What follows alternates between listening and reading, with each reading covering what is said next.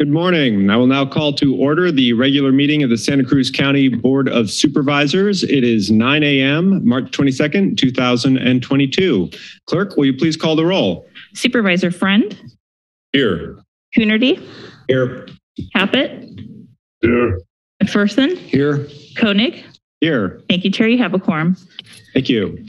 We'll now have a moment of silence and a pledge of allegiance. Are there any members of the board that would like to dedicate this moment to anyone or anything? Seeing none, uh, moment of silence.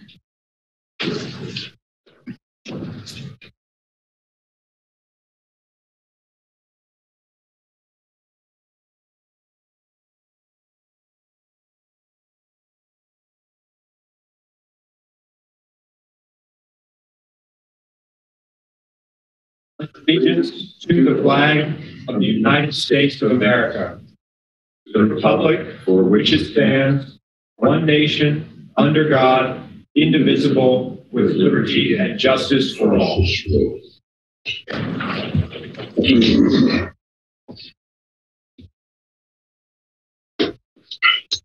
I'll move to item three, consideration of late additions to the agenda. CEO Palacios, are there any late additions or Uh, revisions? We have no, no late additions or corrections to the agenda today. All right, thank you. We'll move to item four, announcement by board members of items to be removed from the consent agenda to the regular agenda. Any board members wishing to remove an item from consent? Seeing none, we'll move to item five, public comment. Any person may address the board during its public comment period. Speakers may not exceed two minutes in length or the time limit established by the chair, which will be two minutes, and individuals may speak only once during public comment. All public comments must be directed to an item listed on today's consent agenda, closed session agenda, yet to be heard on regular agenda, or a topic not on the agenda that is within the jurisdiction of the board. Board members will not take actions or respond immediately to any public communication presented regarding topics not on the agenda, but may choose to follow up later, either individually or at a subsequent Board of Supervisors agenda. Public comment will normally be received by the board for a period not to exceed 30 minutes, and we do have a very packed agenda today, so we're going to try to keep to that this morning. If at the end of this period, additional persons wish to address the board, the public comment period may be continued to the last item on the agenda. We'll begin. Please approach the podium. Good morning to the five supervisors that are here, Heath, Carlos. Well, you know, I'm still not going to stand for a pledge of allegiance to a corporate flag. You know, the next building over has the US flag and the American flag um, that don't have the gold fringe around it. And you still have the um, LGBT plus pedophile flag. Why? You know, there's a couple items on the agenda that have to, on the consent agenda, that have to do with um, different frequency technologies. Uh, number 35, number 32, number 29, and number 42. It seems on the consent agenda number 22 that you guys are going to rubber stamp having these virtual meetings. I mean, how many of you supervisors actually live in this county? You know, it's an open question. Um, I was just introduced to a really cool Corbett report on uh, March 19th, number 416. He went out and laid out what the uh, globalist Justin Trudeau, who is following the UN Agenda 2030, the seven different um, areas where they're outlining the culling and changing of the population on Earth. And then, you know, he was trying to be funny. Um, Vladimir Putin has the same seven agenda points. So I'm not seeing much different in this group that you guys are not promoting this globalist agenda. Um, you know, there's a lot of things that I would rather talk about in this room than some of the dark subjects, but I'm here showing up. I wish more members of the public were. Thank you, Mr. Whitman. I have copy for uh, all the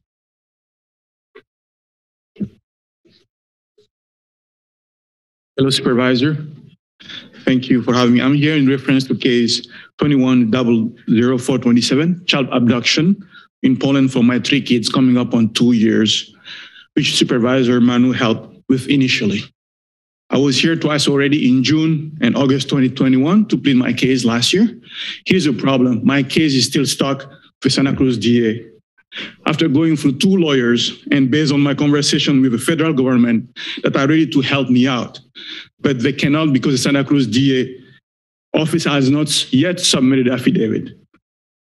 After multiple communication with the DA office, all the data points that I'm getting around around, I got word that my wife got a strong network in this town. Mr. Supervisor, as my witness, and the entity who can help me to get my kids back, I'm pleading you for a third time. As a father of three children, I haven't seen my children for almost two years. I'm being told the DA is talking with Natalia in Poland, but here as a fact, it's been two years already.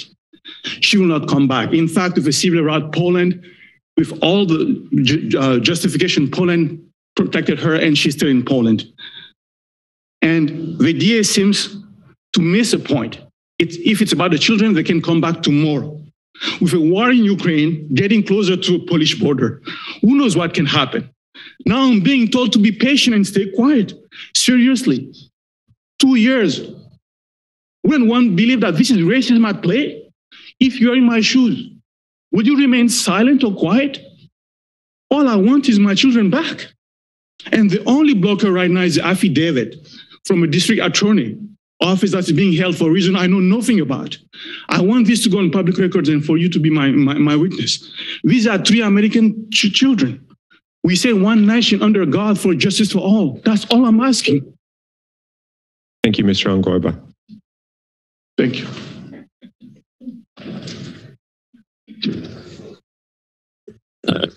Gary Richard Arnold, uh, Chairman, Board of Supervisors. Um, I see that the county government is becoming more fascist by by the week. Uh, the doors were not open to the public until five minutes before this. In the old days, it'd be a few minutes after eight o'clock. Uh, the podium people would have three minutes. Uh, we were promised by the chairman right here that he'd be different than the uh, Panetta puppets uh, that occupy uh, the board of supervisors presently. They have not reported of their parallel government AMBAG uh, which was actually a part of the program of the British Fabian Socialist Society on regional government. Uh, you haven't reported it. You're not reporting who are members of that. Uh, they're calling for the abolition of cities and counties. You're not even representing your constituents for their uh, sovereignty. Uh, you're literally lying about it. Uh, it includes health care. It includes police departments and sheriff's departments. This is the plan, no different than 2030. Uh, the Socialist Party, uh, the Labor Party in England has a emblem here with a sheep in wolf's clothing. That's our, our, our Ryan Coonerty went to the London School of Economics where they preach this stuff and he's practiced it here, including the support of every communist front or agent, you know, throughout this area. Um, in fact, you maintain two plaques for a, a red a, a red Chinese and Soviet Chinese espionage agent belonging to four different spy rings. It says their ultimate goal of the parties of the Socialist and Communist International is nothing less than world government. Membership of the United Nations must be made universal. That's exactly what you're doing and betraying the United States. Thank you, Mr. Arnold. Anyone else here in the chambers that would like to address the board? Seeing none, is there anyone on Zoom or the telephone? We have multiple. Jeffrey Ellis, your microphone is available. Uh, hi, this is uh, Jeffrey Ellis, and I had a comment about uh, item 17 on today's agenda.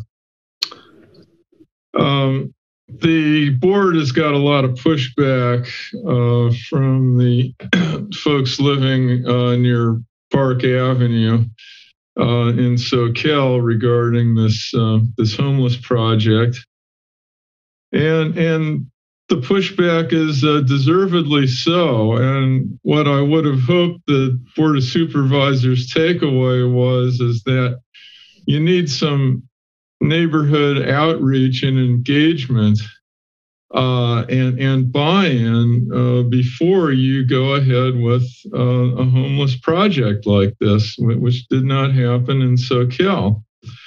And yet, looking at item 17, it says that you want to develop uh, 600 beds of shelter and transitional housing, that three uh, locations have been identified but not named in the documents. And there's no information in there that says you're going to do outreach and engagement of the people who live in these places where you're proposing to put in a homeless shelter.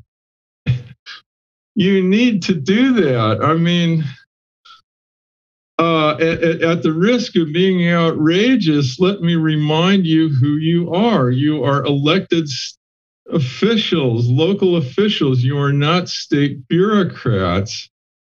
And your your job is to do what we elected you to do, and and not you know the the state trying to ramp up these these shelters. Thank you, Mr. Ellis. Call in user one. Your microphone is available.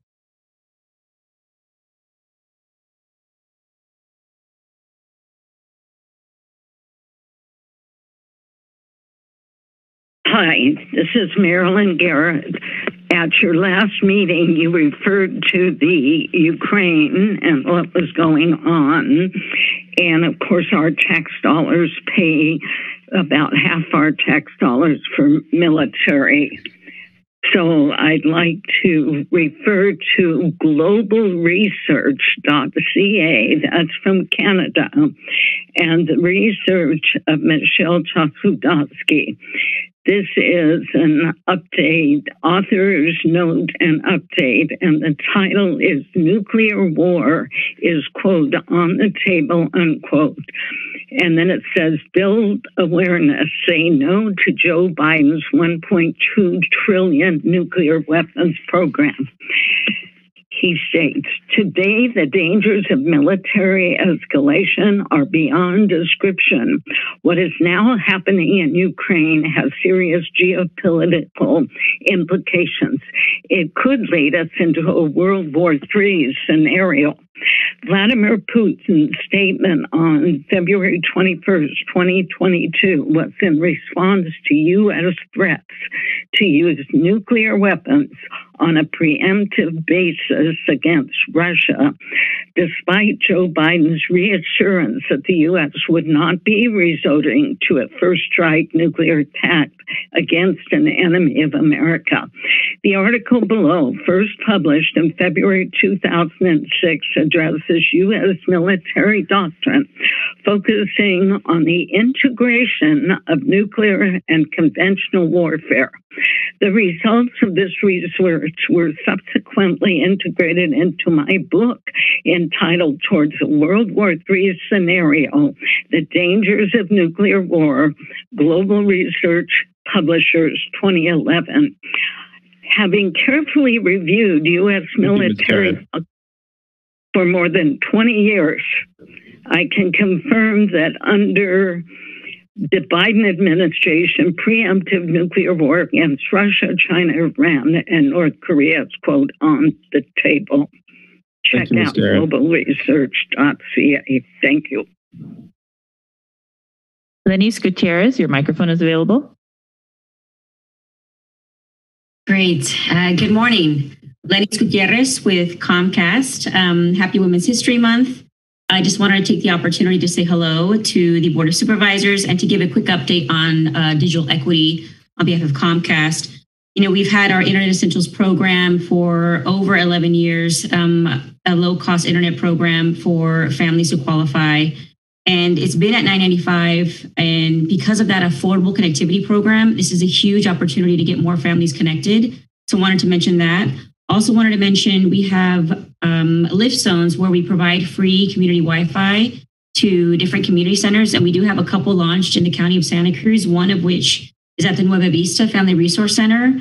And also wanted to mention our Comcast Rise program. It's an opportunity for us to support small businesses, specifically Black, Indigenous, Latinx, people of color owned businesses. And now we've opened up this opportunity women owned businesses it's a way for um, either a technology makeover or advertising assistance um, through a grant process. And so we have applications are open up until June 17th for this round and would love to see more people apply, more businesses apply from the county of Santa Cruz. And just wanted to say, you know, we're, we're here to support, um, you know, the county and uh, your nonprofits and your small businesses. And last but not least, on broadband infrastructure, we have invested over $15 billion since 2017 in our infrastructure. And we already offer, you know, gig services um, to residential business customers within our footprint with a road to 10G. Um, so thank you so much for the opportunity and um, hope to see you soon. Thanks. Thank you, Ms. Gutierrez. Peter Goldblum, your microphone is available. Thank you. Uh, at this point, I will talk later on on the sheriff's and uh, military equipment inventory. But for now, I just wanted to uh, say something that I just discovered yesterday that it's impossible to get through on the telephone to any of uh, you gentlemen. I called the main office. Uh, when nobody answered, I could leave a voicemail, but could not get to any of your offices, your specific offices. I called back to leave another message, and the operator answered. And I asked to be transferred to one of your offices, and she said, I, "That doesn't happen. There is nobody." And and I could not leave a voicemail for anybody. She had to take down the message. That's obviously not optimum. Uh, it's a, it's obviously a very poor uh, public relations systems for you guys. Um, I don't know what she's taking down. I don't know if she's taking down accurately. Without the ability to leave a voicemail, there's no guarantee that um, your offices will get the message clearly, directly, and fully. So I really urge you to create some kind of system where the public can get hold of you and leave you at least leave you a voicemail, if not talk to you directly. Thank you very much. Thank you, Mr. Gelblum. Rachmat, your microphone is available.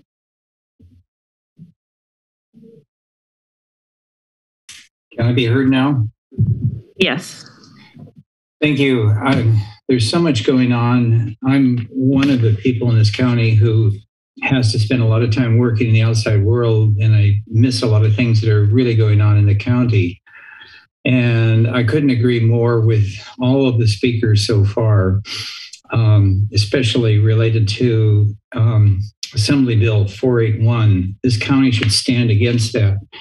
And I agree that the entire board members are not taking enough time to reach out to the community to really hear what everyone has to say. Uh, we need to have more meetings, and the idea of limiting the speaker's time to only two minutes is not acceptable to me. I mean, three minutes was barely enough. And I'm one of those who occasionally had the time to attend um, an in person session in the room when the room would be crowded you know, side by side, and all board members would be present and would have to stare us in the face, and we could look them in the face. And there needs to be some coherence between the elected people to this community and those of us who care about things. So, um, the military issue is is a big topic and cannot be it should be removed for further study and comment with the community and certainly against item 35. This county should be spending more money on addressing our homeless situation and those that are facing various addiction issues. So I appreciate some consideration and thought going in that direction, but I'll yield to, to the next speaker. Thank you, Rockmont. Okay. Douglas Deitch, your microphone is available.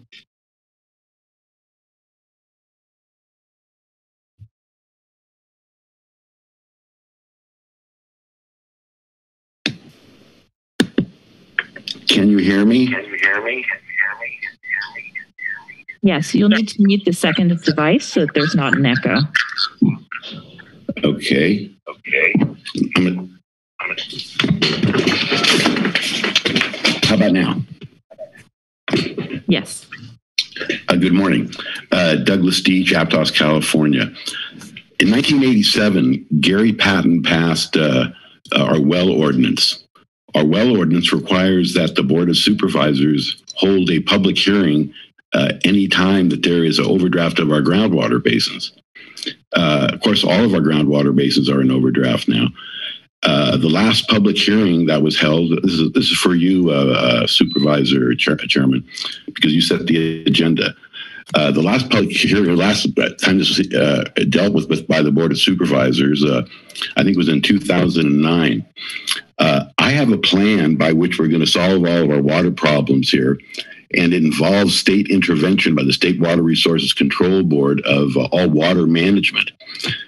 County of Santa Cruz is the only jurisdiction I'm aware of that hasn't declared actually a groundwater emergency.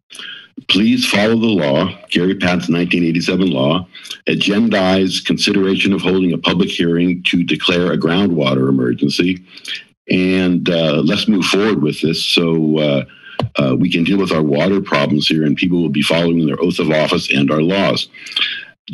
The late supervisor, Judge Almquist, at this website, pogonip.org forward slash alm.htm, wrote a very extensive uh, memo on this, uh, Supervisor McPherson, in 1998 that I suggested you all please review and bring this before the board. Let's declare an emergency, and I can secure us $2.1 billion of Build Back Better federal infrastructure funding and create the 21,000 acre Monterey Bay Estuary National Monument, which will include all the water from the Castroville Reclamation Plant, 33,000 acre feet a year of recycled water to be used regionally uh, all with what's called OPM, other people's money. Thank you. Good morning. Thank you, Mr. Deitch. Caller 1401, your microphone is available.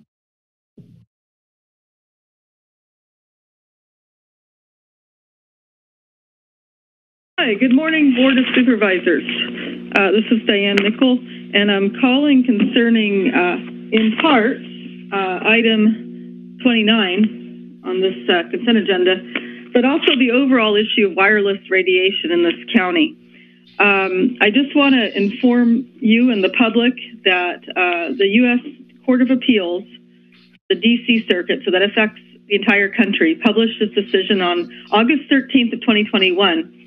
The court ruled that the Federal Communications Commission failed to consider the non-cancer evidence regarding adverse health effects of wireless technology when it decided that its 1996 radio frequency emission guidelines protect the public health.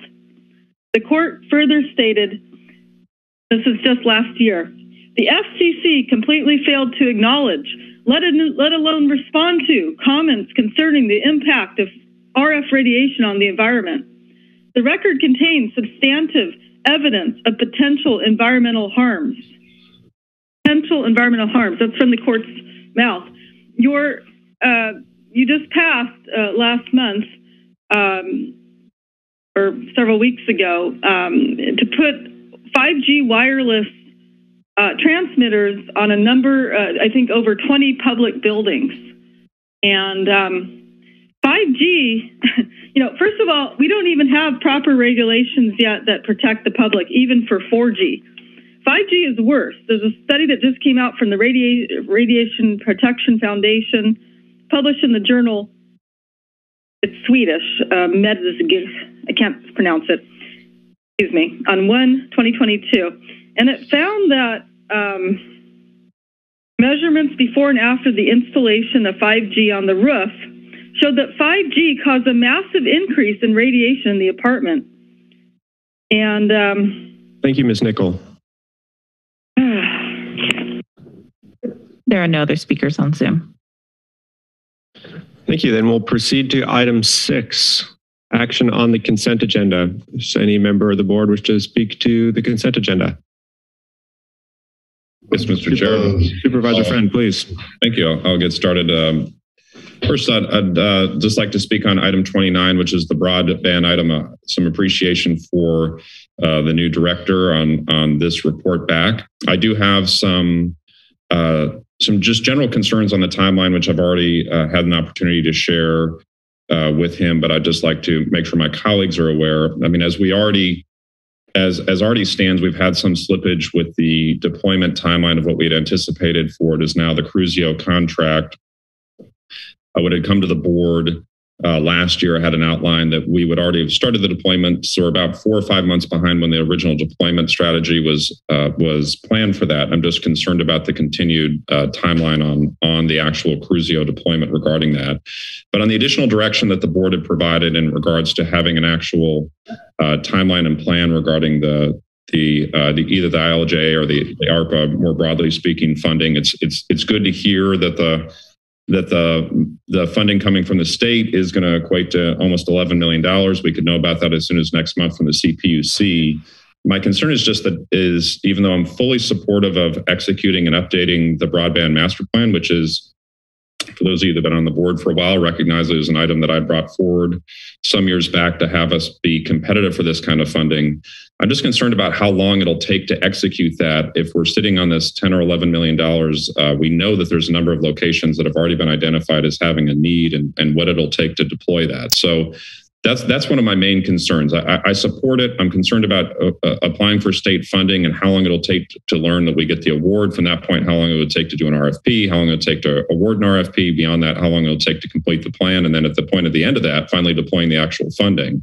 I just don't want to get our process in the way of actually serving people's needs in regards to uh, this internet uh, this internet funding or broadband funding that's coming down the pike.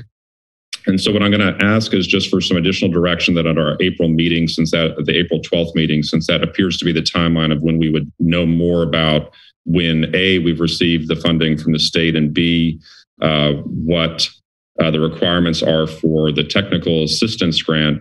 A, I just want to know uh, the additional direction for that meeting would be to come back with more information about this for one, because I'm just concerned about the slippage in the timeline. How can we expedite the deployment of this to the community now that we're finally getting state and federal funding for it would be part number one.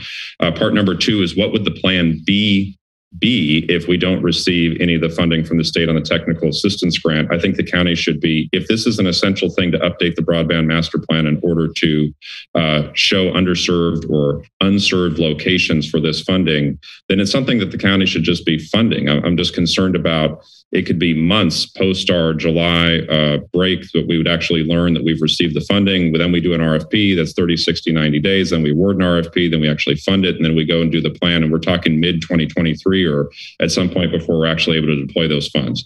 So um, it's a pretty broad additional direction. It's just really to come back and, and on the April 12th meeting with an additional understanding of what this means and to have a plan B, because I just don't feel like the current timeline uh, is expeditious enough for what the board's interests are. On items uh, 32 and 35, which are, are related uh, that I brought forward on virtual currency, uh, I really think that this is an opportunity for not just uh, the state, but the county, once the state puts these guardrails in place, to really look at how we uh, improve blockchain, uh, blockchain technologies at the local level, as well as, quite frankly, use virtual currency options here for payment. Um, I think that I mean it's it's undeniable that that those that are using the technology and the virtual currencies across the country and across the world tend to be those that are either un, underbanked, unbanked, or they're having some sort of financial uh, have been left out of the financial system.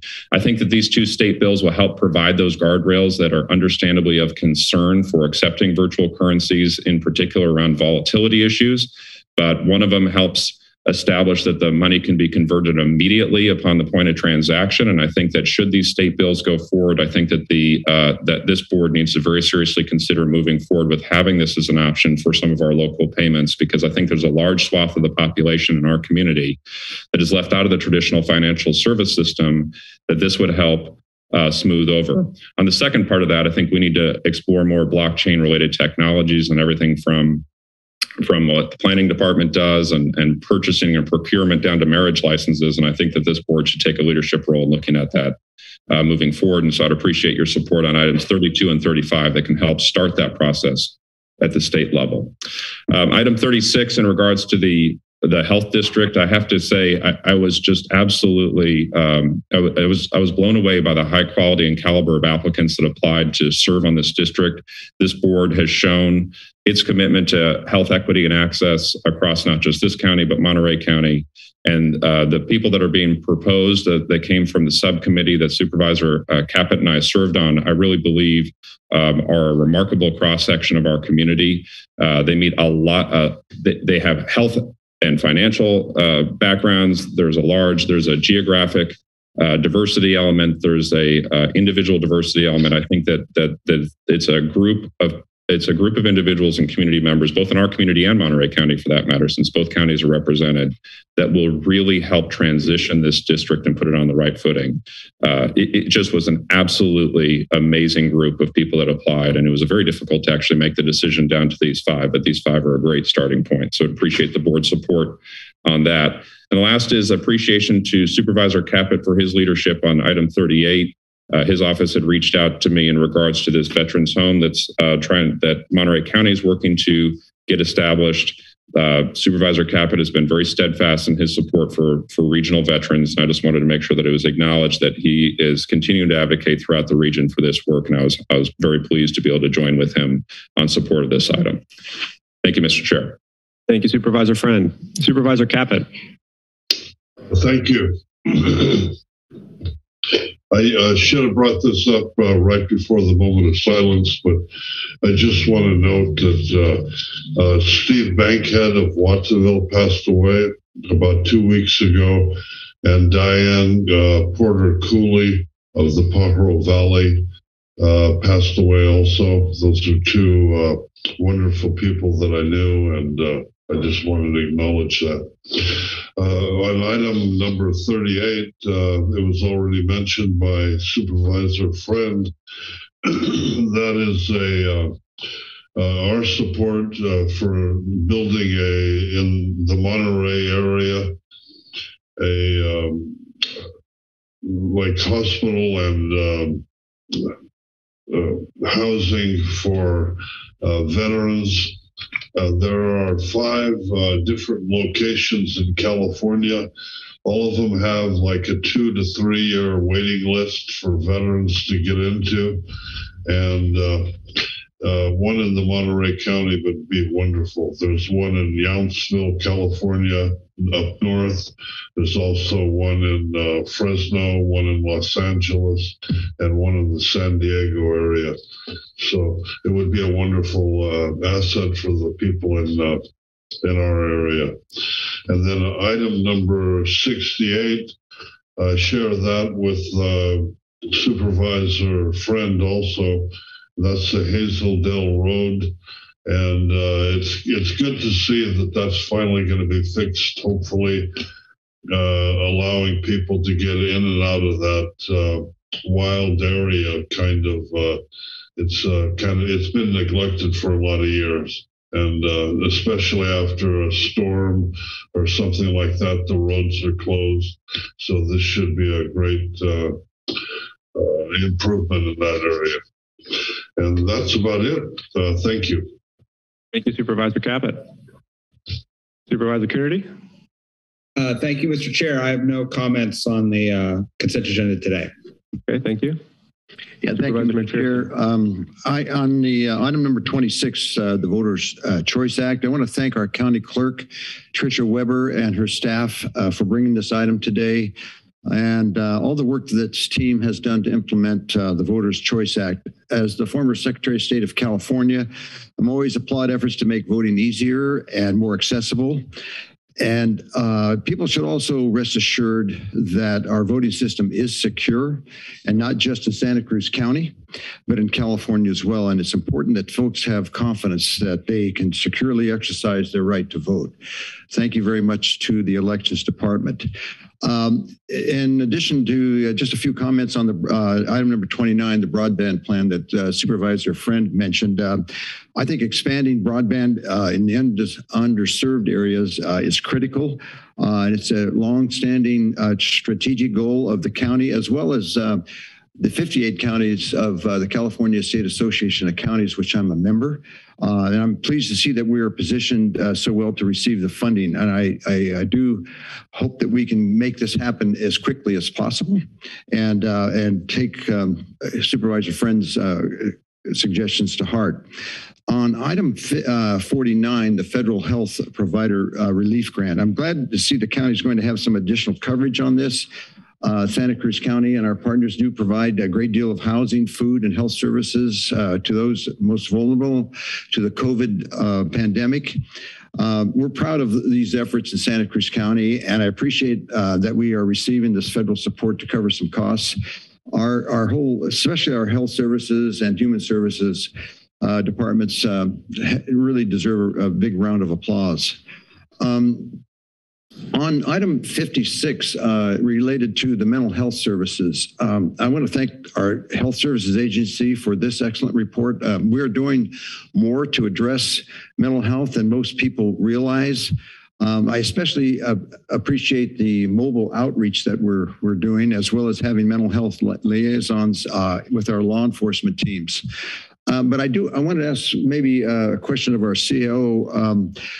I, I, support these efforts, but I wonder how we might continue them after the grant funding is exhausted. Is that that's just to be determined? I at this point, or what's the situation there? Yeah, I think uh, we're going to have to take a really hard look about the sustainability of these positions.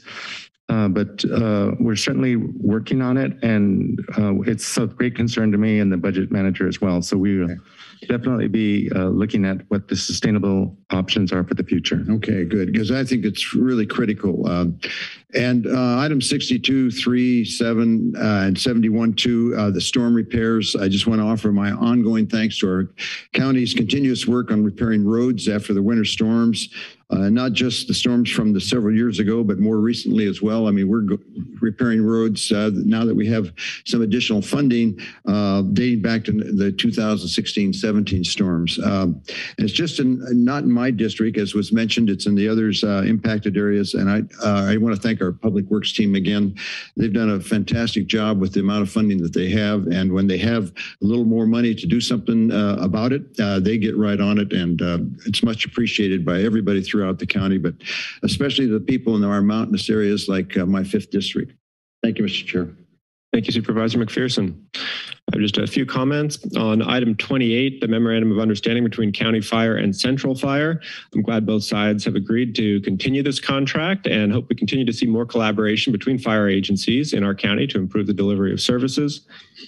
On item 29, the broadband infrastructure plan, I'm supportive of the additional direction uh, by Supervisor Friend and um, expediting that process as much as possible on item 34, supporting the designation of U.S. Bike Route 95. Uh, this is a route that would go all the way from the Mexico border in, uh, in California all the, all the way up to the Canadian border.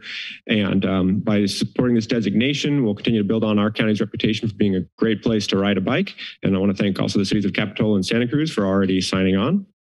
And then on item 60, the agreement with Camino for a web-based permitting guide. I'm really excited to see this move forward, um, getting our permitting process more streamlined and uh, simplifying our workflows is, is really going to be necessary to build the housing we need, and we're going to talk a lot more about on items later on this agenda. Um, so it, I'm excited to see this moving forward. That's all my comments, and uh, a motion would be appropriate at this time. I'd move the uh, consent agenda with the additional direction of Supervisor Friend included. Second. Uh, motion by Supervisor McPherson, second by Supervisor Friend. Any further discussion? Seeing none, clerk, please call the roll. Supervisor Friend. Aye. Coonerty. Aye. Caput. Aye. McPherson. Aye. Koenig. Aye. Thank you. Motion passes unanimously. Thank you. We'll now move on to item seven to consider approval and concept of ordinance amending Santa Cruz County Code sections 4.24.020 4.24.080, 4.24.110, and 4.24.130, and adding a new section 4.24.105, and schedule the ordinance for final adoption on April 12th, 2022, as outlined by the Auditor, Controller, Treasurer, Tax Collector. And for a report on this item, we have our Auditor, Controller, Treasurer, Tax Collector, Edith Driscoll. Good morning. Good morning, Chair Koenig and members of the board. Edith Driscoll, Auditor, Controller, Treasurer, Tax Collector. Also with me today is Laura Bowers, the Chief Auditor Controller. The Auditor Controller Treasurer Tax Collector's Office is requesting an amendment to Chapter 4.24 of the County Ordinance regarding transient occupancy tax. As background, the unincorporated area of the County of Santa Cruz has 19 businesses classified as a hotel, motel, or inn. We also have over a thousand different properties listed as vacation rentals on platforms such as Airbnb and VRBO. It is the tax collector's responsibility to collect transient occupancy tax from each of these owners and operators. this TOT, as it's known, is collected currently on a monthly basis.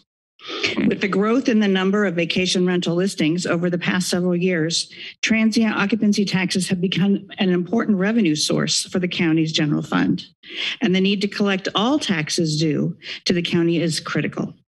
The ability for the tax collector to enforce the transient occupancy tax collection requirements will benefit from revisions to the ordinance as proposed. We are requesting the following revisions to the transient occupancy tax ordinance to address these matters, as well as to add additional clarity to the ordinance. We are alphabetizing the definitions and updating the definition of transient occupancy facility, as well as adding a definition for vacation rental property and hotel rental in order to distinguish this type of facility from a standard hotel.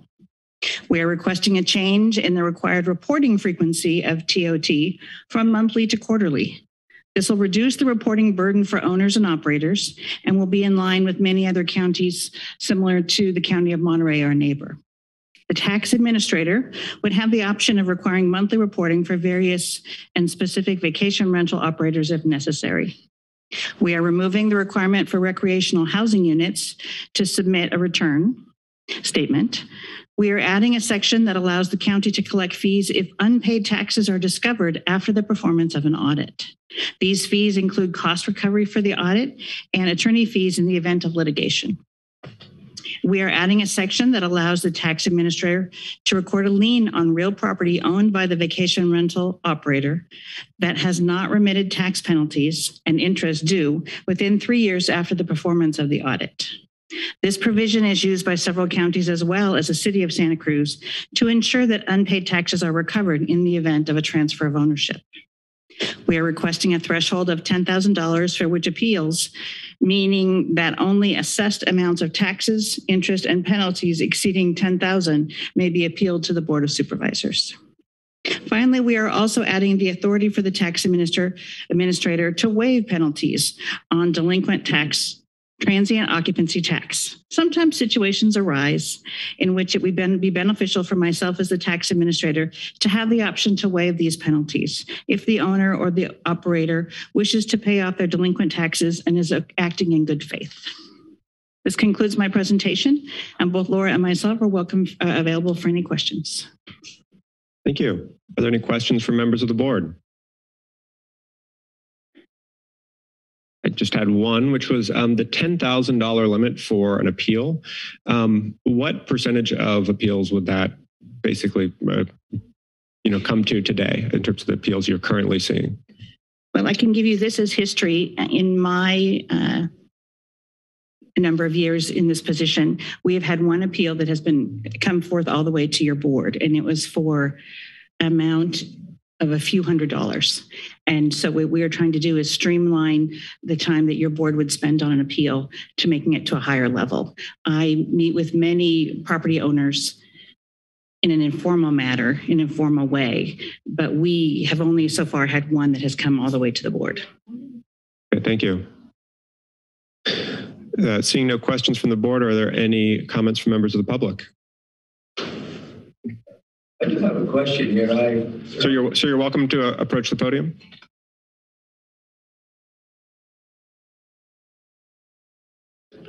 Do I need to use this? That would be helpful. Yes, we have an online audience. Can you all hear me? Yes. Okay.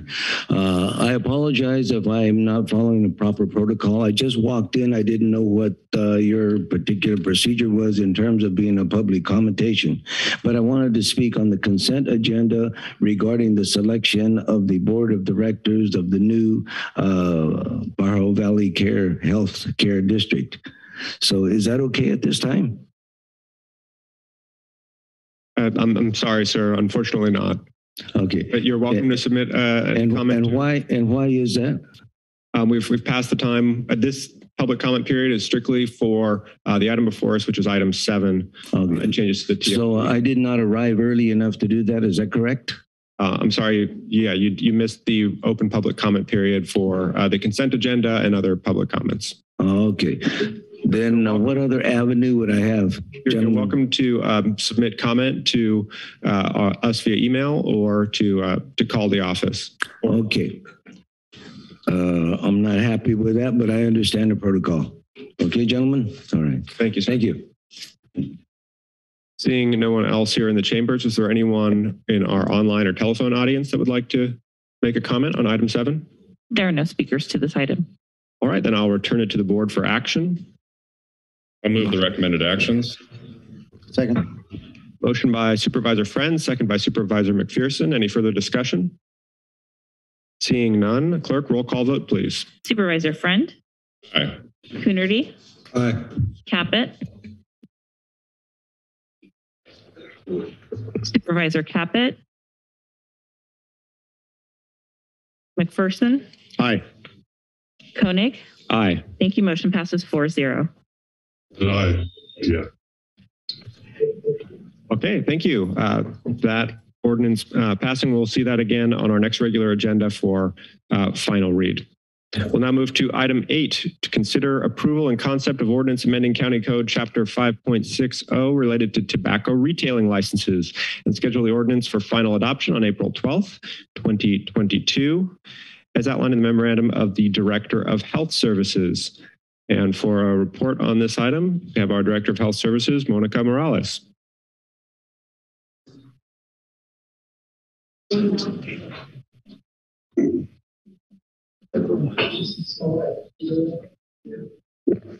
How's that? Hi, good morning, all.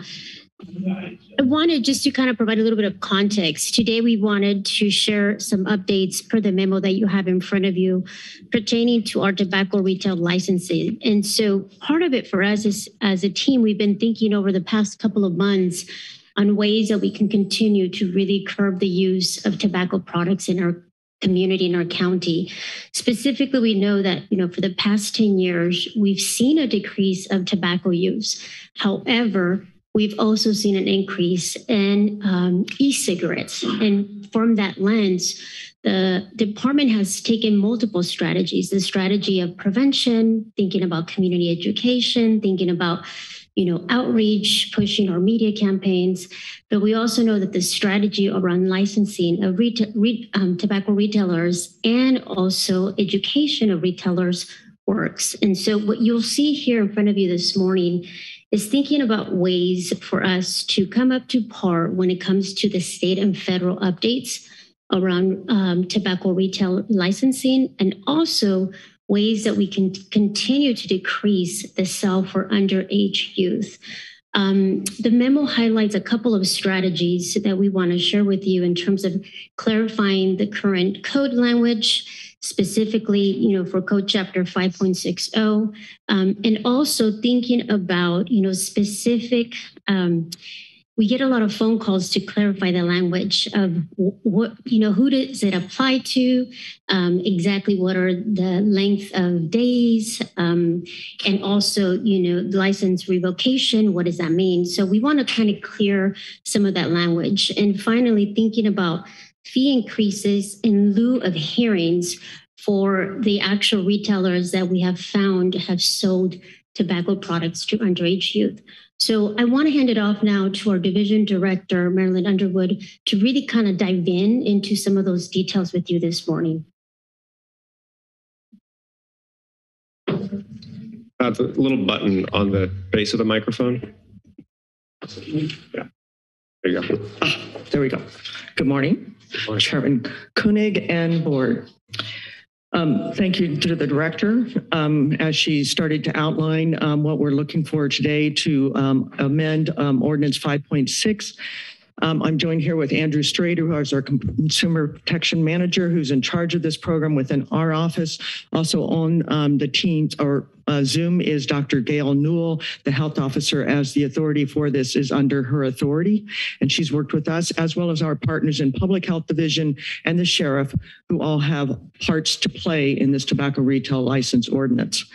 Um, we're focused primarily on the um, issues around enforcement, and, and this comes to light as we've had since 2018 The um, sheriff has had a grant to run decoy operations, and this is to go into the, our 105 different retail operations that are licensed to sell tobacco and have decoys attempt to buy tobacco um, and they are underaged. Uh, many do not sell uh, to the to the decoy, but we have had 19 violations during that time uh, for 17 facilities. Two of them have um, had multiple uh, times when they've sold to a decoy. And what has resulted is in that, unfortunately, on the enforcement side is that it's it's um, very complicated. We, we did offer something called a stipulated fine, and what we're proposing is to change that stipulated fine. So for those entities, they could choose that. It would um, be a stiffer stipulated fine and also avoid some a long appeal process that has been very difficult to run for our division, uh, very administratively uh, heavy. Uh, along with that, we have some other um, um, things that I, I could go through here. We're modifying section 5.6.6 to specify that a spouse, domestic partner, or business partner of a violator cannot apply for licensing when a violator's license has been suspended violating, uh, modifying section 5.6.1 to clarify cause for suspension or revocation of a license. Also within that same uh, section, we want to clarify the suspension times are that are to be consecutive. Um, we want to remove the requirement that the appeal hearing take place within 20 days. Uh, we want to increase again the fines and amounts of during the for the stipulated fine. And lastly, to get align ourselves with federal law, this is a cleanup part. Uh, we do want to eliminate the language about military personnel 18 years and older being allowed to be enter a tobacco only uh, facility. Uh, so with that today, we're asking you to consider the approval and concept of the attached ordinance amending County Code 5.6 related to tobacco retail licensing and schedule the ordinance for second reading and final adoption on April 12, 2022. And I'd be happy to take any questions. Thank you to the entire HSA team here. Any questions from members of the board? Oh, seeing none. Any comments from members of the public? There are no speakers to this item. All right, then I'll return to the board for action. I'll move the recommended action. Um, thank you for your efforts uh, in the past and now into the future. And I'll second with appreciation for all the work on this. All right, motion by Supervisor McPherson, second by Supervisor Friend. Um, I'll just add that uh, I know we've had some bad actors in the first district, and I appreciate these changes. Um, definitely curbing tobacco youth among uh, use among youth is essential, and so um, I thank you for your work on this. If there are no further comments or discussion, then um, clerk, roll call vote, please. Supervisor Friend, Aye. Coonerty, Aye. Caput, Aye. McPherson, Aye. Koenig. Aye. Thank you. Motion passes 5-0. Did, uh, did you get my, uh, eye on, uh, number seven? We did, Supervisor Caput. Thank you. Yeah. All right. Yeah, We had a, a little disruption here at the office. All right. Thank you again to the HSA team. That ordinance will return for a second read at our April 12th meeting. We'll now proceed to item nine to consider an approval to consider approval and concept of uncodified ordinance to adopt military equipment use policy pursuant to Assembly Bill 481, adding military equipment to the county's policies and procedures manual as military equipment use policy and add section 1600 under title 7 of the county's policies and procedures manual pursuant to Assembly Bill AB 481 to increase the county's transparency to the public and schedule the uncodified ordinance for a final adoption on April 12, 2022, and direct staff to return to the board on or before May 10th, 2023 to provide an annual report required by AB 481 as outlined in the memorandum of the Sheriff Coroner. And for presentation, we have Sheriff Jim Hart. Morning, Chair Koenig, Jim Hart, Sheriff Coroner, Morning Board. Uh, today, we're going to just give you a, a, brief overview of what Assembly Bill 481 is, and then talk about some of the equipment that we're using. And, and then at the end, we're going to ask for your uh, consent to continue using the existing equipment that we have.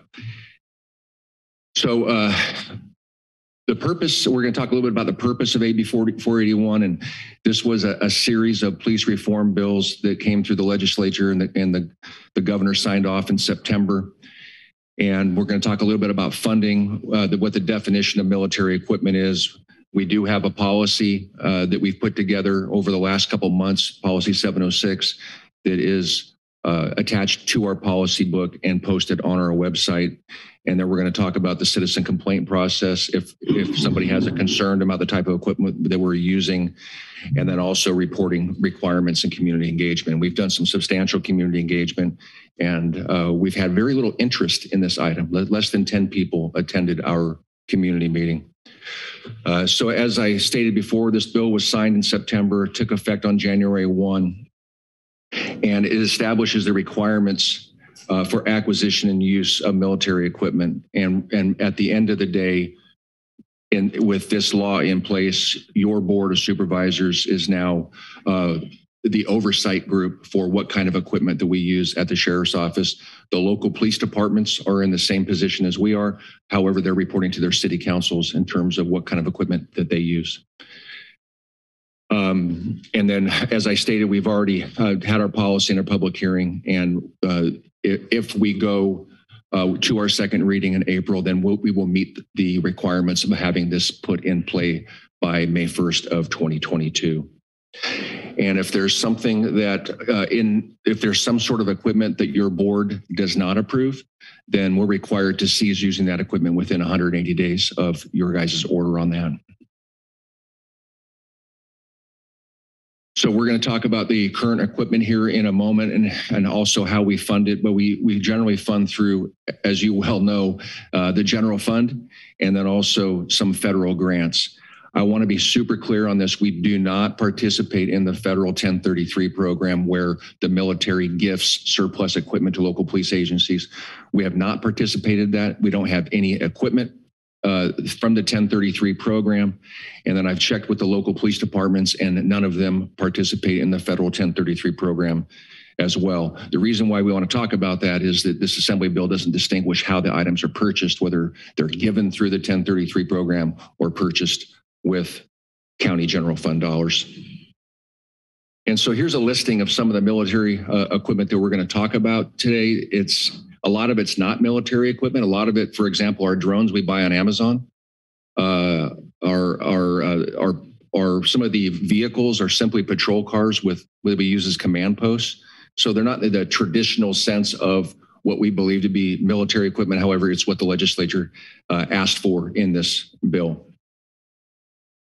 And then this is just uh, what our policy includes, policy 706. And, and for this board, it's what we're, the policy, it, it talks about the approval process for the equipment and then also the community engagement and annual report aspect of it. And so uh, today I have Sergeant uh, Dan Robbins from my administration bureau who did a lot of work on this project, and he's going to talk to you about the equipment that we have in our inventory as of today. Dan? Hit that button. Thank you, Sheriff. So uh, as you'll see as we go through the, our inventory, most of these items are less lethal items. Um, so we're starting with category one. We have three different robots assigned at our office. One's assigned to our SWAT team and two are assigned to our bomb team. Both of those items are typically used to get a, a view of dangerous situations, whether that be someone barricaded inside a home or suspicious devices.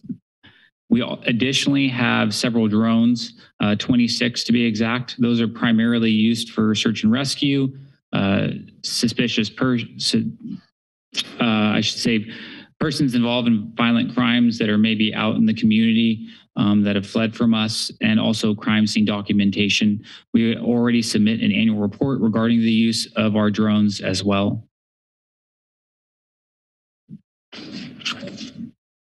Uh, there we go. Thank you, Sheriff.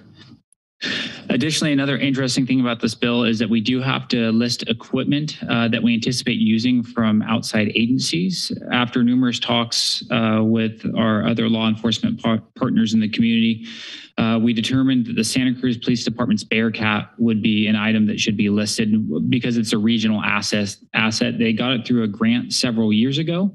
Our personnel don't maintain it. They don't drive it. They simply sit inside of it during officer rescue situations, such as what we saw with Sergeant Gutzwiller.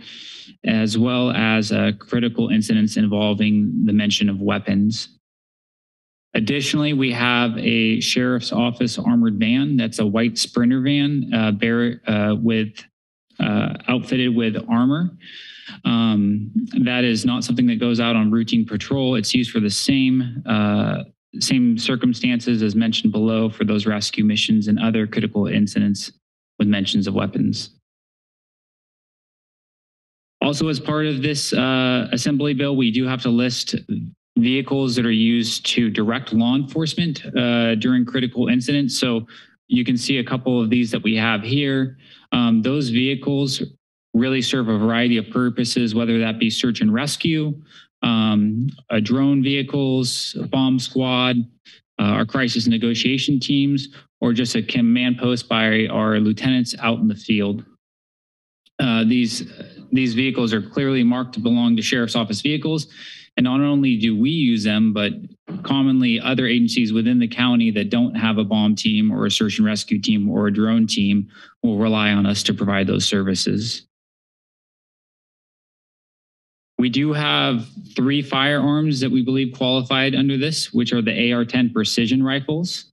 Uh, these are used by our SWAT team uh, members, and they train with these on a monthly basis.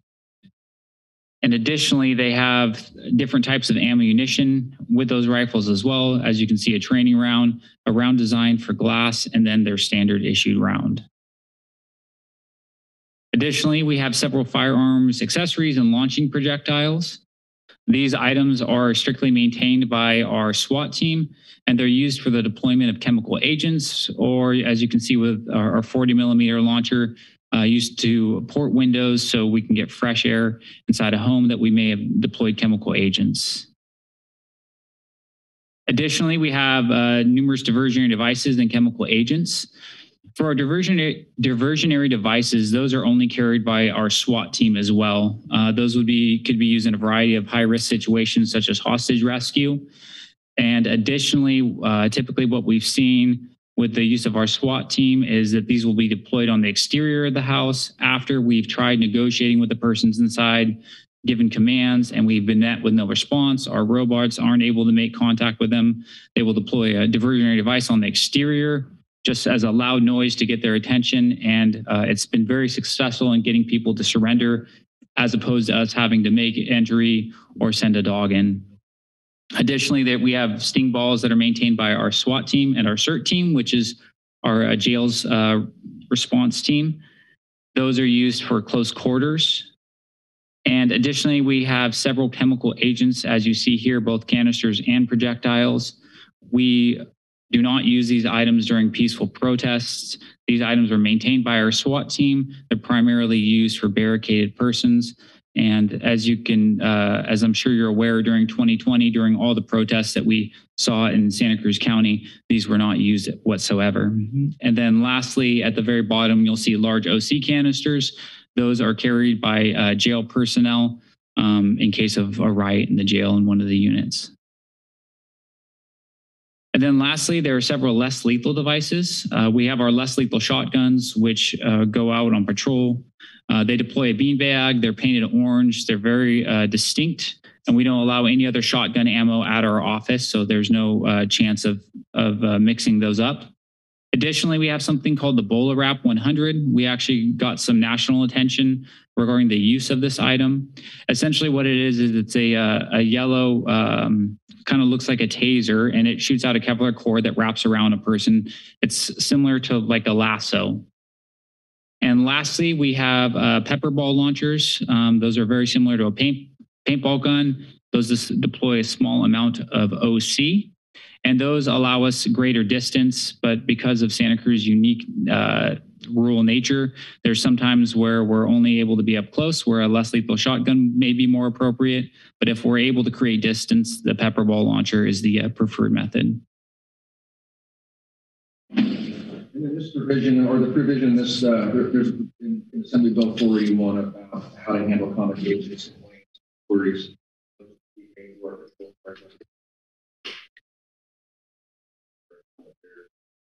We platform online Sheriff Hart, I believe your microphone is off.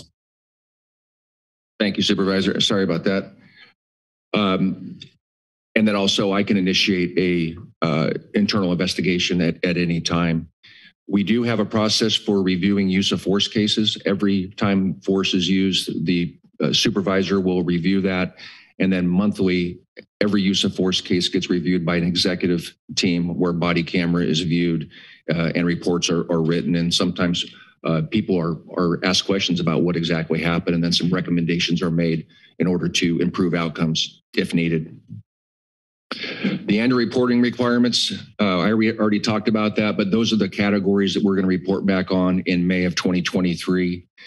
And then any other information that your board deems uh, important or something that you want to know about, we're happy to report back on that in 2023. And then in terms of community engagement, I just want to make sure that you guys were aware that th this is the level of community engagement that we put out uh, we initially facilitated a discussion with my advisory team made up of 20 community members. Uh, we posted our policy on, on our website and on our social media. Uh, we posted the announcement for the virtual meeting on February 10th and did the same thing on March 11th. Uh, we held a virtual meeting on March 14th, and now we're presenting to your board on the 22nd with a second reading on the 12th. And so in terms of impact, so uh, it's obvious with with with approval, we'll continue doing what we're doing. And I think we we use this level of force very judiciously. Uh, we'll, we'll continue keeping the community safe and also increase transparency with these type of presentations. Uh, without approval, if we don't have access to, say, our bomb team doesn't have access to their bomb robots or their their truck. There's there's not a possibility that they're going to respond. Same with the SWAT team. So you know we could impact how we respond or uh, to mutual aid and also to critical incidents. And so uh, you know we're we're hoping that uh, based on what you're hearing that that you will approve the existing equipment that we have. And so uh, we believe that based on uh, that after completing this presentation, we've fulfilled all of our requirements of Assembly Bill 481, and we're requesting to continue the use of the equipment outlined in this report. And we will report back in May of 2023 with the data points uh, that are requested. And then the, the, we're also requesting for the second reading on April 12th. I'm happy to answer any questions. Thank you, Sheriff Hart and Sergeant Robbins. Are there questions from members of the board? Yeah. Uh, Supervisor Caput. Yeah, hi. Uh, thank you, uh, Sheriff Hart. And uh, I guess the only question I have is uh, basically when you're using non-lethal uh, um, projectiles, I guess, is there any possibility, like with the shotguns, that something like uh, would happen, like happened in Hollywood, where the they were filming a movie and live rounds were put into a, uh, a pistol rather than uh, blanks. Uh, uh, when you mention the shotguns, is there? There's no way that there would be a mix-up where you're going to uh, use it for a non-lethal, and somehow it could get mixed up. Yeah, that's that's a good question, Supervisor. And and we don't allow shotgun rounds in our vehicles on our campus, in our locker room. There's no shotgun rounds in our armory.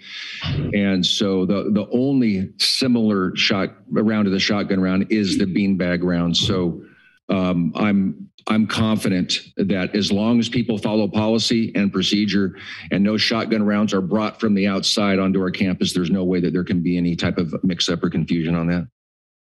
Okay, great. Thank you. Thank you, Supervisor Caput. Other questions from the board? Seeing none, we'll take it to public comment. Beginning uh, here with folks in the chamber, please approach the podium. My name is Lee Brokaw. I came for public comment. I respectfully request three minutes because I'd like to rebut a number of the things that the sheriff has already said. Sheriff Hart, is that all right? Uh, sir, you've got two minutes. Please Three go minutes? ahead, Mr. Brokaw. Three? Two. Two. All right, well, not so fast. There were more people interested in this uh, March 14th than uh, 10 people. We repeatedly asked the sheriff to publicize it. It never showed up in coastlines. Um, he had it on his webpage. Nobody reads the sheriff's webpage routinely. Uh, was no outreach to the community for this. There is a lot of interest in this. Um, the sheriff told me at the March 14th meeting that he would keep the AR 14, AR 15s on the list. He has 83 of them. He is in the he is mistaken in his assumption that they are not included because they are less than 50 caliber. They are covered by the civilian assault weapon ban, and the only ex- and only exceptions in 481 are standard issued weapons, but 481 does not define what 481 is. If the Russians had landed in Monterey, I would want Sheriff Hart's army, but the, the Russians haven't. And he is armed to the teeth uh, without any civilian oversight. Um, and the AR 14 is an incredibly, AR 15, I'm sorry, the AR 15 is an incredibly dangerous weapon. The small caliber slug that it shoots tumbles and ricochets. It sends a huge, I've, all of this is in writing in our packet. If you would please read it, we have URL references where you can see the damage that this particular round does. And it's, it's unnecessarily damaging. Uh, the round goes in the size of a, of a pencil quarter inch and it can come out the backside of a body the size of a bowling ball or a basketball because of the way it ricochets and tumbles inside the body. Thank you, Mr. Brokaw.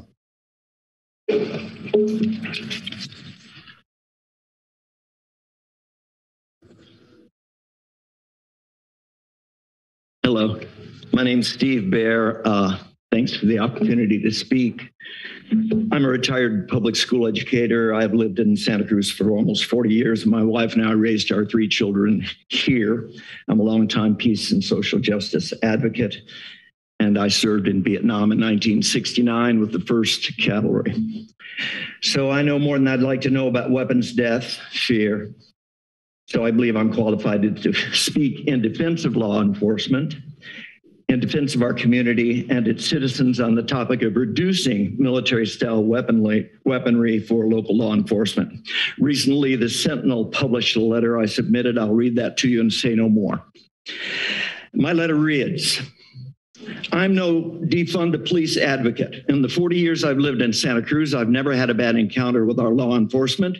They seem well trained and professional. Their work is appreciated by most. But I and others, including members of Veterans for Peace, Chapter 11, Santa Cruz, have an urgent concern about weaponizing local law enforcement with military style weapons and vehicles. These weapons and vehicles are obviously expensive, rarely necessary, and highly destructive when used. It appears the more military military style weaponry, weaponry our police possess, the more weaponized criminals become. Perhaps more importantly, the more we weaponize our law enforcement, the longer we perpetuate the unending cycle that increases our fear and feeds the idea that we need these killing tools. These are fearful times, and there are bad actors out there. But arming police with military weaponry only increases the fear and further endangers our police and our citizens. Thank you. Thank you, Mr. Bear. Is there anyone on Zoom or the telephone? Yes, there are multiple on Zoom. Caller 1401, your microphone is available.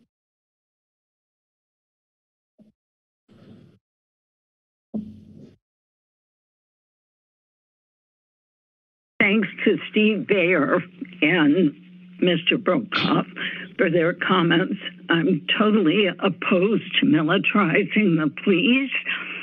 And in your packet, it said you didn't want this to be appearing as a military, additional military occupation, but that is what it is. In fact, as I see it, and this is also microwave weaponry. Um, additionally, drones work by microwaves.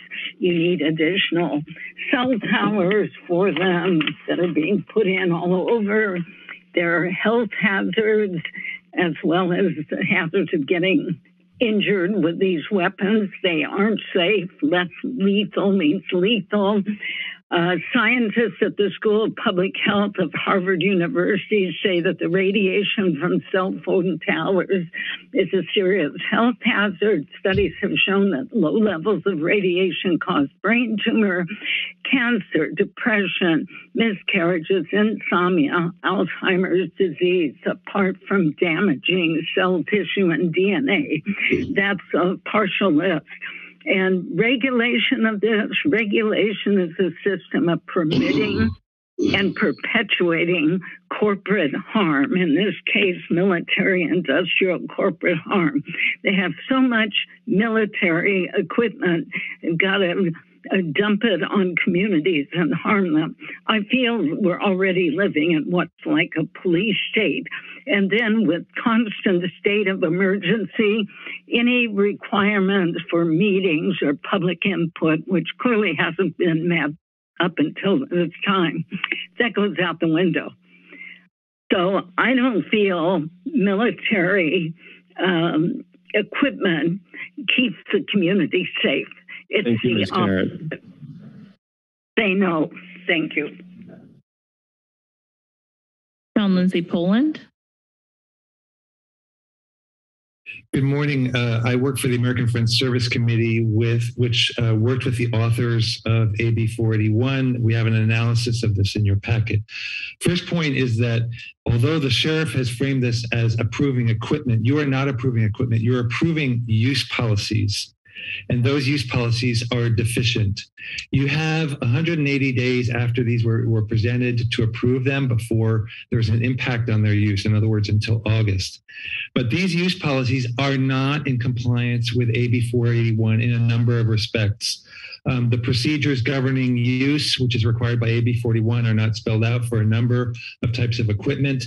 Um, a new piece of legislation, AB 48, limits the use of tear gas and impact rounds for crowd control. That is not referenced at all in these policies for tear gas and impact rounds. Authorized uses as opposed to, to users or the training required is not spelled out for a number of types of equipment. And none of them spell out the compliance mechanisms if there is um, some, some kind of violation of the, of the approved policies. Those are all requirements of AB 41 that are clearly spelled out, the things that you need to approve um, as well as the criteria by which to approve them. If you pass something, if you approve something that is not in compliance with AB 41, the county could face litigation. It would be much better to remedy these deficiencies and have the sheriff's office come back to you in April with an amended set of use policies that actually do conform to AB 41 thanks so much. This is such an important issue. You shouldn't just pass it over. It's it's complex for sure, and all the more reason why you need to dedicate more attention to it and have the sheriff come back next month. Thank you, Mr. Poland. Peter Gelblum, your microphone is available. Thank you very much. Um, second, what's been said so far, uh, please, please, please do not rubber stamp this. Take a look what's in the packet. What the last speaker said is absolutely true. The policies submitted do not comply with AB 481 in several respects. One is that this body must, before it approves a policy, an equipment use policy, it must make two determinations that the military equipment is necessary because there's no reasonable alternative and the proposed military equipment use policy will safeguard the public's welfare, safety, civil rights, and civil liberties. You must make this body, not staff, not the sheriff, the Board of Supervisors must make those two determinations before approving a use policy under the statute. Secondly, um, you have plenty of time to do this. As the last speaker said, it is not a deadline by May 1 to get these approved. The sheriff was wrong about that. All he had to do by May 1 is something he's done, which is to start the approval process. You then have 180 days after that to do it. So please put the brakes on this, take a look, let it go back and let the sheriff go back and, and, and fix up the policies. In other ways that the policies are insufficient, they do not include at least two elements, three elements expressly required by AB 41. They're in, in codified in Government Code Section 7070 a, uh, a D6 and 7070 D7. and 7070 D2 and D4. They're very, very clear that these policies submitted you do not comply. So I really urge you, take a breath. There's no harm in going and waiting a month, come back, have the sheriff fix the policy so they're compliant and go forward from there because you guys have to make these two express determinations. You can't just rubber stamp this. Thank you very much. Thank you, Mr. Gelblum. There are no other speakers on Zoom. All right, I think we had a couple of uh, members of the public here in the chambers that also want to speak on this item. Go ahead. Hello, my name is James Ewing Whitman. I read this over on um, Saturday. So I really like the presentation. I mean, it certainly is a start. Um, I didn't read every word of number nine. I was basically looking for uh, frequency weapons. And there is some stuff. There's something called LRADs, that's long range acoustic devices. Um, so I suppose that's on the table whether the any local law enforcement is um, working with these weapons or not. So what I'm holding in my hand is my cell phone. You know, assuming this just has one watt, and I believe it has more, that'll travel um, 25 miles. We have cell towers all over this county that are, you know, just the wires, 300,000 watts. Who knows what they're stepping up up in the towers. So I myself have talked to literally dozens of law enforcement in this county, and I like to engage with them about what kind of wireless they are wearing. The average is two. Some of these individuals wear four pieces of information. This wireless stuff is designed, if it's if you're not protected from it, to kill you before you retire. So all this stuff is linked together. And I spoke briefly last three weeks ago, I guess it was, about the bioweapons release. So all these mandates have been lifted because the bioweapon, the people inoculated, are now spreading it. It seems that Santa Cruz County has less individuals that are severely harmed. But the reason I'm bringing it up is it has to do with the wireless and the frequencies and how people can be affected through the frequencies. And at some point, this is going to start affecting more people. And I just wanted to talk about it publicly. So thank you. Thank you, Mr. Whitman. Gary Richard Arnold, uh, Chairman, uh, Supervisors. Uh, the Office of Sheriff is one of the most important in the uh, division of powers. They should be as independent as, as possible. Um, I know because of various threats, uh, some of them that were caused by the state, this county, and the city offering sanctuary cities. Uh, the, the drugs, the crime, uh, the costs really go up. So a lot of a lot of the crime and so forth can be taken care of. Uh, the more dangerous uh, contributions by the state. And of course, the Supreme Court ruled that when they get, when local agencies uh, receive federal funds, uh, that the feds have control over much of their policies. I don't want to see that done. I know there needs to be, you know, fusion uh, exercises and and uh, such things for national emergencies. Um, but I do want to totally disagree uh, with the sheriff um, about his complaint forms and his openness and transparency uh, before this very board. I must have mentioned at least a dozen times uh, my complaint against two board of supervisor members that threatened the persons and the property of a couple of Granges. Uh, there was a speaker by uh, Freedom Forum uh, that had already spoke at the resource center here. He has refused and protected these Panetta machine people there. And I find that collusion that's why his office should be totally separate. You shouldn't be totally controlling what he needs to do, nor should he be jumping to the tune of the Leon Panetta machine, uh, who's co-partner in California Forward, member uh, uh, of the Cal uh, of the Committee for Economic Development, just like Willie Brown wants to get rid of the cities and counties, the CED wants to get rid of 80% of them. You're you're cutting people's access off and you're telling that man to call people that called yesterday couldn't get through. You have one phone number for five people. You should Thank be you. independent and make your assistance available.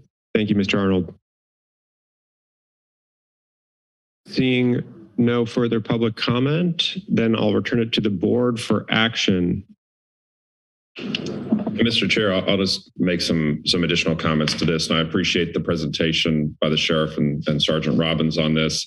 You know, uh, over the last year, I mean, as as you know, I'm the chair of the Criminal Justice Council, and one of the things that we looked at were regional use of force policies, and and it was important because there was a it was in the presence of a national discussion about how law enforcement agencies interact with the community, and in particular, how use of force policies uh, are either in existence or not in existence at the local and regional level. And what we found is uh, that all agencies within our county, uh, as was presented to the board, and, and you had made some additional recommendations in regards to a inspector general oversight uh, function regards the sheriff's office, but all of our regional agencies were really at the forefront of of how their policies had been enacted that that in, in fact in the case of the sheriff's office some of these policies have been enacted five six or seven years in advance of this na nationwide discussion. And one of the things that i that i uh, caution about is when there's state or federal legislation that creates blanket policies across the state uh, we have a tendency to believe that it applies to every agency uh, equally because the need is equal. And in the case, I think of Santa Cruz County, I think that uh, our local law enforcement agencies are ahead of the curve in a lot of the issues regarding transparency, use of force, and policy related issues. And I think that that's the case here. I think that uh, I'm supportive of what the sheriff has brought forward, and I'm happy to move the recommended actions. I also, which I'll do in a second, but I just want to say that just even today's presentation that that Sergeant Robbins did that outlined each and I recognize this is a requirement of the Assembly bill, but outlined exactly what is within the inventory and, and specifically how it's used. And we have uh, some pretty significant life experiences over the last few years, including uh, the tragedy of Sergeant Gutzwiller that shows when and where these are used, as well as a number of examples of when they weren't used, uh, which I think is equally of important. I think that uh, the, the, materials that the sheriff's office has are necessary and proper for uh, them to provide adequate public safety to our community. I think that the policies that they have in place are robust and transparent. Uh, and I have confidence that this yearly reporting requirement, and I'm supportive of the Assembly bill for this purpose, will continue to have that transparency uh, moving forward. And, and, as such, I'll move the recommended actions. Mr. Chair, I'll second that. And I, I appreciate um, having the opportunity to uh, review this proposed policy and inventory to the public um, and what tools are available under the Office of the Sheriff. And I think it's a good time and a good opportunity to remind everybody too about um, Santa Cruz County's early commitment to adopting the community uh, policing model. Uh, we were one of the first in the nation to do that and be recognized as such. Uh, I'm grateful for our sheriff's deputies and uh, as well as uh, how well you're training them. Um, I think that um, this this uh, these uh, tools, so to speak, are, are, are reactive. We're not initiating any action at all, and I don't want to imply. I don't think anybody should imply that. I mean, I think that restraint was was really uh, exhibited during the 2020 protests that we had. Um, I hope we it's never necessary that uh, the sheriff has to use these, but I think we have seen some instances that uh, they could have been uh, they probably prohibited much greater danger. So I'm I'm supportive of what you have presented, and um, I want to congratulate you and the sheriff's department for really being at the the front of the line in the community policy um, uh, agenda that we have. All right, we have a motion by Supervisor Friend and a second by Supervisor McPherson. Any further discussion? Uh, just a point of information uh, for our county counsel. We heard from one member of the public that seems to have studied this uh, bill pretty significantly. Uh, some current uh, concerns about deficiencies in the policy being proposed to us today. Just wondering if you had an opportunity to study the proposed um, ordinance and, and, other materials, and if, uh, if, there's any reason to believe that what's before us today is deficient under uh, under the law? No, I don't believe there's any reason to believe that what's before you today is deficient. Okay, thank you. Uh, one more time, I'll call for any any further discussion. Seeing none, uh, clerk, roll call vote, please. Supervisor Friend. Aye. Coonerty. Aye. Caput. Aye. McPherson. Aye. Koenig. Aye. Thank you. Motion passes unanimously. Thank, Thank you. you. That uh, that ordinance being approved in concept will return for a second read uh, at our April 12th meeting. Thanks again to Supervisor or uh, Sheriff Hart and uh, Sergeant Robbins. We'll now proceed to Item 10, to conduct a public hearing on the proposed acquisitions by condemnation across a portion of real property located at APNs 036-274-69, 036-511-18, and 036-522-29 uh, 036 522 30, 038 311 40, 038 331 07, 038 531 19. Uh, so I will open the public hearing on this. Um, it's also proposed that we adopt a resolution of necessity authorizing county counsel to institute eminent domain proceedings to obtain possession of the required real property interest to support the Highway 1 Bay Porter to State Park Auxiliary and Overcrossings project as outlined in the memorandum of the Deputy CAO, Director of Community Development and Infrastructure. And for a report on this item, we have Kimberly Finley uh, with real property. Good afternoon, Chair and members of the board. My name is Kimberly Finley. I'm the Chief Real Property Agent with the Community Development and Infrastructure Department.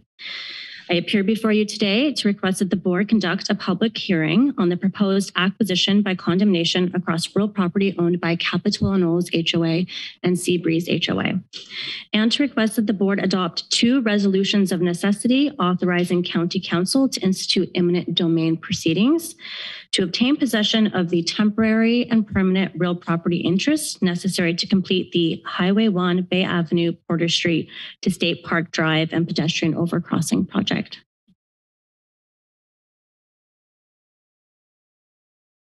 With respect to the Capitola Knolls HOA property, the Highway 1 project requires acquisition of 1,624 square feet of fee and 3,754 square feet of temporary construction easement over APN assessor parcel number 036 27469.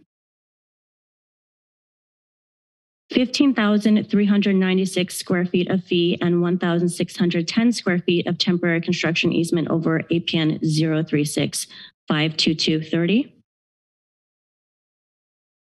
1,502 square feet of fee and 738 square feet of TC over APN 03652229. And 2,324 square feet of temporary construction easement over APN 03651118. These real property interests are needed to construct a sound wall for the benefit of Capitola Knolls HOA. With respect to the Seabreeze HOA property, the project requires 320 square feet of permanent easement and 417 square feet of temporary construction easement over APN 038 33107. 1,037 square feet of permanent easement and 1,327 square feet of temporary construction easement over APN 038 53119 and 1,314 square feet of permanent easement and 1,403 square feet of temporary construction easement over APN 038 31140. These real property interests are needed to construct the Mar Vista bicycle and pedestrian overcrossing. The county, in partnership with the Santa Cruz Regional Transportation Commission, has coordinated with both Seabreeze HOA and Capitola Knolls HOA for months regarding the proposed project, contracts, and acquisition. Substantial efforts and county resources have been extended, uh, expended in an attempt to negotiate terms of the acquisition. However, due to the respective HOAs, CCRs, the minimal amount of board hearings that they hold, and the numerous uh, parties involved in the negotiations, um, there has been minimal uh, progress in those negotiations.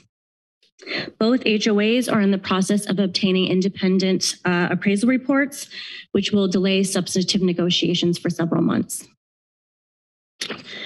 Given the strict funding construction deadlines uh, associated with the Highway 1 project, and any continued delay to the project caused by pending negotiations could result in delay of construction and escalation of cost. In order to comply with the Caltrans right-of-way certification requirements and meet funding and construction deadlines of the projects, the county must move forward with the resolutions of necessity. Adopting these resolutions of necessity will not impair the ability of county and the HOA to continue negotiations and resolve acquisition of the required property interests without the need for litigation. The county remains committed to continuing those negotiations in parallel with the eminent domain process. The county has met the necessary requirements under California Code of Civil Procedure, Section 1245.230 to proceed with eminent domain. The public hearing today is intended to address these statutory requirements. Specifically, that public interest and necessity require the construction and completion of the project. The project is planned and located in the manner that will be the most compatible with the greatest public good and least private injury. The real property interests are necessary for the project, and an offer of just compensation for the property has been made. Based on the aforementioned, the Department of Community Development and Infrastructure recommends the board take the following actions. Conduct a public hearing on the proposed acquisition by condemnation across real properties located at APNs 036 27469, 036 51118, 036 52229, 036 52230, 038 31140, 038 33107, and 038 53119. And adopt the resolutions of necessity authorizing county counsel to institute eminent domain proceedings to obtain the required real property interests. Thank you very much. That concludes my presentation and I'm available for any questions. Thank you, Ms. Finley. Other questions from members of the board? Seeing none, are there any members of the public that wish to speak to this item? Anyone on Zoom or the telephone? There are no members on Zoom. All right, then I'll return it to the board for action. Uh, Mr. Chair, I'll move the recommended actions. Also, uh, appreciation for that presentation. It was a outstanding and informative presentation, so I appreciate that. I'll move the recommended actions. Second. I'll, I'll second. No, Ryan, go ahead. All right, we've got a motion by Supervisor Friend and a second by Supervisor Coonerty. Any further discussion? Seeing none, clerk, roll call vote, please. Pardon me, Chair, a member of the public has raised their hand on Zoom. Uh, we have closed public comment, I'm afraid, on this. Mr. Chair, I'd be open to uh, reopening, moving to reopen public comment on this item as we haven't taken a vote. All right, um, very well. Then we'll go ahead and reopen public comment and uh, allow the speaker on Zoom. Caller 1401, your microphone is available.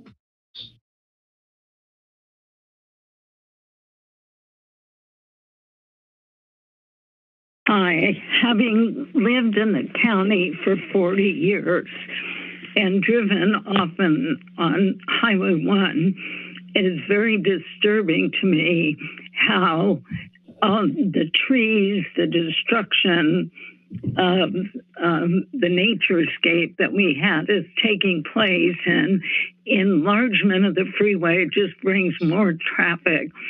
So I am very much question this. Um, this is in the public interest and necessity. And also, it seems backwards that um, the, let's see, what words did you use on the minimal progress in negotiations, that this is being um, pushed through by the board before those who are affected most um, profoundly by the uh, eminent domain proceedings just seems backwards to me. I used to think eminent domain was for the public good, but having over the years seen what's gone on, it seems to me to be in interests of big development or highways, but not really in the interests of the general public. So I and I also notice every single thing that the staff reports and recommends this board approves, even when there is m- much testimony from the public to urge different action, like in the previous agenda item. So I am not in favor of this. I know you'll vote for it. Those are my comments. Thank you. Ms. Garrett? Any other members of the public wishing to comment? Seeing none, I will return it to the board for action. We do have a motion on the floor by Supervisor Friend with a second by Supervisor Coonerty. Any further discussion? Seeing none, clerk, roll call vote, please. Supervisor Friend, Aye. Coonerty, Aye. Caput, Aye. McPherson, Aye. Koenig. Aye. Thank you. Motion passes unanimously. All right, thank you very much. I'll now close the public hearing. Um, we do have two scheduled items at 1045 and do not want to rush the presentations on items uh, 11 or 12. So I'll now recess the Board of Supervisors meeting. We'll take a five minute break and then um, the Zone 5 and Zone 7 flood control district meetings uh, will take place at 1045. So meeting recessed.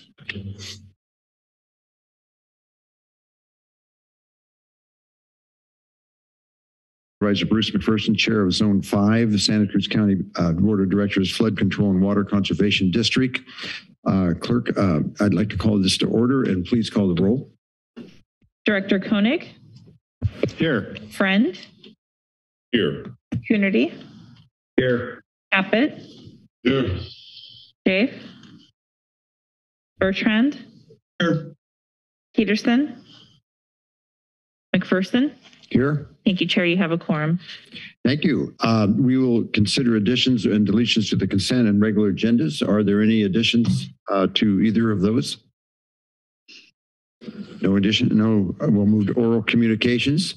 Uh, This is a time for oral communications. Uh, Persons that want to speak to uh, directors of uh, Zone 5 of the Water uh, Flood Control and Water Conservation District. Do we have any uh, oral communications? Seeing none, we will move on to item number four, approval of the Zone 5 meeting minutes, uh, the Flood Control and Water Conservation District Zone 5, December 7th, 2021 uh, meeting. Um, Do we have uh, a motion to approve the minutes? I so move. Moved by uh, Director uh, Bertrand, seconded by Supervisor um, uh, Friend. Call the roll, please. Director Koenig, Aye. Friend, Aye. Coonerty, Aye.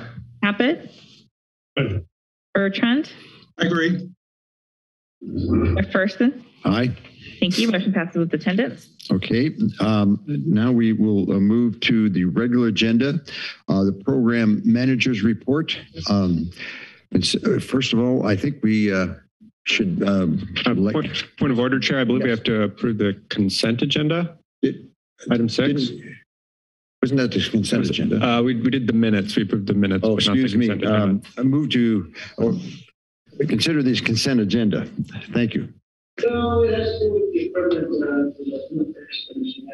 If there's no comment from the public, I'll um, move the consent agenda. Very good.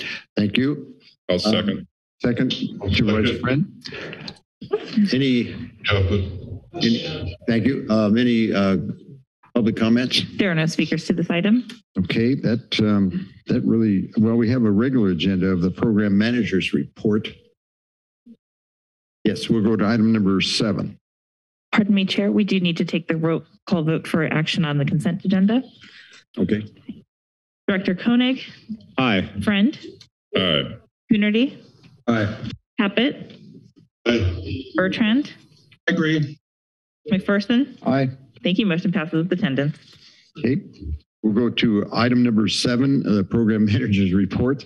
Uh, Consider election and chairperson, vice chairman, uh, chairperson of the Zone 5 Board for 2022, as outlined in the memorandum of the district engineer. You, you push that button, please, there. That, there's a green button right there at the mic. Yeah, go ahead. Good morning. This is Rachel Fatouhi, Senior Civil Engineer Stormwater Management Section.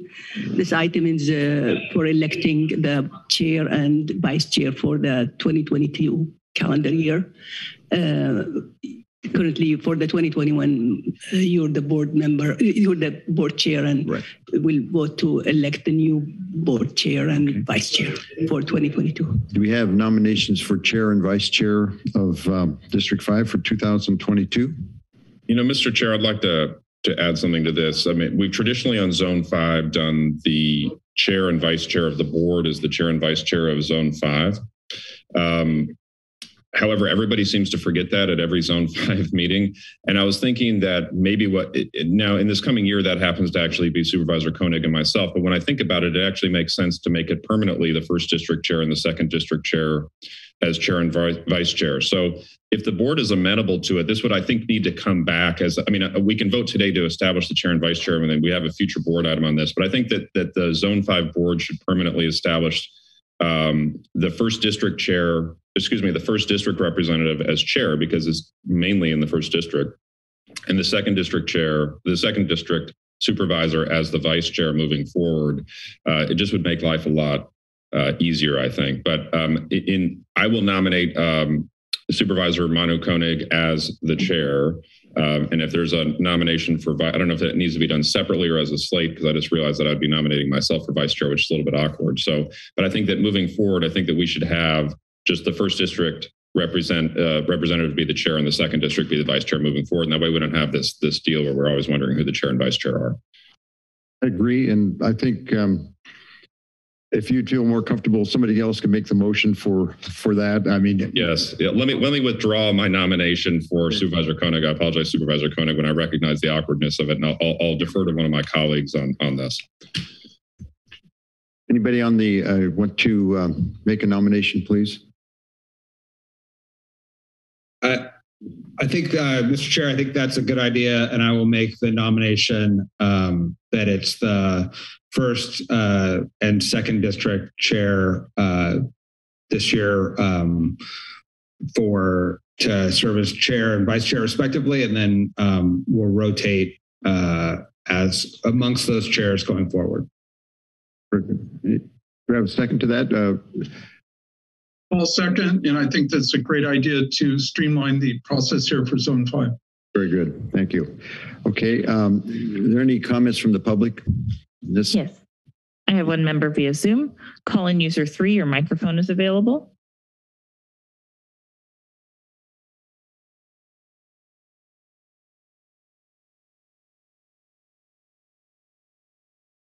I, this is Marilyn Garrett. I think it's more democratic to have more options and what these um, two zones affect actually affects the whole county. It's not exclusively for the specific zones. So I you do your nominations for today, but I don't think it be, should be constricted and limited that way. When I hear the word streamline, um, what I've observed is that streamlines the public out more and more and limits any kind of public comment or participation or decision making. Um, those are my comments. I'm for a democratic, more open, more discussion process. That's what I think democracy is supposed to be all about. Thank you. There are no other speakers. okay. I'll return it to the board. Um, you've heard the nominations. Um, please call the roll. Director Koenig, Aye. Friend, Aye. Coonerty, Aye. Caput, Aye. Bertrand, Approve. McPherson. Aye. Thank you. Motion passes with attendance. Okay, I will pass it over, I think, to Supervisor Koenig as new, the chair. Thank you, uh, outgoing Chair Supervisor McPherson. Uh, We'll now proceed to item eight to consider adopting a resolution accepting grant of easement of a drainage maintenance vehicle, access easement, and drainage easement at Rodeo Creek Court and take related actions as outlined in the memorandum of the district engineer. Do you have a report on this? Yes, please. Yes, uh, it's, uh, as you stated, it's to adopt the uh, resolution for accepting both the access easement as well as the drainage easement itself uh, along the easterly side of the property. Uh, and uh, authorize the real property section of Public Works to record the resolution in the official records of Santa Cruz County.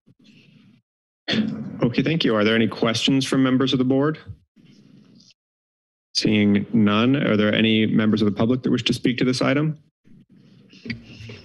There are no members. All right, then I'll return to the board for action. I'll move the recommended actions. Second. Motion by Supervisor or uh, Board Member Director uh, Friend, second by Director McPherson. Any further discussion? Seeing none, uh, clerk, roll call vote, please. Director Friend, Aye. Coonerty, Aye. Caput. Aye. McPherson. Aye. Bertrand. Aye, agree. Koenig. Aye. Thank you. Motion passes with the 10 I will now proceed to item nine to adopt resolution making findings and ordering the continued use of teleconference meetings of the board directors due to COVID-19 pursuant to the requirements of Assembly Bill 361, direct the district engineer to return within 30 days and at least every 30 days thereafter with a new resolution containing recommended findings supporting the need to continue holding teleconference meetings consistent with the requirements of Assembly Bill 361 until the governor has lifted the current state of emergency or until the board directs otherwise as outlined in the memorandum of the district engineer. AB 361 initial resolution five. Uh, do we have a report on this, Ms. Fatouhi? Nothing to add more than what you read is to allow the uh, virtual and uh, in-person meeting for, for your board to continue in this fashion, to allow you to have quorum. Okay, thank you. Any questions from members of the board? Seeing none, any comments from members of the public?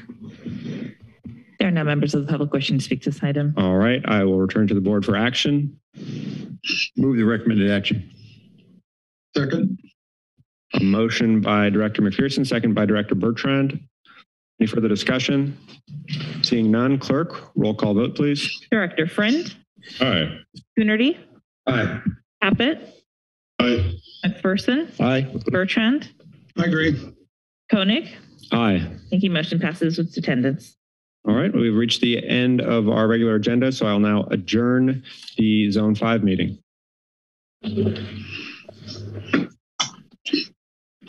And Supervisor Friend, I believe you are the, still the chair of for Zone 7.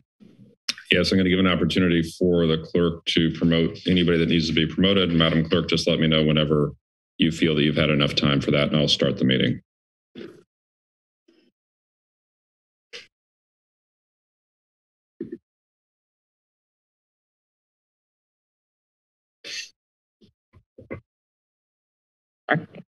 Be.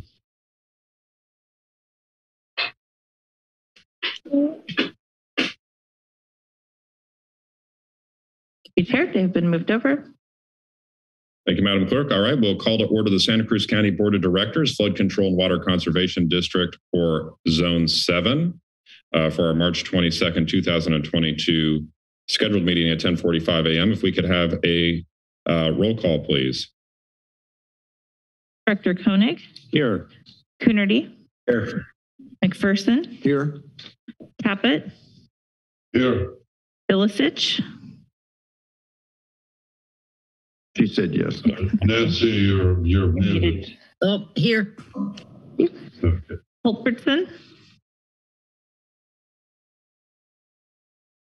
Lucas, Gonzalez, Parker, Friend. Here. Thank you, Chair. You have a quorum. Thank you. All right, uh, Dr. Strudley, do we have any late additions or changes to today's agenda? Uh, no, Chair Friend, we do not. Thank you. We'll move on to oral communications. As member, it's an opportunity for members of the community to address us on items that are not on today's agenda or within the purview of Zone 7. Is there any member of the community that would like to address us? Um, Bob Culbertson, I am here. I didn't get it unmuted in time to answer uh, when I got promoted. Thank you. Thank you, Bob. Welcome. Is there any member of the community that would like to address us on oral communications? I don't see any, any in the chambers. Is there any member on Zoom or on the phone? There are no members via Zoom. All right, we'll move on to item four, which is an approval of Oh, the wait zone minute. seven board meeting minutes. Are there any changes or comments on the minutes? Uh, Chair Friend, I have a correction for the minutes. Okay, please. Uh, on page two of the minutes, which is page five of the agenda packet, um, the recommended action to elect uh, Nancy Bilicich as the vice chair. Nancy's name is misspelled. So we just need to correct that. Thank you. Are there any other changes to the minutes? Are there any members of the community that would like to address this on the minutes? Are there any online or uh, on the phone, Madam Clerk? There are no members online. All right, so we would entertain a motion on the minutes, but would need to be amended. Uh, Dr. Bilicich, you had a comment? Well, I just know that I would heard that Vi Lucas is on this meeting again, but not here. I don't know if she she called and said she was on, but she couldn't get on. I guess. So that's just FYI. Thank you. She has been located. All right, we're promoting. I'll move approval of the minutes with corrections. Second. We have a motion from Director Koenig and a second from Director Coonerty. If we could have a roll call, please. Director Koenig, Aye. Coonerty, Aye. McPherson, Aye. Caput, Aye. Bilicich, Yes. Culbertson, Recording in progress. Aye. Friend. Aye. Thank you. Motion passes with attendance. Thank you. We'll move on to the consent agenda, which are items 8 to 11 on today's agenda. Are there any comments from any board members on the items on the consent agenda? Uh, on the con- on the consent, I would like to um, discuss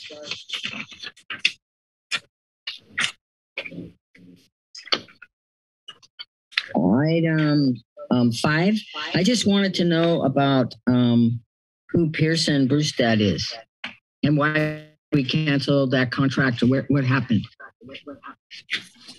Yeah, thank you, Vice Chair Bilicich. Um, Peterson Brustad Incorporated was the uh, consulting firm that we selected to lead us through program management activities um, related to governance and finance and implementation of the levee reconstruction project. Um, that contract was secured um, uh, approximately two years ago. Uh, just very recently, the principals and uh, key uh, staff at Peterson Brustad splintered off and formed their own company, Rossiter and Fritz Engineering. And so the this item pertains to canceling the existing contract with PBI and securing separate independent contracts with this new engineering firm, which maintains continuity and personnel, consultant personnel acting on behalf of the district on this project, as well as the sub-consultants that were originally hired under the umbrella of Peterson Brustad. We're now seeking to hire them independently uh, of Rossiter and Fritz uh, under new contracts to keep the momentum uh, moving forward for the project. Thank you. Appreciate the clarification.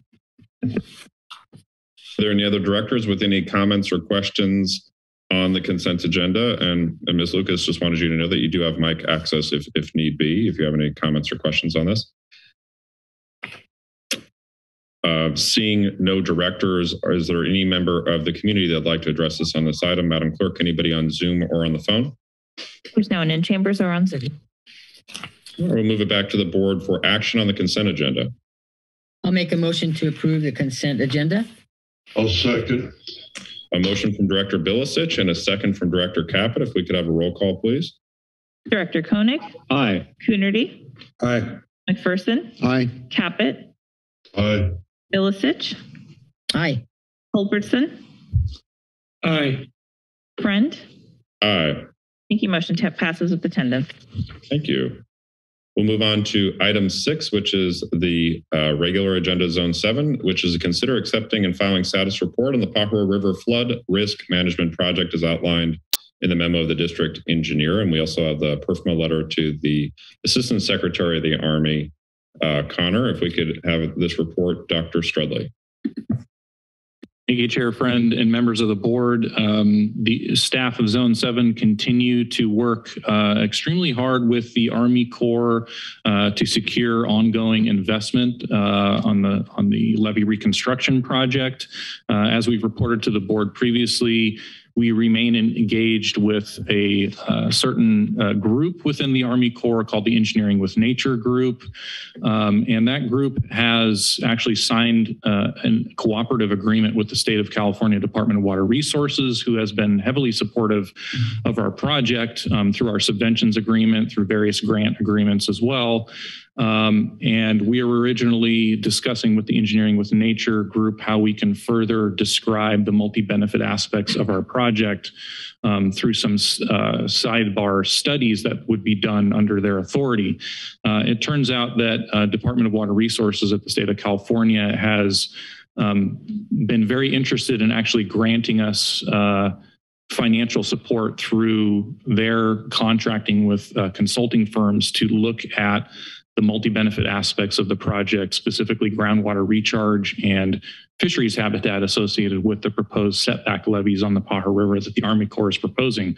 And so that nexus between the Engineering with Nature group and the Department of Water Resources has uh, worked very, very well in our favor. Um, this information will be developed uh, over the next several years and will continue to inform implementation of the project, funding direction, and uh, additionally, the analysis that DWR is actually proposing to support for the district would actually go beyond the boundaries of the levee reconstruction project, potentially um, addressing other needs uh, further abroad in the Pajaro Valley.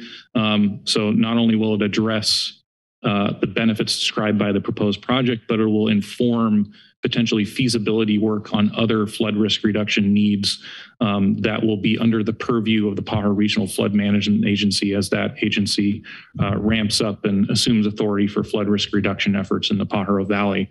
Um, so that's a very positive step in the right direction for us. Uh, we continue to, like I said, seek uh, infrastructure investment. Um, I understand that the Army Corps will very most likely be uh, debuting um, additional funding information this coming Monday at the earliest. So we're hopeful that Pajaro will be listed in there with a, a lot of zeros uh, next to its name. Um, and we uh, continue to appreciate the board support and particularly uh, Chair Friend, both as the chair of this board and as well as the chair of the Pajaro Regional Flood Management Agency. Uh, and I've attached, uh, as Chair Friends mentioned, uh, his letter to the ASA's office um, requesting additional and ongoing support for the Pajaro project. But we remain very hopeful um, that uh, Pajaro remains a priority of this administration, um, in particular under environmental justice um, and infrastructure investment related to that topic. Um, we continue to work uh, with the Department of Water Resources to secure our subventions agreement. Uh, I know I've been bringing this topic up many times over and over again, but it is a very long road um, because the agreement and, like I said, the zeros behind the dollar sign are very large. So DWR is being very careful, uh, as are we, in, in describing uh, the negotiated terms of this agreement. But I think we're uh, rounding third plate and coming towards home um, on both the subventions agreement as well as our coastal watershed flood risk reduction grant agreement. Um, I'm hoping that we can get those agreements executed within the next month or so because I feel like we're uh, getting to a point now where our negotiations are, are beginning to close um, and we're reaching agreement on a number of topics. Um, project finance remains now under the um, authority of the Pajaro Regional Flood Management Agency. Um, staff for that agency have identified um, a shortfall in the operations funding uh, of approximately $1.2 million to oversee long-term operations and maintenance of the flood control and appurtenance facilities. So those include the levees that are in the ground now, as well as the levees that would presumably be built by the Army Corps uh, moving into the future. And so staff has been bringing a proposal uh, to the board of directors of that agency proposing a special benefit assessment. I brought this to this board's attention uh, previously, but that that proposal remains on the table. Um, we expect that proposal to be brought by staff in an official manner for the board's consideration uh, at their April meeting, um, and that will secure uh, a authority to move forward with um, a balloting procedure for a special benefit assessment uh, for the beneficiaries of the project um, and to serve as long-term operations and maintenance funding. Um, with that, uh, I am available for any questions you may have. And uh, again, the recommended action uh, for this item is just an accept and file uh, for the status report on the flood risk reduction project. Thank you very much. Thank you, Dr. Strudley. Just as a matter uh, point of clarification, we hope that there's a number larger than zero in front of all those other zeros that you're referencing. Otherwise, it's just a lot of zeros uh, coming from the federal government. So I'd like to open up to the board. Are there any questions or comments in regards to this item? I'd just like to say congratulations on moving this along. Uh, very critical, we know, and uh, great work by uh, you know the board members and uh, especially to Supervisors Friend and Caput. Thank you very much. Thank you, Director McPherson. Is there any member of the community that would like to address this on this item? Madam Clerk, is there anybody on Zoom or on the phone? No, there's not anyone on Zoom or on the phone. Okay, we'll bring it back to the board for action. It's an accept and file, so there'll just be a motion for that. I'll make a motion to accept and file. I'll second. We have a motion from Director Bilicich and a second from Director McPherson. If we could have a roll call vote, please. Director Koenig, Aye. Coonerty, Aye. McPherson, Aye. Caput, Aye. Bilicich, Aye. Culbertson, Aye. Friend. Aye. Thank you. Motion passes with attendance. Thank you. We'll move on to item seven. I just need to bring it up real quick. All right, which is to consider adopting a resolution confirming benefit assessment rates for FY 22-23 and adopting resolution setting a public hearing on June 7th, 2000, uh, 2022, beginning at 10:45 a.m. or thereafter to consider the FY 22-23 benefit assessment rate report and take related actions as recommended by the district engineer. We have the resolution adopting benefit assessment rates, a resolution setting the public hearing, and the notice of public hearing. Dr. Strudley? Thank you, Chair Friend, members of the board. Pursuant to the 1991 Zone 7 Flood Control and Water Conservation District's engineers report, the district must annually compute benefit assessment rates. Additionally, the district engineer must submit a report describing each parcel of real property receiving the special benefit and the amount of the charge for each parcel for upcoming fiscal year to the Zone 7 Board of Directors. The 2022-23 rates for all land use categories uh, will be increased by 4%. The 1991 District Engineers Report, previously approved by your board, allows for an annual CPI adjustment of the benefit assessment up to a maximum of 4%. The calculated 2021 annual consumer price index is 4.2%. The rate for a single family residence shall be increased from $87.62 to $91.12. Agricultural, unimproved, commercial, industrial parcels, churches, and schools are charged by acreage, and their rates are increased by the 4% rate increase. Um, and there's an attachment uh, that outlines these proposed rate increases. As part of the annual proceedings, the board must also set a public hearing, notice the hearing, consider objections and protests, if any, to the data included in the benefit assessment rate report. Once today's actions have been approved by the board, the district will place the benefit assessment rate report on file with the clerk of the board. This report containing the assessor's parcel number, use code, the owner's name, and the amount of the assessment will be available on or before April 22nd, 2022, which will allow for public review six weeks prior to the proposed Zone- June 7th, 2022 public hearing. As in previous years, the rate report must be approved by the board and forwarded to the auditor controller by August 10th, 2022, in order to be included on the 2022-23 property tax assessment roll. So the recommended actions in summary are to adopt the resolution confirming the previously established Zone 7 benefit assessment rates for the 2022-23 fiscal year, to adopt a resolution setting Tuesday, June 7th, 2022 at 10:45 a.m. or thereafter as the date and time for public hearing on the 2022-23 benefit assessment rate report. And finally, to direct the clerk of the board to publish the notice of public hearing once a week for two weeks prior to the hearing in a newspaper of general circulation. Thank you, Dr. Strudley. Are there any questions or comments from the board on this item? Uh, Dr. Bilicich. This is uh, just an uh, annual thing that happens every year, correct? We just increase every year. Is that right, Dr. Strudley? That is correct.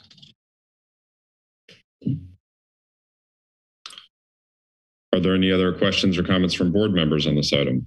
You know, uh, I'll, uh, I have a question. Please.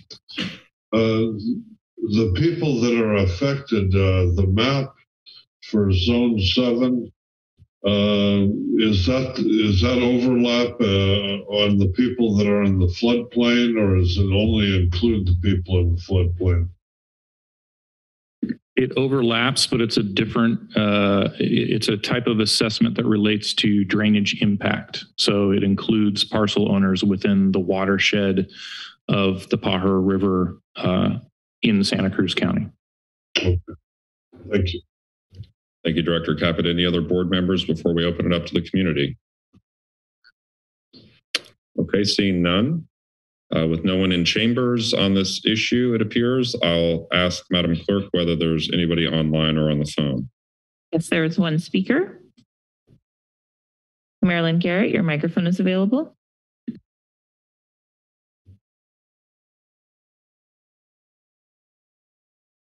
Hi, Marilyn Garrett.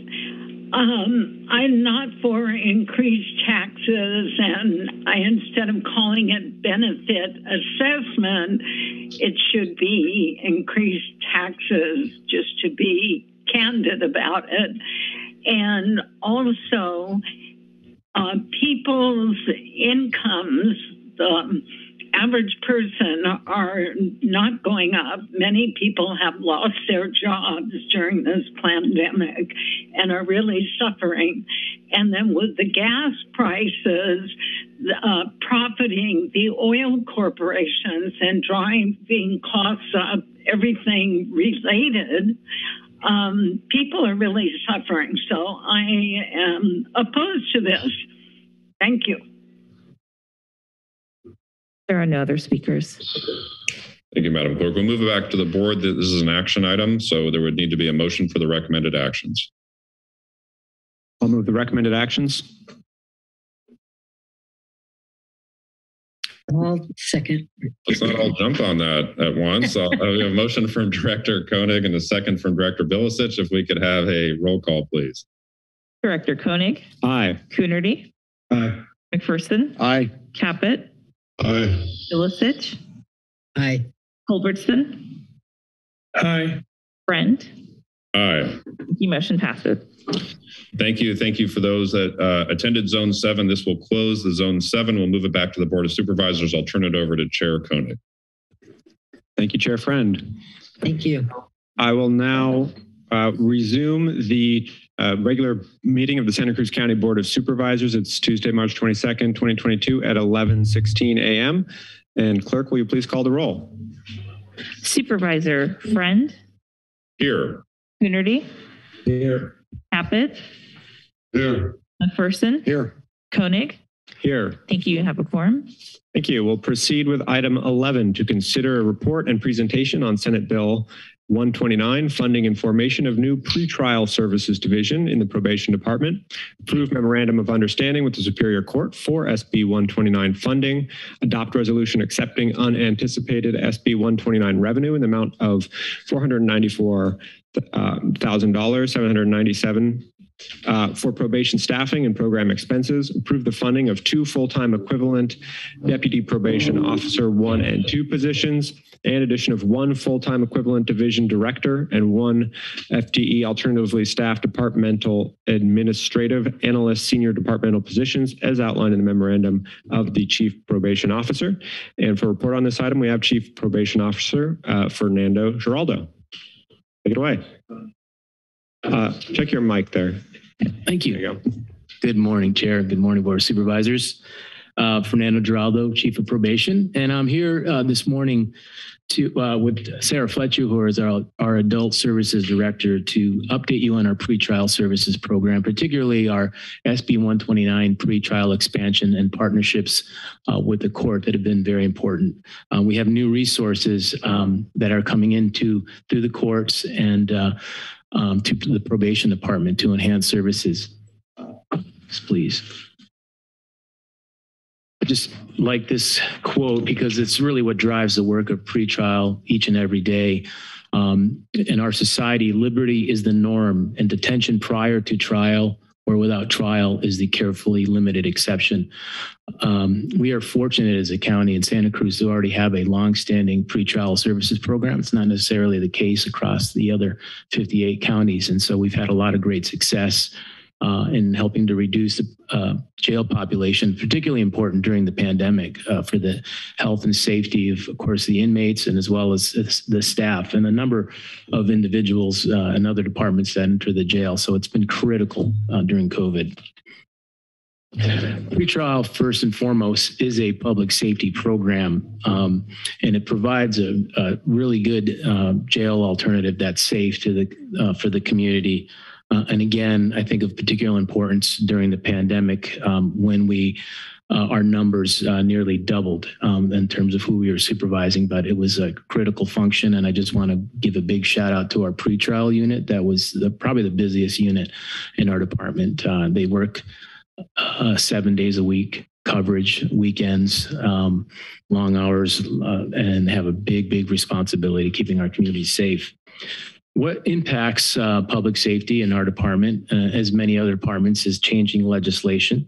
Um, so, for example, uh, SB 129, which is bringing new resources to our community, but new requirements, and I'll go in a little bit detail in just a moment with that. Um, the ongoing issues that we've had with jail overcrowding that are of particular importance to all of us. Um, although we've had we've seen a great decreases in the uh, jail population over the last two years, um, um, attributed to really incarcerating really only those that uh, really pose a serious uh, safety risk and finding alternatives for others. Um, and then lastly, what impacts public safety is really our efforts to, of continuous quality improvement, really to look at what are outcomes, how good are we doing? Can we reach more people? Can we collaborate better? Can we have our uh, better data data integration with all our partners. So those are the things that we're looking at, and our outcomes are also tied to our county strategic plan um, and operational plan. So um, it's very you'll see some of those outcomes if if you look at the operational plan. So the purpose of uh, SB 129 is really it's a new opportunity to expand our collaboration with the courts, um, and we're just we're looking at ways to enhance pretrial, not just do more of the same thing for us, but really the the system wide improvements are data sharing, uh, the workflow process, there's a lot of steps to release someone from the jail, to get uh, authorization from the courts and so on. So we're looking at the process that goes into that and how we can uh, do expedite releases at the earliest point. Those are just some of the things that we're looking at. Um, but I'm going to read what the purpose of the funding is, uh, as specified in SB 129, which came into effect this fiscal year, uh, 2021 2022. But it's to provide every superior court with information and resources to support judicial officers in making pretrial release decisions that impose the least restrictive conditions to address public safety and return to court, and to implement appropriate monitoring practices and provision of services for released individuals. And I want to note one thing. It's important to, to know that SB 129 cannot be used to supplant ongoing pretrial services. So it has to be um, used to to enhance and, and grow your program, but not just uh, cover the cost that we already have. Just a little bit about just jail overcrowding. Um, although we've seen, as I mentioned earlier, the the jail population uh, decrease significantly. Bookings uh, for 2021 were uh, about 7,200. Uh, I remember we did a jail utilization study with the sheriff in 2016, and bookings were at 10,000. So we've seen a, a decrease, which is uh, really, really great for us, and and not um, jeopardize public safety at the same time. But as you can see, this is our mo- uh, pretrial monitoring trends just in, from 2017 to 2021 where they were an average daily population of 100 where uh, I know just last Friday we get alerts from our, our pretrial team. We were at 222 cases. We keep breaking records of the numbers of individuals that we're supervising, and we're doing it very effectively. Um, the two, one of the two most important outcomes that we track are uh, that they do not reoffend while they're uh, in, in the community awaiting trial, and also that they return to court. And I'll show you those numbers in just a moment. But uh, we know um, we we can do more for sure. That's that's what uh, we're going to show you next one. Go to the next one, please. So let me just talk to you a little bit about what these outcomes mean before you. And these are um, this is based on uh, 786 case closures uh, in 2021. So those are the numbers that you know were off pretrial. The overall uh, number of cases that made it to court um, were 77% of the case, excuse me, 87% of the cases made it to court. So that's the FTA rate. So 13% failed to appear. Obviously, we strive for 100%, but uh, 87% is, is really good that made it back to court.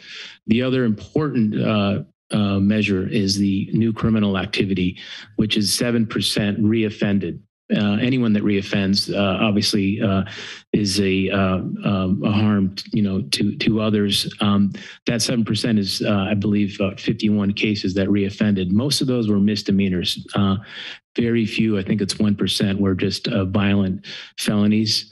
Um, so just want to share that. So we had a really uh, 93% of those 786 individuals did not um, commit a new crime while while on pretrial services. And again, that's due to the supervision and monitoring of, of my team, the constant court reminders, using technology to commute with them, communicate with them, uh, and just just really uh, and also referring to services that are appropriate for those individuals. Next slide. Thank you. Um, this is a this is a lot, but uh, this this shows what we envision and why we're here today um, is the new pretrial division. Um, so the column on the left uh, that you see is what we envision. Now this column um, with a few little fewer staff actually currently sits underneath the the adult services division underneath Sarah. Fletcher to my right and a couple other managers. Uh, but the volume has increased so drastically in recent years. We have not necessarily been been right size. And what what's happened is that we've pulled staff from the other divisions, from realignment divisions, from uh, the sex offender caseloads, investigations to cover this unit. Um, we feel that we need uh, a, a, division instead of a unit. We need a, a, leader, a director that has the the authority uh, to work directly with the courts to create policy, to manage the new legislative requirements through AB 109, um, and a few additional staff. Show, go to the next slide, please. So this is what we envision um, exactly how we're going to grow our uh, pretrial services division. What we see is we we would like to um, um, fill two previously unfunded uh, deputy probation officer positions to uh, in this unit. We also want to add a manager that would oversee the program uh, that I just mentioned and an analyst capacity. Uh, real key really to have the analysts because data for SB 129 is going to be critical. We have to do quarterly progress reports uh, to the Judicial Council. Not only that, we would like that individual to coordinate with the other departments and so and figure out the data sharing flow. Perhaps uh, there are other products or technology out there that'll help us expedite that.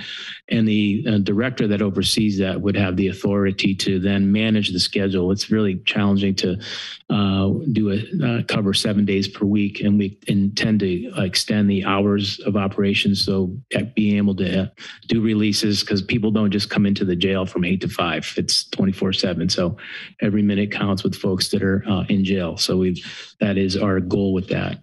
So the the the enhancements of additional staff are really tied to to outcomes. Um, we want to see increased uh, collaboration. Our uh, we want them to liaison with the courts and other stakeholders. Um, and really, all of this is based on on operational need. Next slide, please. Just want to show you what the funding looks like. Um, what's uh, and the funding technically actually started was available um, July 1st, 2021. So we have uh, ongoing pretrial funding, um, which hopefully continues well into the future, and it's our hope that it increases. Um, but the County of Santa Cruz the, um, receives uh, ongoing 706,000. Um, 30% of that goes directly to the courts, and we partner with the court, courts for 70% of that ongoing allocation to nearly $500,000 annually. Um, there's also one-time pretrial funding that we received, almost 1.3 million. Um, the court's allocation again is 30% of that, and probation's allocation is uh, nearly a million dollars. But this is our plan to sustain this. Obviously, it's critical not to lift this uh, division up, um, but it's to sustain it well into the future. Um, so that's how we plan to do that with other funding. And it's it's our hope um, that uh, the state has obviously recognized the importance of pretrial, but they'll support it uh, with more funding. It's it's essential. Um, this is just our funding for year one, which obviously we're almost at the end of this this uh, fiscal year. Um, but the total of operating expenses with salaries and benefits and so on is uh, 500 $100,000. Um, and that would be for the remaining several months that we have for the staffing of the two POs, a director and analyst. Um, we've also moved, we've made some organizational changes and added existing uh, moved uh, probation aid positions into the pretrial unit to assist that. And the others are operating expenses that are critical to the work that we do.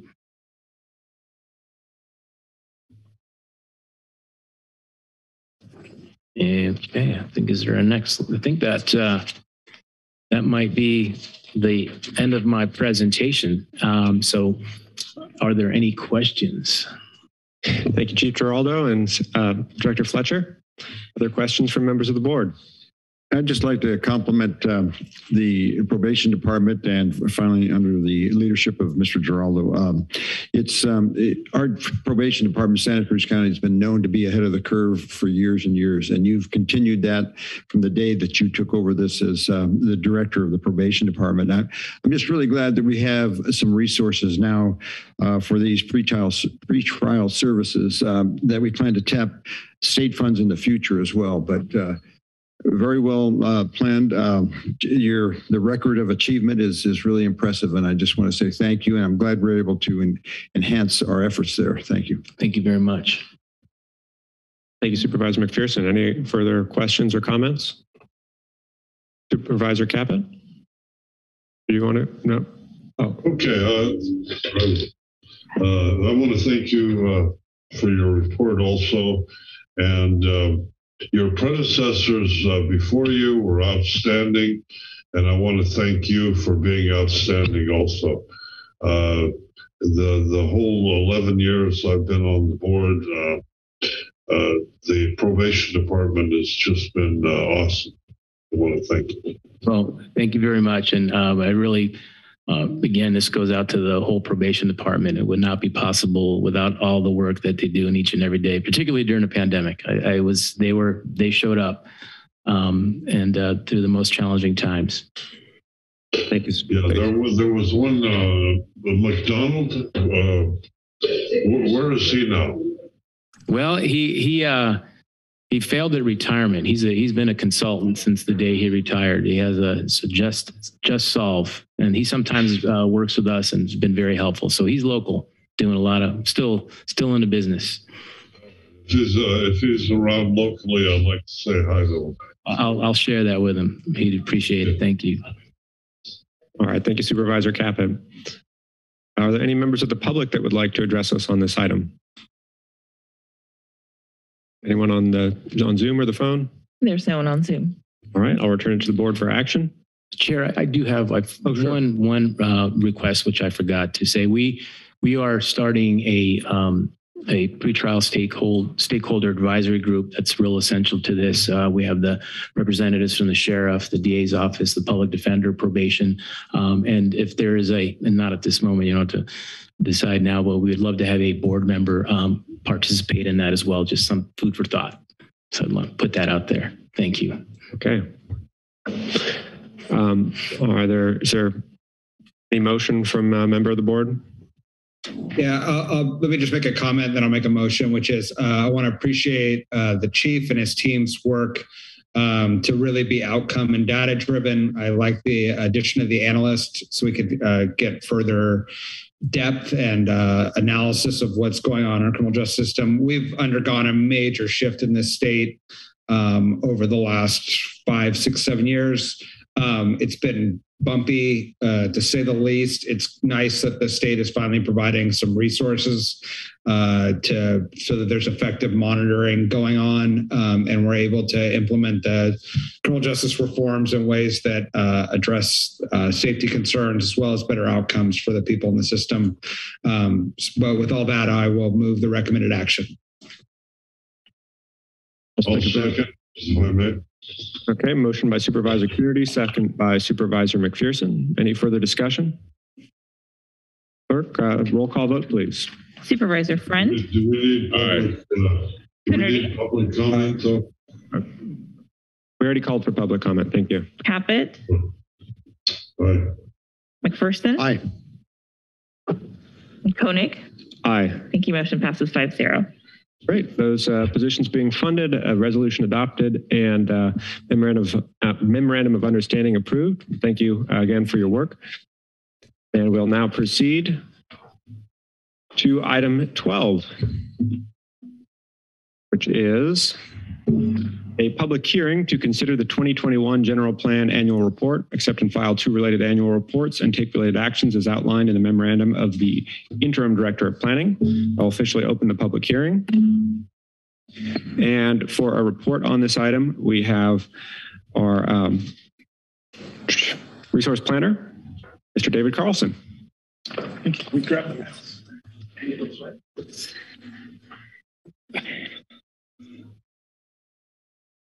Thank you.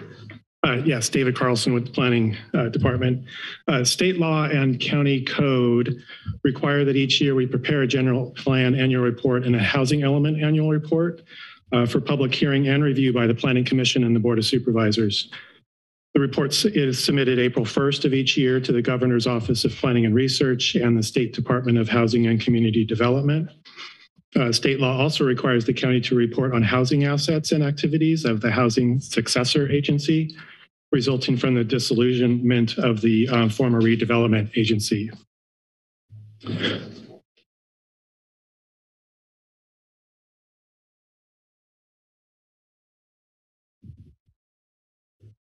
The general plan annual report summarizes the number and status of general plan amendments processed in 21, uh, 2021, which uh, there were none. It reports on the status of major programs in the general plan. Um, and the report also lists potential future general plan amendments and updates. Uh, currently, these include the medical office building proposed on, uh, on Soquel Avenue in Live Oak, which requires a general plan amendment and rezone to allow professional and administrative office uses. Um, that's currently in the environmental review process. Uh, and the sustainability policy and regulatory update, which has recently started a public outreach phase following publication of documents uh, containing the draft policy and code amendments.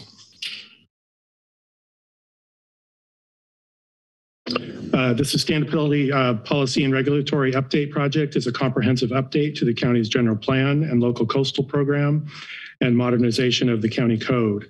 The goals of the update are to reflect the vision and guiding principles developed in the Sustainable Santa Cruz County Plan. Uh, the project documents are available on the Planning Department website at sccoplanning.com, Sustainability Update, along with the schedule of community meetings covering the major components of the project. The links to attend those virtual meetings are available on the website, along with links to the recordings of meetings that have already taken place.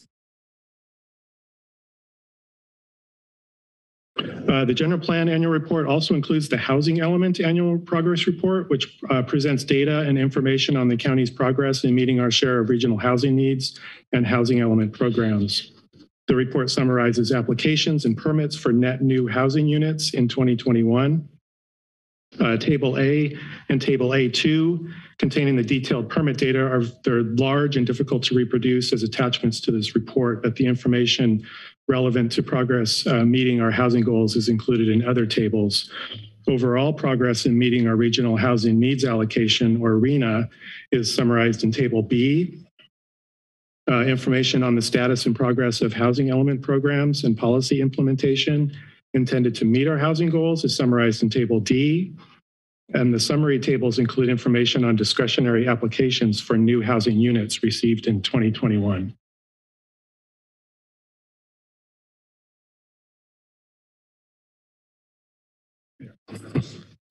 Taking a closer look at Table B places the 100 new housing units into affordability categories to demonstrate the county's progress in meeting our RHNA share.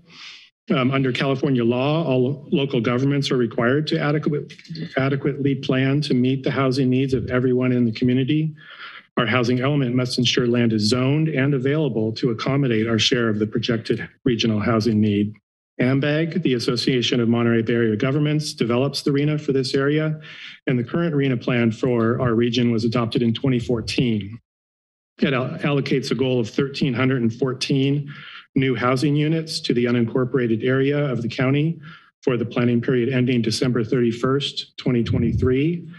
These uh, units are distributed between four income categories very low, low, moderate, and above moderate. And thus far, during the current planning period shown in Table B, the county has permitted a total of 744 housing units um, distributed at the following uh, affordability levels 72 very low, 119 low, 269 moderate, and 284 above moderate income. A total of 599 units remain for this RHNA cycle.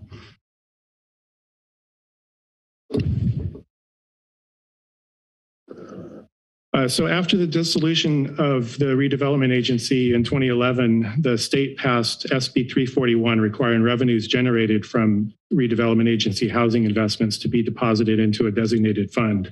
The county, which is the designated housing successor for the former RDA, is required to report annually on activities associated with the low and moderate income housing asset fund.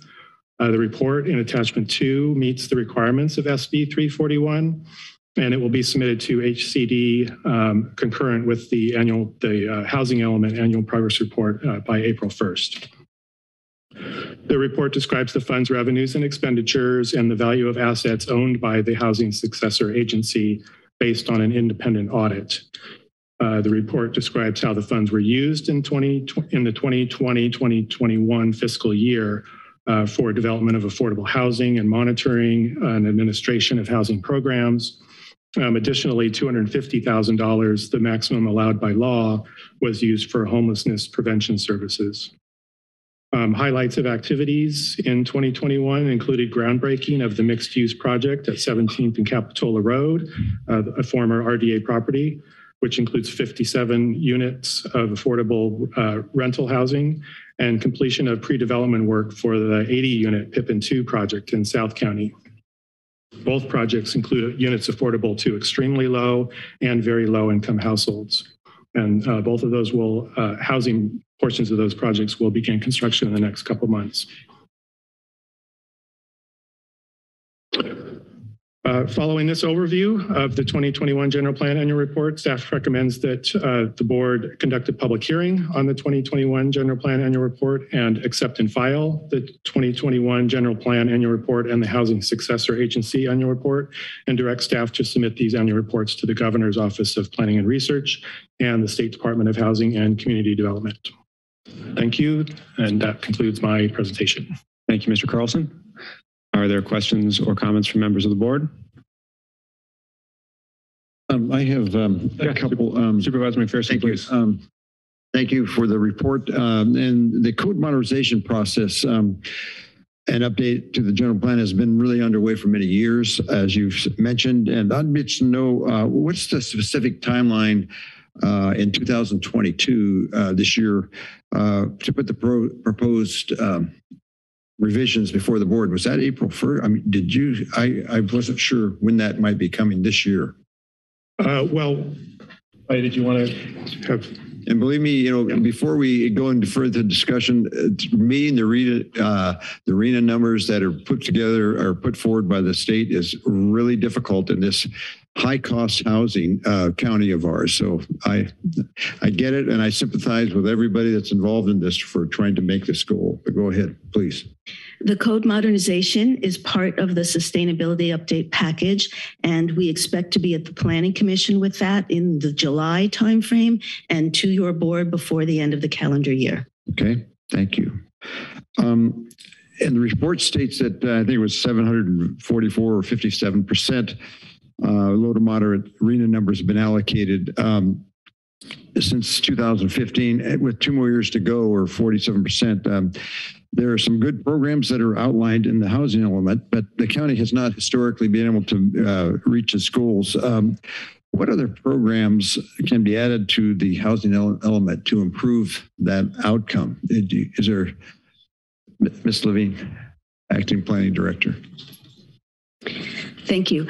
Um, we will be preparing our next housing element in 2023. So over the course of that year, we're going to be doing the research, developing those new programs. We do think there are some more innovative things that we can do in addition to what we already do.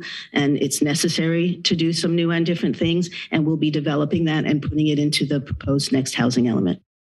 Thank you. Um, and this might be hard to, to say, but uh, to answer, but how, how does the county's progress? As I said, it's very difficult in this high cost area that we have in meeting its uh, arena obligations or allocation. How does it, how do we compare with other uh, counties in our region or throughout the state or like size counties? I think it's fair to say that most communities struggle to meet their targets and communities generally do not meet their targets. So in some ways, they're aspirational, especially in this next cycle. Um, having said that, HCD is going to be quite rigorous with all of us about making sure that we have capacity for larger numbers and programs that will incentivize larger numbers. Um, so with all of that, I think we'll we'll do better than we've managed as a community so far, as far as providing housing. Um, so some some communities uh, are a further percentage of the way toward meeting their goals.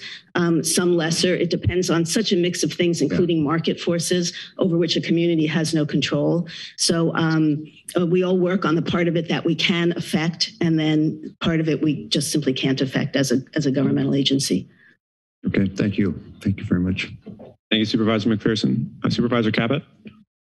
Yeah, thank you. Uh, I want to thank you for all the work you're doing with the planning department. And uh, uh, quick question: uh, I I hear the, categories for income uh, extremely low, very low, uh, low, and when I it's extremely low and an actual category where the state of California has actually got that because when I'm talking with uh, AMBAG, they have very low, low, but they don't have extremely low. So I get a little confused between uh, when I'm working with AMBAG and, uh, and our county. Thank you. Uh, yes, uh, Supervisor Caput, uh, Suzanne Isé. I'm the principal planner for the housing section. So uh, yes, we understand people do get confused about the RHNA requirements related to extremely low income. So this is an official income level that the state publishes an income limit for, and it is part of our objectives in the housing element. However, for the purposes of the RHNA tables, extremely low is included within the overall very low income target. And at least um, past guidance from the state has been that we should assume that half of the very low units that we are assigned are supposed to be extremely low. Having said that, they understand that it is very difficult to finance extremely low income units. The main way that this is done generally is by building units where you have a project based voucher commitment. So those commitments come from HUD and the local housing authority. So where we do have those project based vouchers, that's where it makes development of extremely low income units financially feasible. Without that, it's pretty difficult and pretty rare to be able to restrict a property um, or units to that income level, but they are in the allocation goals. Okay. And then uh, maybe while you're there too, uh, when we're talking about uh, actually uh, living in a place, uh, let's say somebody very low income, especially in Santa Cruz County, uh, we're talking about low rent uh, is there any possibility that they can actually buy a home now? Uh, that that's a real tough one. Uh, uh, the you know the American dream of owning a home for somebody with a low income is that gone? Um, it's not gone entirely. Uh, we do currently have a Habitat for Humanity project, and we're currently actually closing escrow on some of those homes. And some of the buyers in those projects, um, generally speaking, tend to be very low income. Uh, the current project that Habitat is building out is not uh, restricted at the very low income level. It's restricted at the low level. However, a lot of the buyers that we're seeing qualify and be approved to buy those units are actually in the very low income level. Um, historically, in the past, it was much easier than it is today to get very low income units in a for sale project. Even then, they were mostly in subsidized 100% affordable projects. But today, even for those nonprofit builders, it is very difficult to make it pencil at the very low income level. But the approach that I think most communities take is you try to provide as much rental housing as you can that's affordable at the very low income level. And then you provide those homeownership opportunities at low and moderate and work with those families to hopefully help them sort of be able to move from the rental housing into a um, for sale unit as as their income grows. If you can work with them on career development, job development, things like that, then hopefully they can get up to that next level and buy a home at some point. And then uh, I've been pushing for you know years uh, uh, for more low income uh, housing and all that. Uh, with the state mandate, the state expects so many units to be uh, Uh, built uh, countywide. And I guess what I've been arguing for years is if uh, South County were to build 100 units and the rest of the county doesn't, uh, all the state sees is the 100 units for Santa Cruz County. So the when a, the state has a mandate, if all of the affordable housing is in one district, the whole county gets credit for it. Is that correct? Um, I suppose theoretically, yes. Although, if you look at our, our past projects, I think historically they have. No, I, uh, I agree. Uh, uh, I'm not criticizing the other uh, uh, districts right now. I'm just uh, trying to clarify the the the credit for the county. It doesn't matter if it's all in one district or it's uh, spread out, right? Well, well, there's different places where the state reviews our performance. When we come to a new housing element update process, they're reviewing our performance at a variety of stages in the housing development cycle. So it's not only about the units you actually complete, but it's also about what our zoning allows and what our general plan allows. So they would be reviewing something that is in the housing element called the sites inventory. And that's a listing of all the properties throughout the county that have any kind of residential zoning or residential development capacity on them. And I think when the state's reviewing those the, that sites inventory, they would certainly probably bring it to our attention if they found that all the residential zoning was clustered in one geographic geographic area of the county. Fortunately, that's not currently the case. Um, so I don't think we'll have a problem there. But if it was, I think they would probably raise some fair housing concerns. Yeah, it's, it's better right now than it was uh, in the past. Uh, we still need to get more. If we're going to have 100 units down here in South County, uh, we need to have 100 units in the Santa Cruz and north uh, part of uh, uh, the county also. But anyway, it is better right now than it was in the past. Thank you. Thank you, Supervisor Caput. Any further questions or comments from members of the board?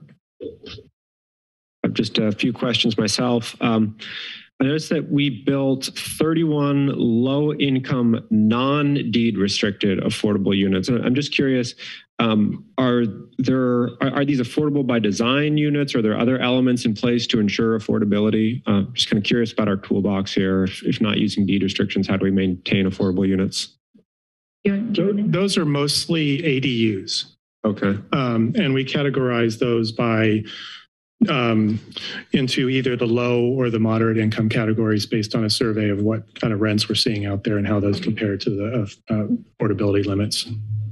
Okay, so is it based on square, non- square footage? Uh, yeah, we look at square expected... footage and bed number of bedrooms and do a little comparison and and look at what rents are out there on the market and then compare those and put those in those non-deed restricted categories. Okay. Um, and then I was, I was, surprised to see so few applications for discretionary permits this last year. I mean, if I read it right, seven applications, you know, for a total of 19 units. Um, why do you think there are so few housing applications for these discretionary permits in 2021? Is this a calm before the storm, or is it an odd year, or is this just that that difficult of an environment to build? Right. In the in the past, we had been reporting in that table in that category the number of building permit applications received, but uh, we received clarification from the state this year that that, that all they want to see in that uh, table is just the number of discretionary permits application received for the creation of new units. Um, and so those are the number of discretionary permit applications for the creation of a new unit um, uh, above what would be allowed on the property um, today. So uh, that varies from year to year, and, and those are the numbers from from this year. You might see, uh, you know, that go up and down from year to year because it kind of takes several years for some of those projects to make their way through the the permit process. I, would just add that I think the pandemic also threw people for a loop a little bit. You know, we we got contacted by quite a few developers who are exploring this or that type of development.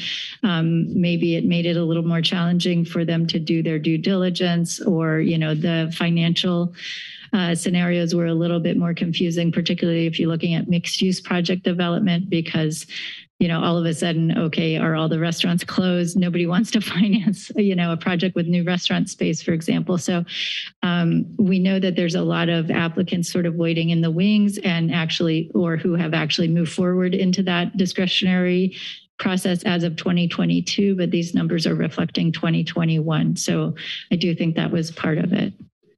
Okay, thank you.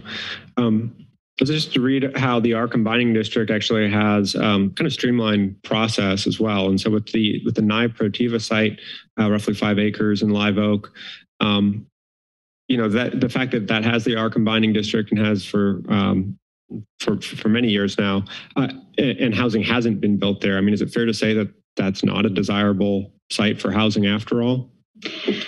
Um, what I have heard from housing um, developers is a couple of things. A, there there are some questions about how desirable it is, just given it's kind of a sort of quasi-industrial location right along the highway, but also. Um, you know, at least in in the past, I think the prior property owner wasn't particularly receptive to um, inquiries about buying it. I think it's transitioned to a new owner since that time. So I, am not sure about this owner, but in the past, I think maybe they were hoping to develop it themselves. Um, it's always a little hard, you know, when you have, um, particularly if you have a large family that owns a property and there's multiple family members who have to agree to a sale. Um, that can be the case with some of these larger sites. Um, so that can slow down the the process of, for example, an experienced housing developer being able to acquire that site. Understood. Thank you. Um, and my final question is, you know, I understand our, our goals are aspirational. Um, and indeed, we have a, ways to go if we were going to meet the cycle five goals. I mean, I think, um, you know, with about 600 units left to build in two years, I would have to be, um, you know, 300 units per year, which is basically more than double we've met in, in any of the years so far. You know, if we were, if this board were actually to say, you know, we're going to get this done, what what would it take to actually meet these RHNA goals? I mean, what kind of what, what would we have to put in place to theoretically uh, make that happen? Do you mean the rest of our cycle five goal? Yeah. yeah. Um, we took some, we made substantial progress on policies in the last couple of years. And I think part of it is that we now need to give those policies some time to be utilized by individual developers. Um, so the framework is in place from that point of view. Um, I don't know whether there would be, um, well, our sustainability update plan um, identifies some parcels that would make good mixed use zoning higher uh, density option parcels. And um, if those were to get through the process, then we would have more inventory of property that zoned for more housing. And that I think would be a very helpful um, step toward making those RHNA numbers. Okay, thank you. Supervisor Caput, did you have an additional Question? One, uh, one quick, uh, one more question. Uh, what what is the uh, salary range uh, or income range for moderate income right now? Uh, the word moderate sounds like well middle class, right? But I'm wondering how many people actually fit in that category. Um, so the current uh, upper limit for moderate income for a household of four is just under 135,000 per year. Um, keep in mind that's the gross pre-tax income. So people's actual take-home pay would be slightly less than that, but that's the gross uh, household income limit for moderate. The median for a household of four currently is um, just under 112,000 for a household of four. Okay, so the moderate and the median are, uh, they're different. Yes, moderate is 120% of the medi- median. Okay. Yeah, I, what I'm getting at is uh, that in uh, South County, uh, the average income is lower than, you know, the other parts of the county. So uh, that's the, the categories uh, are very important. Thank you. Thank you, Supervisor Caput. All right, are there any members of the public that wish to address us on this item? Seeing none here in the chambers, is anyone on the on Zoom or the telephone? Yes, we have one caller on Zoom. Marilyn, your microphone is available.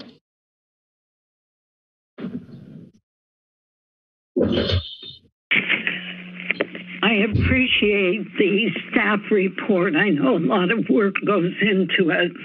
However, we have more unhoused people than ever, given by the last uh, two years' policies of putting over a million small businesses out, destroying them, shifting the wealth upward, driving people out of their homes who can't, don't have work anymore. This is deliberate policy plans. And it's a basic right, human right to have food and shelter and employment. And this system isn't meeting those rights. I remember in high school studying history and reading about the depression of this year and the recession of this year. Uh, all the time. And I was struck in 1966 when I visited this former Soviet Union and my second cousin who was living there. And she said, you know, if they paid 5% of their income, it was adequate pleasant housing, 5% of their income for rent. So, um, you know, Habitat for Humanity is doing something, but it's a drop in the bucket of the needs. We need a, a different structure of a system that provides for everyone. And I'm reminded of this bumper sticker I had when I was teaching it will be a great day when the schools have all the money they need and the Air Force has to have a bake sale to buy a bomber. That goes for providing for other needs in the community, like housing and parks, etc. Um, when money is siphoned out for all this trillions of dollars into nuclear and military budgets, uh, mathematically, you don't have that money left for real needs in our community. Thank you, Ms. Garrett. So we need a, a, different structure of a system that provides for everyone. Additionally, you approved all this 5G broadband. All right. I'll now return it to the board for action. Unless there's a, sorry, was there anyone else on? There are no. Okay, I'll return it to the board for action. I'll move the recommended actions. Okay, we have a motion by Supervisor Friend and a second by Supervisor McPherson. Is there any further discussion? Seeing none, uh, clerk roll call vote, please. Supervisor Friend, Aye. Coonerty, Aye. Caput,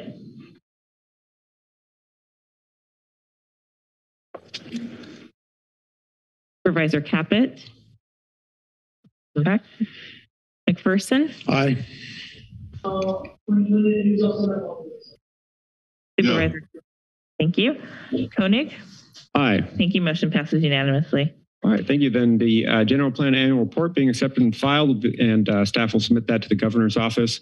That concludes item 12 and our morning agenda. I will officially close the public hearing on that item. Uh, and uh, the board will now go into closed session. County Counsel, are there any reportable items from closed session? No. All right, then uh, we will now move into closed session. We'll be back uh, here in the chambers and on Zoom at 1.30 p.m. for our afternoon session. Thank you.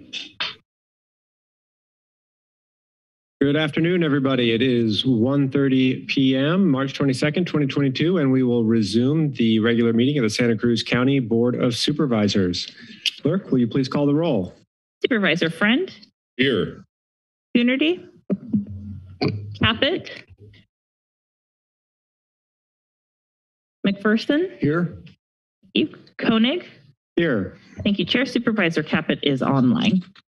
Okay, You thank you. take And uh, please make a note when Supervisor Coonerty joins us. Will do. All right, we will proceed with item 16 to consider a report by the Human Services Department in partnership with other county departments and local jurisdictions to take urgent actions to reduce the risk of evictions and homelessness among county residents after the end of the COVID-19 statewide eviction moratorium on March 31st, 2022, and direct the Human Services Department to report back on or before August 23rd, 2022, as outlined in the, the memorandum of the Director of Human Services. And for a report on this item, our Director of Human Services, Randy Morris. Um, yes, hi, good afternoon, Chair Koenig and board members, um, and to everyone watching and a few people in uh, chambers. I'm pleased to see here to have comment about this. Um, I'm here with Dr. Robert Ratner, who's the director of our Housing for Health Division. Um, both for this item and next item, um, a broader report in on homelessness. I'm going to make some introductory comments and then turn it over to Robert, who will go through a formal PowerPoint presentation. I want to um, underline that as the director of the Human Services Department, as you said in your comments, Chair Koenig, this is truly a collaboration amongst many county uh, partners. I want to highlight our CAO's office, but I also want to recognize the presentation this morning from planning um, and their role and their important role in partnership on dealing with um, housing and the RHNA goal discussion this morning. Um, but also the funding that is uh, in front of the board is a shared uh, funding streams that we have with our um, healthcare agency. Um, but we made a decision to present this because of the link to the second item today on homelessness that we're managing in the Housing for Health Division. Um, I also want to recognize we have other public partners um, that are only referenced broadly in the materials, that we have at least three of the four cities who are formally um, interested in participating in this, at least programmatically, if not financially. Um, so some of them have items tonight on their council meeting. So we are in conversation with um, city partners. And then we also have a number of local service providers and advocates who have been sharing, um, meeting with you, sending materials to you, sending materials to us. And we appreciate them lifting up uh, as service providers and advocates what they're seeing, which is the challenge in front of us is what to do. As complicated as it has been to enter COVID, uh, exiting COVID is creating a new set of challenges, which is protections that have been placed for some vulnerable members of our community. And that's the topic today is what can we do as a local county government, given um, some of the complexities of state and federal laws and funding streams that are winding down. I also want to highlight for your board and anybody in the community watching that um, we coincidentally have a meeting scheduled tomorrow um, with a number of local uh, service providers and advocates and city partners pending your board's approval of the action today to immediately begin discussions about executing a contract to get services in the community to help the population we're concerned about that might um, lose their housing if they don't have supports that we think should be put in place. So we are planning to immediately begin conversations about um, potential contracting. Um, I do want to um, share, I think it's my responsibility, uh, uh, not only as a human service director, given everything we do is to serve vulnerable populations, but the Housing for Health report that's coming up next, that there's a balance we're trying to strike here, which is recognizing some immediate help that we think we can offer, should your board approve this action, does not change the horizon issue that the distance between people's ability to afford housing in this community, and particularly the impacts of the pandemic and challenges with people finding um, enough income to pay for housing. We have to be practical about everything we're trying to do cannot just be a short-term intervention. We have a much larger issue to deal with in this community and everywhere, which is the lack of affordable housing. So want to be pragmatic about the action in front of you. We think is a nice bridge, necessary bridge to help avoid a bigger cliff but we still have a larger issue beyond the cliff, which is what to do with um, anybody we can help, what to do if they can't afford the housing they have is still an ongoing issue. So we're going to talk about that. We hope this uh, presentation is helpful. Um, we hope members of the community here in chambers or on live can please chime in. There's a lot of advocacy. We want to hear their voices. We did our best to um, integrate their ideas and recommendations into the actions today. So this is our best effort to be partners with the community who've been doing some good thinking as well. So I'm going to turn it over to uh, Dr. Ratner now, who's going to go through um, a couple of PowerPoint slides and give a little more specificity um, than what I just shared in my introductory comments. So take it away, Robert. Thank you, Randy. Thank you, members of the board, and thank you, uh, members of the public for joining us for this session today. Um, these are really challenging times given the pandemic and the housing crisis, and appreciate that a lot of county departments and stakeholders in the community have come together to come forward to the board with some recommendations on what we can do in the context that we're all living through now. I'm going to go through a few slides and then want to save time for public comment and questions from the board. Oh, you got it. so uh, one of the key things I wanted to share with uh, those that are tuned in is that the Housing is Key program is a statewide program um, that we at the, the county level agreed to participate in. The U.S. Department of Treasury had made funds available at both the state level and the county level, and the board had approved of two of our Santa Cruz County specific allocations being transferred up to the state to support the Housing is Key program. One of the benefits of us transitioning some of our locally allocated funding to help with people falling behind in their rents is that we're taking advantage of the state funds. So combined, our funding that was allocated to us is around 18.8 million. And then we're getting additional state funds to help cover some of the back rent that people in our community owe. Uh, that particular program, um, known as Housing is Key, and there's a link in the slide deck, uh, is tied to a statewide eviction moratorium that was established through California um, policy and legislation that allowed for people who are struggling with their rent in California and including Santa Cruz County to get support to cover some of that back debt before landlords and property managers could move forward with eviction proceedings. So that eviction moratorium ends March 31st. So there's still a window of time between the presentation today and the end of this month for people to get their applications in. And getting their application in is really key to making sure that if people do end up needing to go to court because of an inability to pay rent, if they've submitted an application and that application is still pending, there's an opportunity for that to come up in the court proceedings for people to be able to make the case they're waiting for that payment. Um, so getting the application in right away is is critical. Uh, I want to just highlight a few of the things on this slide. This is a data snapshot in our county, like how many people from our community have applied for assistance. And these numbers get updated on a weekly basis by the entities that are managing the, the program at the state level. But as the beginning of March, we had over 3,500 applications. To put in that into context, if we think every application represents one renter household, that's close to 10% of the renter households in the county as a whole. We're asking for financial assistance to pay back rent. And over $55.6 million were being requested um, for back rent, utilities, et cetera.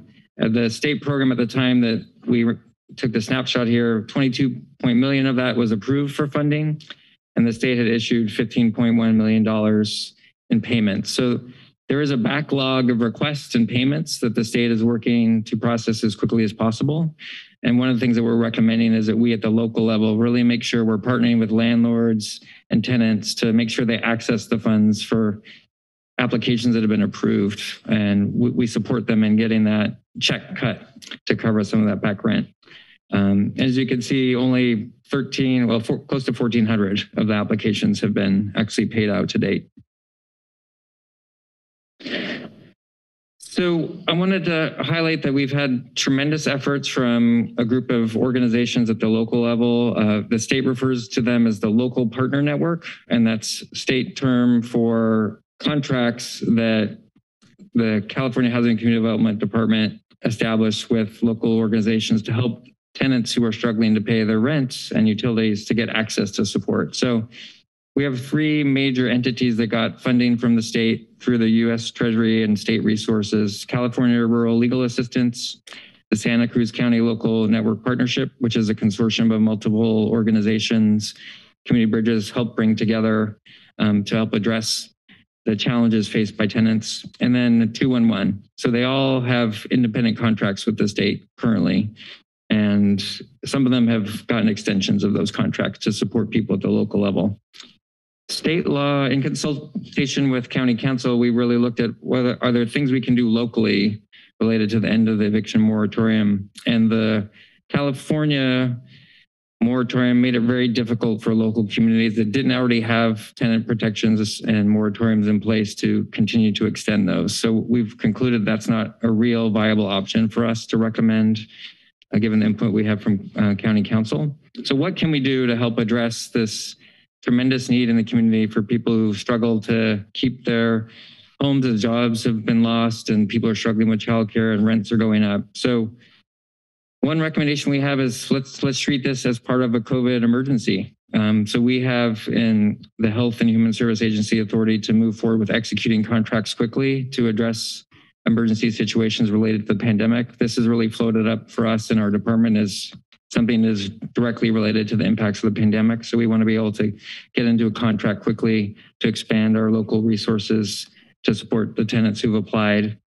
Um, we want to use the wisdom of other entities around the country that have done research on what really helps people who are at risk of eviction and what really helps people who are struggling to maintain housing. So elevating those best practices in the contracts that we would establish.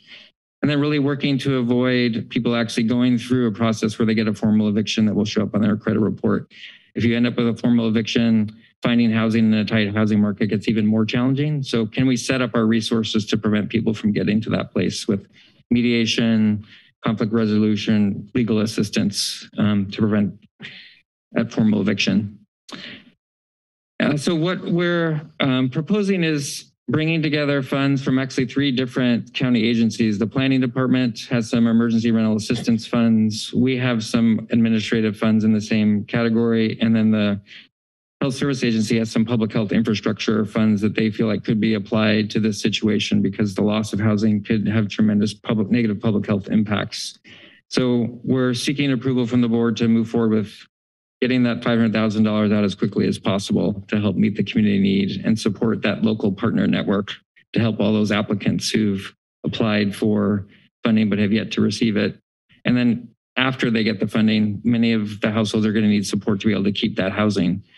Um, Randy alluded to this in his introduction. The big picture is that the housing affordability gaps, gaps between people's incomes and the cost of housing is a major issue nationally. It's really significant here in Santa Cruz County. And the shortage of housing, production, inflation that's impacting all of us, and COVID 19 are all contributing to that gap between what people can afford and the cost of housing. So I think we need to keep in mind state and federal advocacy on those issues is going to be important, coupled with local support for creating more affordable housing to address this issue over the long term. And then keep helping people keep their housing is a really wise investment. We're going to talk later about our six month update on our Housing for a Healthy Santa Cruz plan. But one of our four pillars is prevention that we collectively agreed is really critical. And it's a lot easier and more effective to help families and individuals to keep their homes than once they lose it to help them get back into housing. So if we can make this investment now and reduce the number of people who are getting displaced or lose their housing, I think it's a really wise investment. So some of the principles we wanted to propose for this $500,000 investment is really focusing on those applicants that were seeking funding from the state, the 3,500 plus individuals, and making sure there's good follow-up um, with the state officials and the households at the local level trying to build upon the collaborative structures that have developed during the pandemic and fund them in a way that can keep them going beyond this this moment that we're in. Minimize the amount of the money we spend on general administration so we can get money to direct services and financial assistance to the households that need it. Make sure we're documenting our efforts to reach out to people who applied for the money and uh, the success of our outreach efforts. Try to make it as easy as possible for people to know where to go to get help because um, it can be really complicated to understand the funding and the rules. Um, try to maximize our impact in the community by avoiding duplication of efforts uh, and making sure that we're all working in a concerted way, and then documenting the impacts of our investments on helping people to keep their housing. And um, prior, priority areas for helping households, these tie into the best practices around eviction. Um, let's make sure we get those funds that are available at the state level to our landlords and our tenants here. So we as department staff want to work with our local network providers to really tighten our communication with the state and get those dollars coming out here as quickly as possible. Um, we want to focus not just on getting that money, but we want people to be able to sustain their housing. So if you have $10,000 back on the first slide of back rent and utilities, you've got to make sure you can sustain that housing over time. So people may need help with applying for employment or public benefits. So I think our services really need to be geared towards helping people sustain the housing, not just paying the back rent. And then, like I mentioned earlier, avoiding those formal evictions through mediation, legal assistance. And we, we're a very unique county in that we still have a self-help court that can help people who are looking for assistance before they get to that formal eviction. So building on that network that we have in the court system, I think is also really critical. And I think that's it.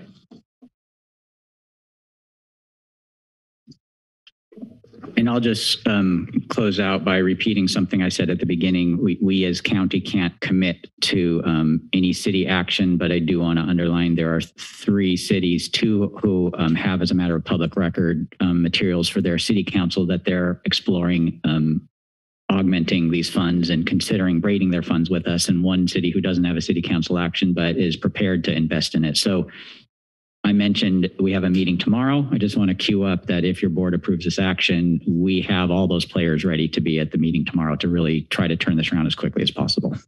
And we're open to any questions you have or public comment or whatever the right order is. All right. Thank you, Director Morris, and, and thank you, Dr. Ratner. Are there questions from members of the board? Yes, Supervisor Yeah, McPherson. um, just I thank you for the county staff and the nonprofit agencies that have uh, worked together these past two years uh, to help identify housing and employment needs and so forth and the services, especially during the pandemic. Uh, we know that everybody's facing really tough times.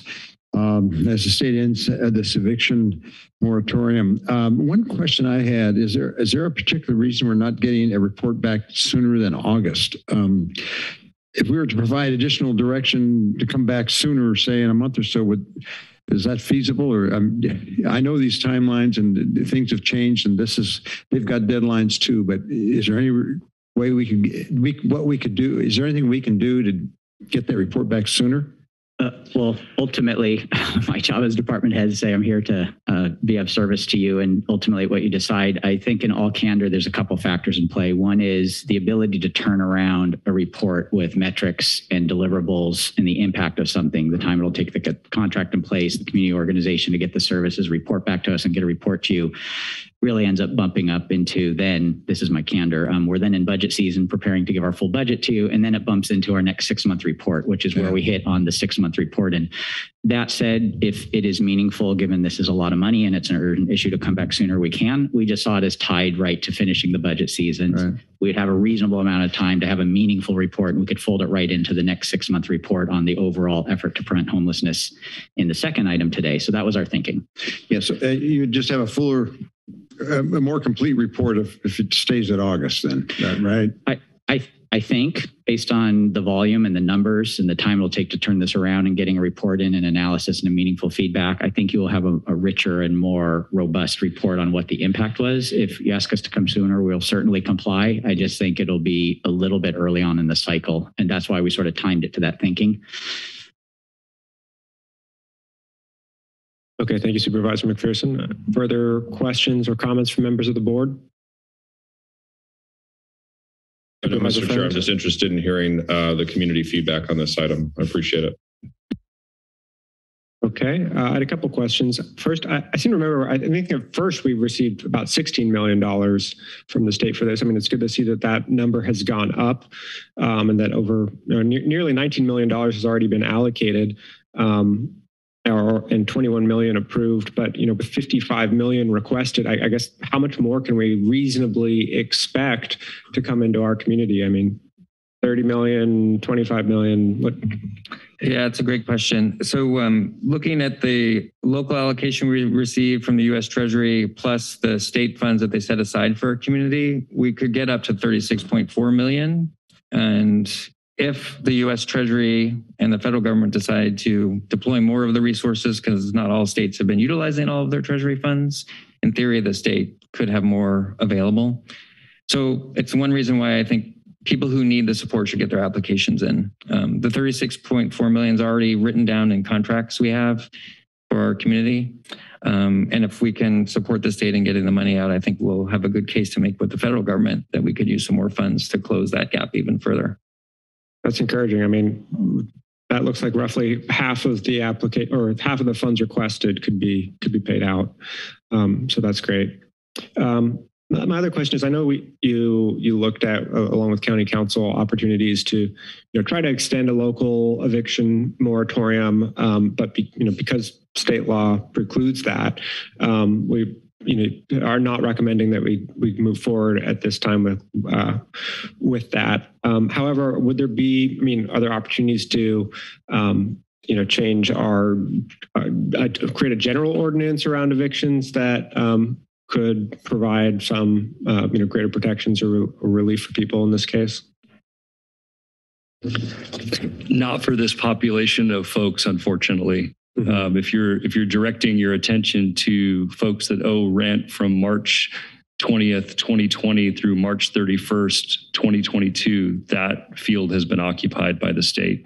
Your board does have the opportunity to adopt additional just cause eviction uh, prohibitions for other reasons and for other populations of individuals, uh, but not this population that we're discussing today.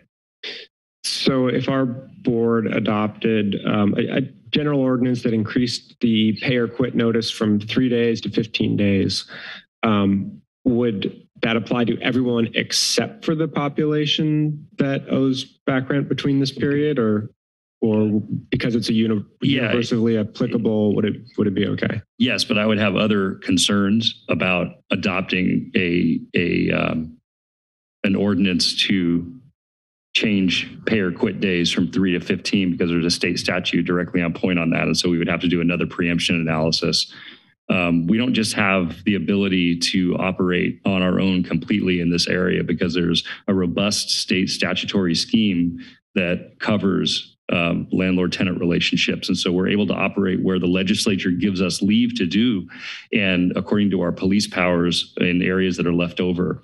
Uh, but unfortunately, with regard to, to this um, group of folks, the legislature has taken uh, over the program for these folks. Okay, and, it, and, as you said, we're we're further restricted by other acts of the legislature, um, you know, in general in this area of the law. Yes. Okay. That's all my questions. Um, so we will now move to public comment. A member of the public who wants to address us on this item, please approach the podium. Uh, thank you, everybody. It's good to see you all in person. Um, thanks for the time today. We just first wanted to thank uh, the staff for their support and the recommendation of this $500,000. It's going to be a meaningful impact um, to help us uh, both in the um, local partner network, but also the other project we've been working on, which is the Eviction Defense Collaborative that we started in November with funding from uh, Packard and Sunlight Giving that provides uh, eviction defense support um, to many different families, already impacting 54 families um, as of today.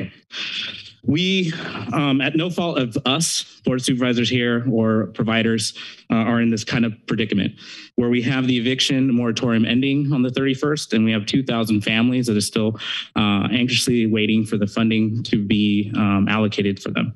And I think that we have a moral obligation as a community to look at different solutions that will help prevent and or uh, deter evictions uh, moving forward.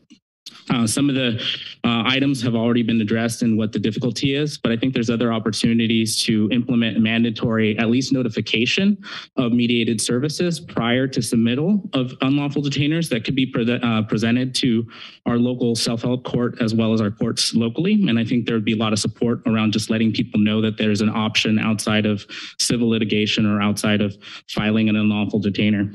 I think secondly, um, I know that the legislator was going to caucus and this was going to be an item that we requested to be um, placed. But I think uh, moving the chair to submit a letter both to the governor and to the legislator to provide a legislative solution would help every local official not have to be in this hot seat, uh, which is knowing that there's going to be uh, people in their communities that will be potentially at risk of eviction and will allow us um, the time that's needed as local partner networks to get the money out, to make sure that people's uh, applications are filled, and to make sure that we have all the information that the state needs uh, to report back to the U.S. Treasury. So with those recommendations, I hope that you consider that in today's action. Yeah, for those who don't know, that's Ray Cancino from Community Bridges, who's been phenomenal and uh, helping us with this. Ray, you didn't identify yourself. Come on. Save me five minutes or five seconds. Hi there. Um, my name is Tanya Schweitzer, and I'm um, I'm Community Bridges Family Resource Collective Operations Manager, and also the Program Manager for the Local Partner Network that you spoke spoke about earlier. Uh, we welcome the staff recommendation to support eviction prevention work that we are engaged with alongside the work that we're doing with housing, the Housing is Key program. We know, as you also do, that the best prevention to houselessness is supporting people to stay in their homes. Community Bridges has been the lead organization for managing the Housing is Key local partner network for Santa Cruz County. March 31st will end the state eviction protections for applicants to the Housing is Key program. As of March 15th, 3,433 Santa Cruz County residents have submitted applications, and only around 41% or 1,424 applicants have been funded. Uh, the majority of applications come from female-led households, 58%, um, and Latin um, families, 43%.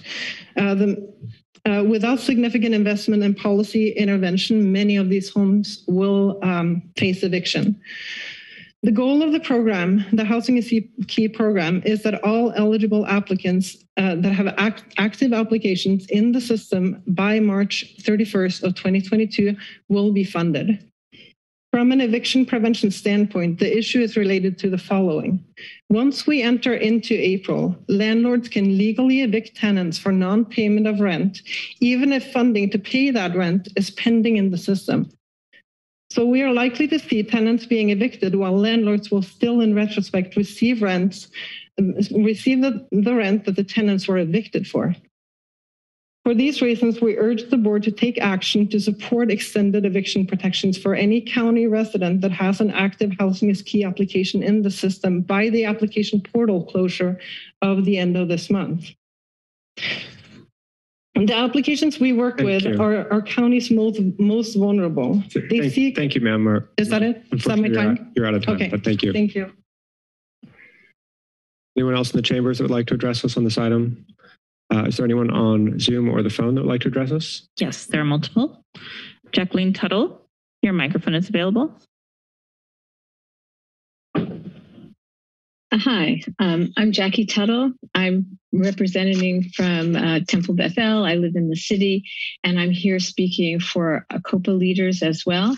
Uh, we're a broad-based organization. We have 23 member institutions across our county and Monterey County. I want to appreciate the two speakers before me. You've um, said many of the things I was going to say. We want to thank our county leaders for uh, engaging together with people throughout the county. Um, I'm very excited to hear that you have a meeting tomorrow because, just as the speaker before me said, um, it is the immediate need of these people um, in our community who, even if they may get their back rent to pay, will be evicted. And we are very concerned about people losing their homes. As people have said, and we know it is much harder to get back into a home once it is gone. We commend you to work on these contracts quickly um, support the idea that prevention is the best practice. We want to avoid formal convictions um, and commend our local service providers for doing very much with not so much. We are concerned that the uh, the money that you are looking at sounds like a lot of money, but we are not convinced that it is going to be enough. And we, like you, are concerned that the state has not held up their end of this bargain by putting the money out there and not getting it out to all of um, our constituents with enough time. Um, we appreciate the county and city partnerships, and we hope that you will continue to recognize this emergency. We've met with a number of supervisors and city council people, and we really appreciate your attention to this very pressing problem. Thank you. Ms. Tuttle. Bob Hirschfield. Uh, hello, supervisors. Thank you for time to speak. Um, my name is Zav Hirschfield. I'm the program coordinator for an organization called Tenant Sanctuary. We're a renters' rights education organization based in the city of Santa Cruz. Uh, and I believe the COVID pandemic layered some crises, layered crises on top of other crises. The severe lack of affordable housing to low income renters was present before the pandemic. And it continues to today. And though we're in a different phase of the pandemic, the BA2 Omicron variant, which is more transmissible than the original Omicron variant, now makes up nearly a quarter of cases in the US. The danger of infection is not over, and renters in Santa Cruz County are still struggling with the economic impacts of the past two years. So, in this context, funding for eviction prevention services is welcome. It's also long overdue. Services like a guaranteed lawyer make an enormous difference in eviction case outcomes. And I'd encourage the board to look into studies out of Boston, examining, examining the impact of guaranteed representation for tenants in eviction proceedings. Many tenants cannot take advantage of rights granted to them under the law because they're unaware of those rights and lack support to assert those rights in or before court. However, I have to be frank in saying that services are not enough. Lawyers, rights counselors, and mediators can do a great deal to change outcomes for tenants, but laws protecting tenants in this county leave much to be desired. I recently spoke with a renter who's being asked to move out of their home with only 60 days' notice and is receiving only one month's worth of rent and relocation assistance. Most people I speak to about looking for new housing mention that their searches take four to six months. Additionally, one month's worth of rent is vastly insufficient to pay for moving costs, hotel stays, and security deposits. Frankly, Supervisor Koenig's idea of expanding just cause protections beyond what state law currently provides would make a truly massive difference in the lives of renters as we continue to grapple with the housing crisis and COVID pandemic. The board has an enormous opportunity here to increase the impact of investments and services by providing powerful tools for service providers to better support community members accessing those services. Thank you, Mr. Hirschfeld. There are no other speakers on Zoom. All right, then I'll return it to the board for action. Supervisor Caput, you're on mute. Uh, got it unmuted. okay. Uh, you know, this is a very stressful uh, uh, topic we're, we're dealing with. all of us are going through a lot of stress. But uh, what I'm looking at is can you imagine all the stress that uh, maybe a middle income family has. Uh, when you're facing eviction, uh, we're talking about uh, you know a life changing uh, events taking place in in the midst of everything else. how many of those do we know are single moms with kids that are possibly facing eviction. We have any, any idea? Uh, this is Randy. I want to make a general comment that I realize upon reflection, and I was thinking about some of the public comments. We didn't say the following. Um, Robert, in his um, formal presentation, and Supervisor Caput, I'll get back to your question in a minute it takes um, time and energy and resources to document everything that's going on right now. And I want to take a minute to parse out the difference between those matters that make it to these service providers where they can start speaking to your question, Supervisor Caput, who is needing help, who has contacted you, and then to the issue of courts. We know the number of formal evictions in process are low, but the issue that I hope we can purchase with our network partners is getting answers to your questions, Supervisor Caput, really understanding who these 3,500 people are.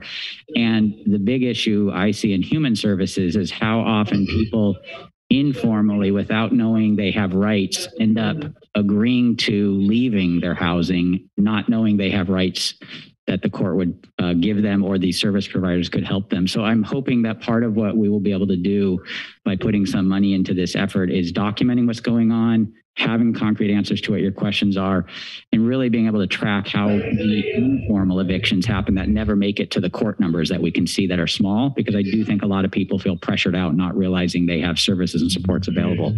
So I'm hoping that helps us, Supervisor Caput, have a more detailed answer to your question um, back to the report back so we can share more about who these people are and what we were doing, what their issues were. I think it will tell us an important story looking forward.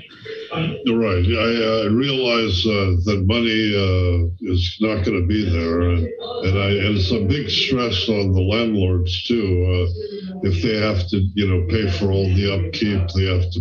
Maybe they have to put a new roof on or whatever, and they don't have any money coming in. But uh, uh, do we know also how many are in South County? a general percentage, a ballpark figure. Um, all right.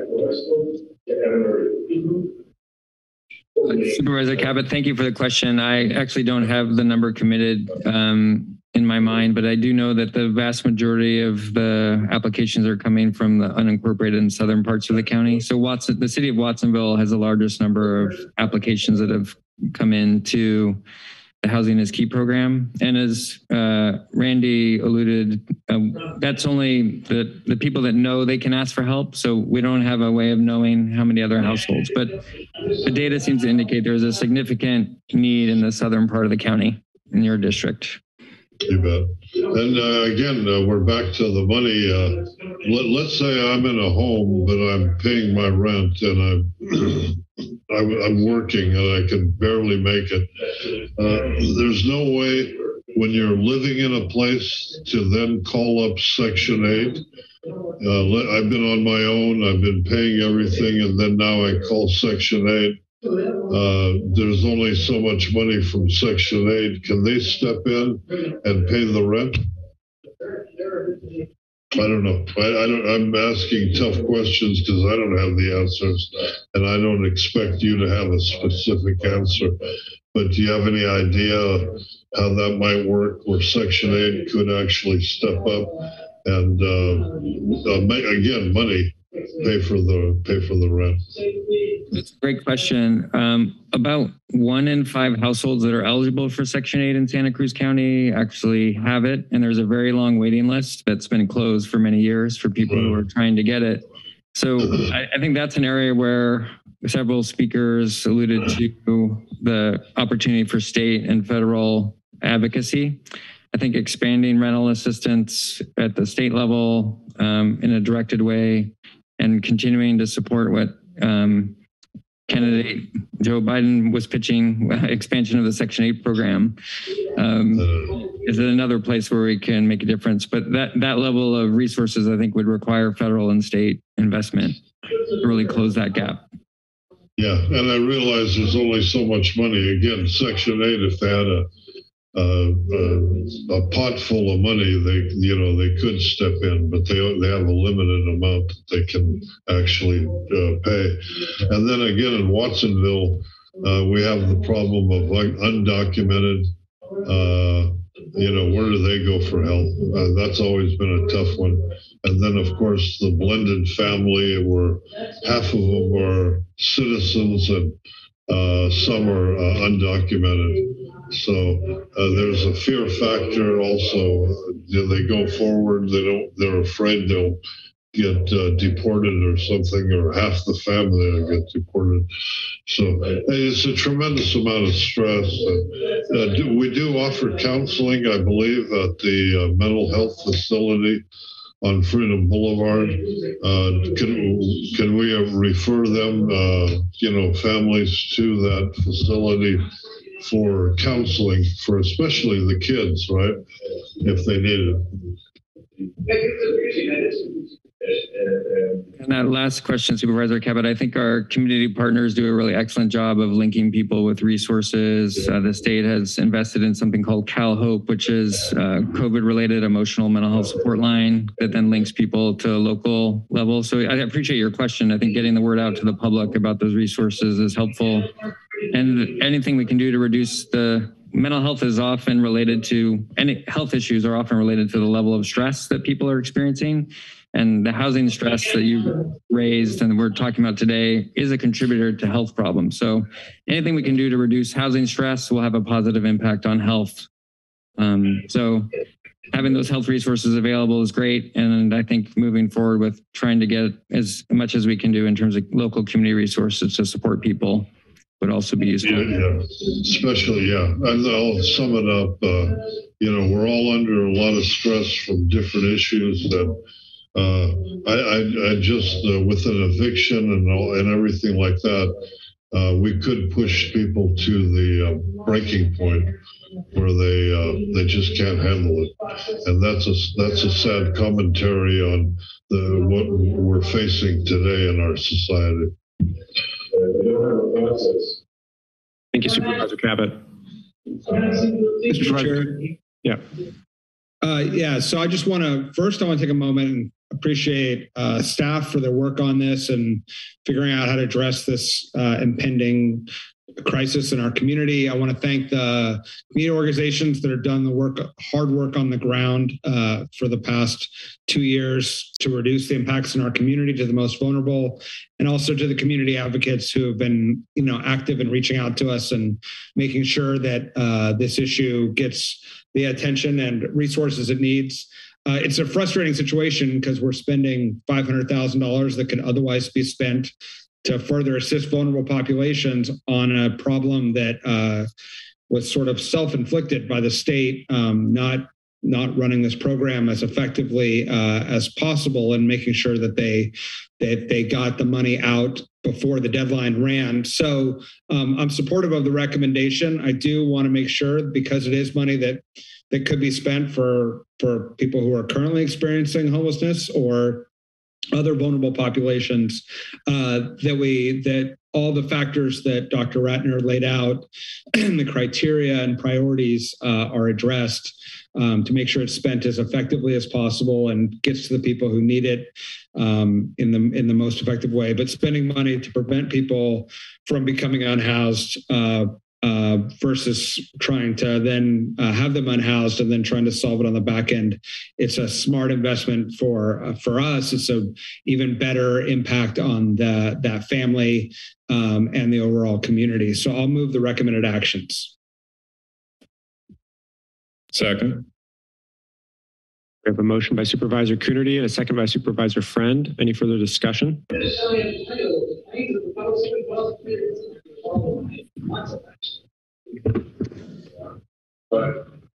Um, I, I you know, I had a que another question for County Counsel, um, you know, regarding this um, request from Mr. Cancino about, uh, you know, mandatory notification of the option for mediation. Um, is that something that's within, um, you know, something that we could include in our local just cause ordinance? I mean, I understand we don't have an ordinance before us today and would have to uh, put one together or, or, or rather you know amend the existing one. Um, yeah, if there, if if there are if there are ideas, I'm happy to work with uh, with you. I would want to want to take a look in more detail around that. Um, and not answer from the dais about whether or not it would be uh, an, an, effective tool or whether it would be available. But totally can work with you or uh, or Mr. Cancino uh, to figure out whether or not that would be something that would be doable. All right, thank you. Yeah, I mean, I understand that the, the city of Santa Cruz's uh, just cause eviction ordinance is a, uh, a little bit more robust than ours here in the county, so that's something we can look at as well. Um, and, and also just want to make sure I understand correctly. I mean, if someone actually follows, you know, if an eviction proceeding all the way to the courts, as you said, um, you know, they would be able to demonstrate that they had a pending application uh, with uh, with the Housing is Key program, and that the judge may look on at at that favorably and um, not move to evict immediately. Yeah, thanks. I think to to make that real, Supervisor Koenig, we got to work the relationships here with the courts and the self help law center to make sure that we have that awareness among all the key players, and that we've got the local partner network to really help people to access those funds. I think Supervisor Caput mentioned this is an impact on property owners. Small um, property owners are also really struggling. They've got their own bills to pay, and if the checks aren't getting cut, so it's kind of how do we mediate and balance that reality and avoid getting a formal eviction? I think we often um, portray property owners in a negative light, but many of them are also struggling. So I think the local partner network and our staff are really committed to trying to get that reality to happen. And I think our self-help center and the the judge who oversees a lot of the evictions here are really committed to making sure we're not evicting people just for this this delay in state payment. All right, thank you. I mean, it seems like this is the action that we can definitively take today, um, and that is an entire community, we should continue to get the word out uh, about uh, due process when it comes to eviction, so that everyone understands that. Um, and uh, I'd be happy to work with County Counsel looking at our just cause eviction ordinance going forward. Um, so, if there's no further discussion, clerk, roll call vote, please. Supervisor Friend. Aye. Coonerty. Aye. Caput. Aye. McPherson. Aye. Koenig. Aye. Thank you. Motion passes unanimously. Uh, I might say that uh, I think we can hear some background uh, noise from Supervisor Cap. All right. Well, thank you. Um, that, good use of those funds. And um, we'll now proceed to item 17. And uh, we have once, once again uh, Director Morris and Dr. Ratner to report on this. Item 17 is to conduct a study session on housing for a healthy Santa Cruz, a strategic framework for addressing homelessness in Santa Cruz County, six-month plan implementation and related updates, accept and file progress reports on policy goals and program updates, authorize the Human Services Department to apply for a California Interagency Council on Homelessness Family Homelessness Challenge Grant, and direct the Human Services Department to report back in August of 2022 on the next Housing for a Healthy Santa Cruz six-month framework implementation cycle and related program updates as outlined in the memorandum of the Director of Human Services. Director Morris? Okay, round two, uh, very related. Um, so here too, I'm going to make a few other introductory comments and turn it over to Robert to give a formal presentation from the PowerPoint. Um, just to say a touch more about the comments you made, Chair Koenig, introducing this topic. Um, as a reminder, probably not to your board, but to the community listening, um, we are operating under a three-year strategic plan that your board approved and all four city councils approved. It is the collective impact framework we're operating under, and we believe it has been a reason why we have been successful in competing for and receiving a number of grants because we actually have this framework and we can show the federal and state funders that we are working together and we have a plan. Um, this is the second six month report under that framework, which means we're at the one year mark and um, pivoting into year two of the three year strategic plan. Um, I do want to recognize, as was um, your introductory comment, Supervisor Koenig, quite a bit of words and the materials are quite a bit more. so I do want to invite uh, to the community and anybody who's watching that the materials are were very intentionally put together because we made a promise when we stood this division up and committed to moving this plan forward that we would do everything we can to be as transparent as possible with this community, with our elected officials, um, and having spent over three decades in human services, um, peripheral to the issue of housing and homelessness, uh, this is my first opportunity at this stage in my career to be an administrator directly over the issue of homelessness. Unlike Dr. Ratner, who's been working in the field for many decades directly. And I have to say, I've learned quite a bit about how complex this ecosystem is and how difficult it is to explain in sound bites, in short sound bites in a public hearing, um, the true complexity of the issue. So I just want to recognize that we have done our best to uh, put in full transparency in the materials that the public can read, um, quite a detailed report um, outlining what is in front of you today. Um, Robert's presentation will be even a more distilled version of that. But please, um, for those who are really interested and engaged in this topic, we hope that you find the materials meaningful because they do really delineate what we're looking at, what we feel like we can manage, and what the outstanding issues are. Um, I want to share that, um, you know, I mentioned earlier, three decades, I have seen a number of public policy challenges, and this is one of the most severe humanitarian crises I think Cal uh, California, the country, and certainly this community, Santa Cruz County, is facing. It's visible, it's extreme. The previous presentation spoke to just one moment that things could get worse. And for those who don't know, these are some things that strike me. Um, California as a state has the number one per capita rate of people experiencing homelessness in the entire country. Um, Santa Cruz County as a community, who, when you look at city data across the state of California, the city of Santa Cruz has the fourth highest uh, per capita rate of um, people experiencing homelessness. And as you will hear in Dr. Ratner's presentation, it links to the previous report we just gave and the planning department's discussion and your board's really good conversation with planning about RHNA goals.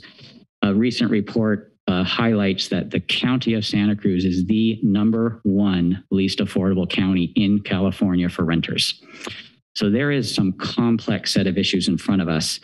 And I want to say one thing that um, really jumps out at me the word homeless gets used and it almost gets thrown out as if it is in the aggregate describing every single person in a community that is struggling with housing.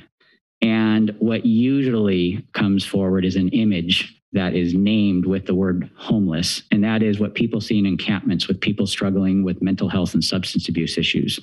I want to make sure everyone is aware that is less than one fourth for the actual number of people who are experiencing homelessness in any given community and in Santa Cruz County.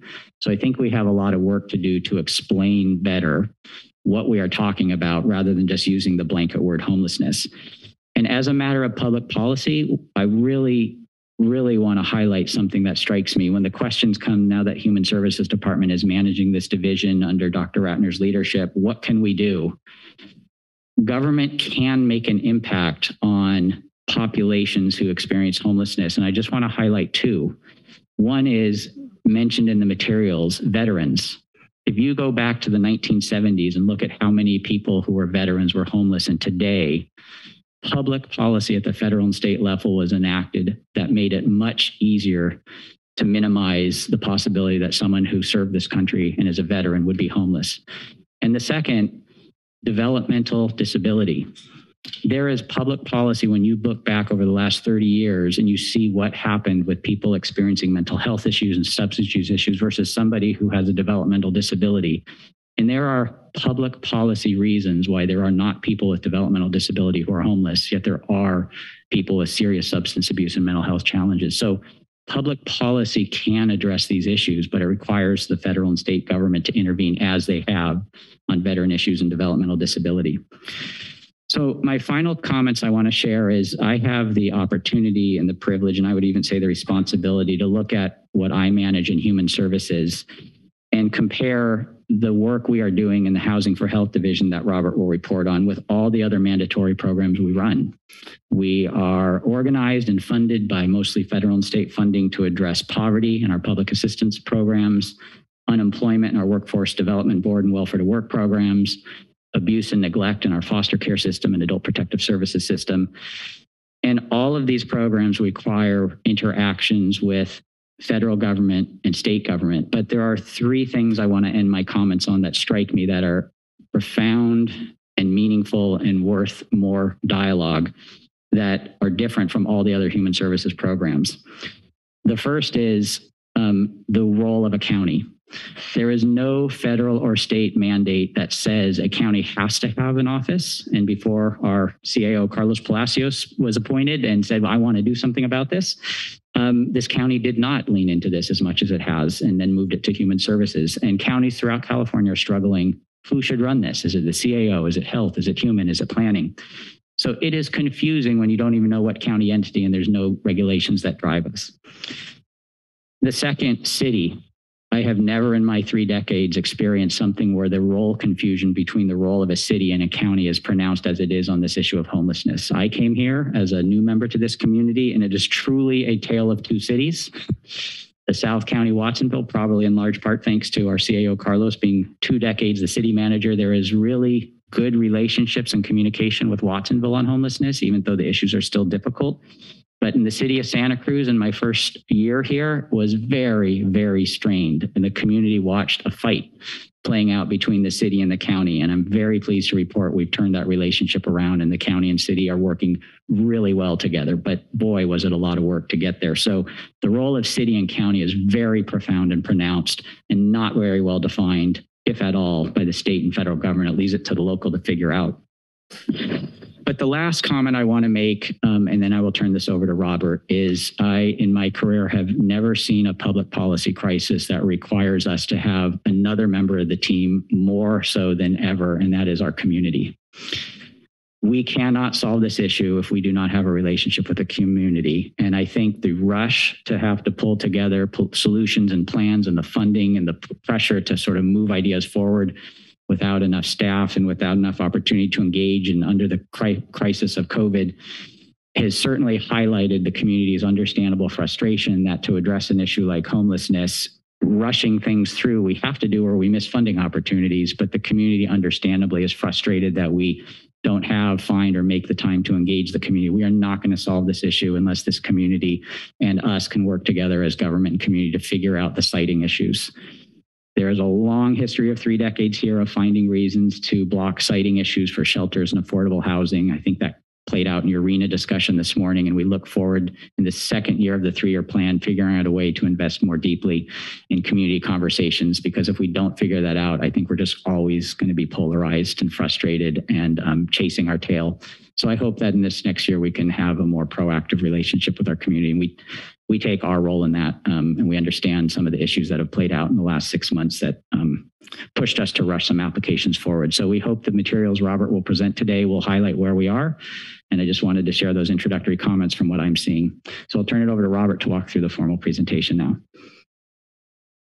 Uh, Thank you, Randy. Um, so what I was hoping to do with the formal presentation is give an overview of the materials that were submitted with this board item, um, which included kind of an overall landscape view of how we're doing on the goals articulated in the framework, and then six separate attachments and um, the slide presentation.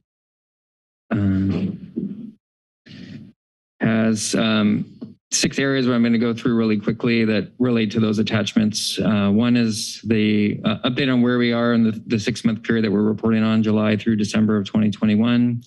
How are we doing on the goals we articulated in the framework and what's the data that we have available telling us? Uh, how are we doing with reaching our shelter goals, our COVID related sheltering programming, and our efforts to help people who are in those COVID related shelters to get into permanent housing? Uh, we've talked a fair amount uh, this afternoon about housing affordability gap and homelessness, and, and there's some few slides that talk about that and highlight those connections. Wanted to um, try to create greater transparency around the funding landscape related to housing and homelessness and the complexities associated with it and uh, the gaps between what we propose doing in our framework and the funds that are actually available. And then there has been a request from the board and others in the public to, to learn from one example of funding that we've had in this community, Homeless Emergency Aid Program, which is state funding. And how did we use those dollars? What lessons did we learn?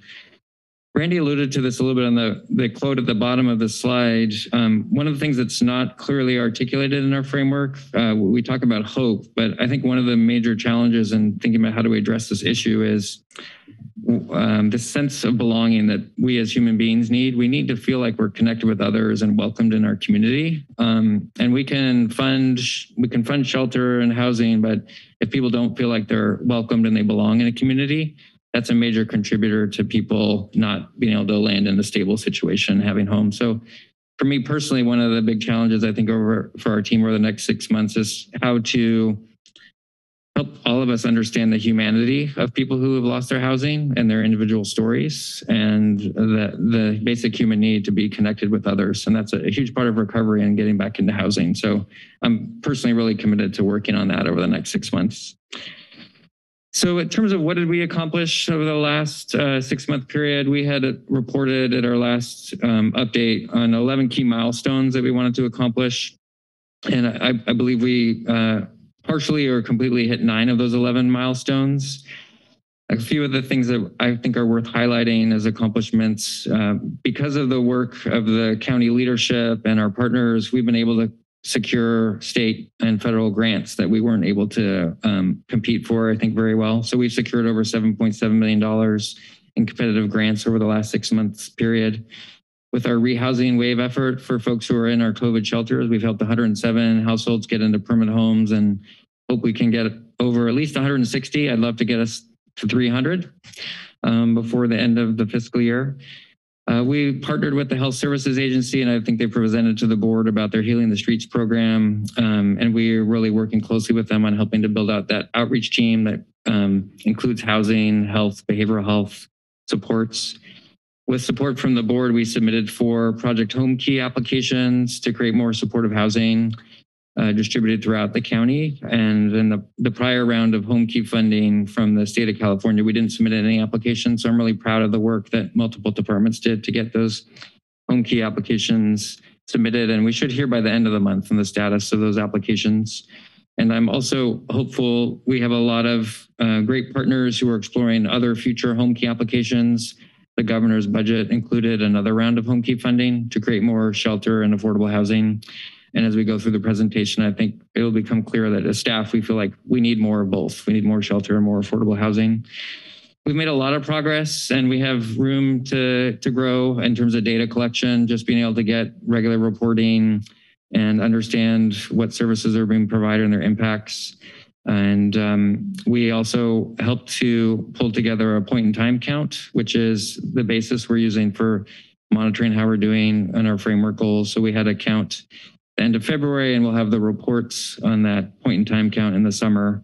So at our next report back to the board, we'll have that full report done on the status of that point in time count. And then we made some significant changes in terms of how we organize our coalition and our governance. Uh, the federal government has an entity they call the Continuum of Care, and there's a lot of rights and responsibilities that this Continuum of Care body has in relationship to federal and state funding related to homelessness. So we've actually formally shifted from calling our Continuum of Care the Homeless Action Partnership to the Housing for Health Partnership to be in sync with the name of our new division and to reflect that we've really tried to change how that board is structured um, Supervisor Koenig and Supervisor Coonerty are now on the policy board, and we, we've got a great array of leaders who are really committed to addressing this issue. So I'm hoping that will help us have a bigger impact. And um, we recently updated our website as well. So now there's a Housing for Health Partnership website um, where we're trying to be more transparent and consistent with our communication.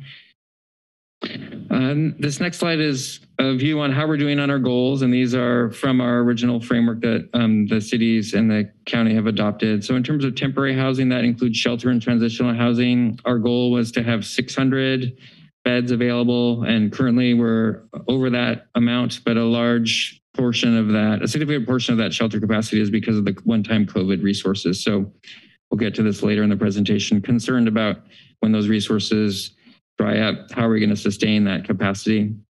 Rapid rehousing is a kind of intervention where you provide temporary rental assistance with services to help people who are homeless get into housing and support their rent for a period of time. And then hopefully they can sustain that rent over the long term. We're behind in our capacity with rapid rehousing. Um, the state, California Department of Social Services, has put out some additional money that will lift our capacity a little bit over the next six months, but we're not going to be close to the 490. Um, so we would need significant more resources to get there. Permanent supportive housing, we've actually made a lot of progress um, due to the pandemic resources that have gone to the Housing Authority and our partnership with the Housing Authority. We've got a lot of new housing vouchers and with the board's approval of our rehousing wave, the vouchers plus the services is how we create supportive housing.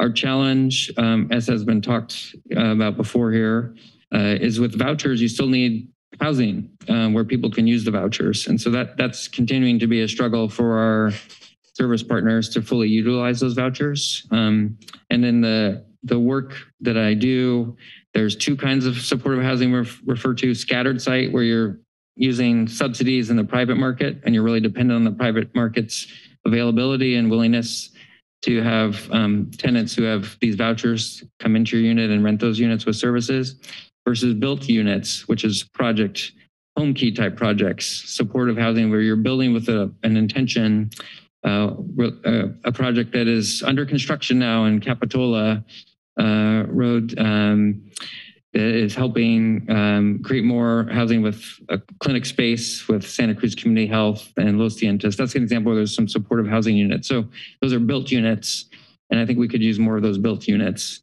Um, and then the last part of the framework, we set a conservative goal of meeting our RHNA targets for very low income affordable housing. Most people experiencing homelessness are an income level below very low income housing. So uh, I, I think it's particularly conservative to set our target around the very low income.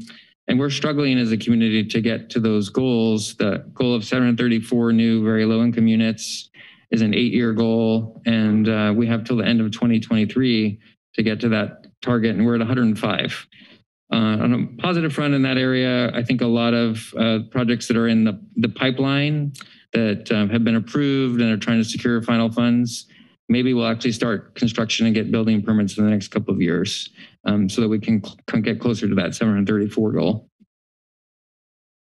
Another part of our framework is uh, not just building capacity, but how can we make our programs more effective? And the two areas that we are looking at in the framework are reducing lengths of stay, but not just reducing the lengths of stay and having people return to homelessness, but reducing lengths of stay and increasing the number of people who exit to permanent housing. And globally, this slide uh, shows you a general trend is that we're off target, where people are staying longer. Um, we've seen slight increases in the number of people exiting to permanent housing from shelter, um, and our transitional housing and rapid rehousing exits have gone down a little bit or stayed mostly the same, but people are staying longer in programs largely because I think there's fewer options in the, the housing market for folks. Uh, I still believe there's things we can do to improve our outcomes in this area, and we're going to keep working with our provider community to, to do what we can to help uh, reduce lengths of stay and increase the number of people who are exiting permanent housing. And then our overarching goal, um, the green arrow here shows that our, our framework called for uh, just under, just over a thousand households. Um, and in January 2024 would be experiencing homelessness. And that's uh, data from a point in time count, a single day. And the, the blue arrow shows where we are in a given month, according to our HMIS data. So according to that data, we have over 2,500 households experiencing homelessness in a month. And uh, in the summer, we'll know more about where the point in time count is. In general, the trend is in the wrong direction. It's hard to see with this graph, but in the summer of 2021, we started to see an uptick in our HMIS data um, among people experiencing homelessness coming in for services for um, from agencies that use the data system. And particularly concerning to me is uh, seeing uptick in seniors, people 50 and older, uh, as well as uh, households with children um, during that period of time. So I, I think we need to look, look at um, this prevention issue we talked about earlier and making sure we're really focusing in on those populations. Uh, alluded to this earlier, shelter capacity over time. So our framework goal is 600. Um, before we started implementation of the framework, uh, we had a baseline of 440 beds. Uh, the maximum we had was over a thousand during COVID with our one-time resources. We've been scaling back as our COVID resources are in decline, that capacity. And in the absence of any interventions and finding new locations and identifying um, operators for sites, we, we may drop below our framework baseline um, if we don't take action. And our, our team is really working on that with other people in the community so we can get to our goal of the 600. And uh, we've been budgeting resources, one-time resources from the state to try to fund that, but it's really about location and operator um, where we're struggling with shelter programming. And then this is a slide about how we're doing with our COVID rehousing wave effort. Uh, we've got three amazing teams with wonderful people who are doing care management and housing navigation. So we have a county team, uh, abode services and housing matters. Um, over 259 households have been served by those programs with 309 people. Uh, we have a real estate partnership program with Abode where we're working to use those housing subsidies in partnership with private uh, real estate market owners. Um, we have a relationship with the Community Action Board where we have centralized flexible funding to help people with security deposits and furniture. We have this uh, amazing partnership with the Housing Authority and the Vets Hall Board of Trustees has also contributed to the whole effort. Um, and as I mentioned, we have over 100 households that have moved into housing a lot of people have gotten subsidies. So there's actually a significant process to apply for and secure the subsidies. And now we're in the phase of the work where people have gone through that process, they've been approved, and now they've got to find units where those subsidies can be used. Um, housing affordability gap, uh, Randy alluded to this earlier, and I um, read a report uh, every year that comes out from the National Low Income Housing Coalition and looked more closely than I normally do at some of the data. And I, I focused on the Santa Cruz County data. And um, I was really struck by and wanted to share with the board and the public uh, what came out for me in reviewing that. So there, there's one statistic that they report on on an annual basis. And if you look at the community of renters in the county, and their average wage as a renter household, how many jobs at that average wage are needed to afford a two bedroom apartment? So in 2021, it was 3.4 full time jobs. That's the highest in the state.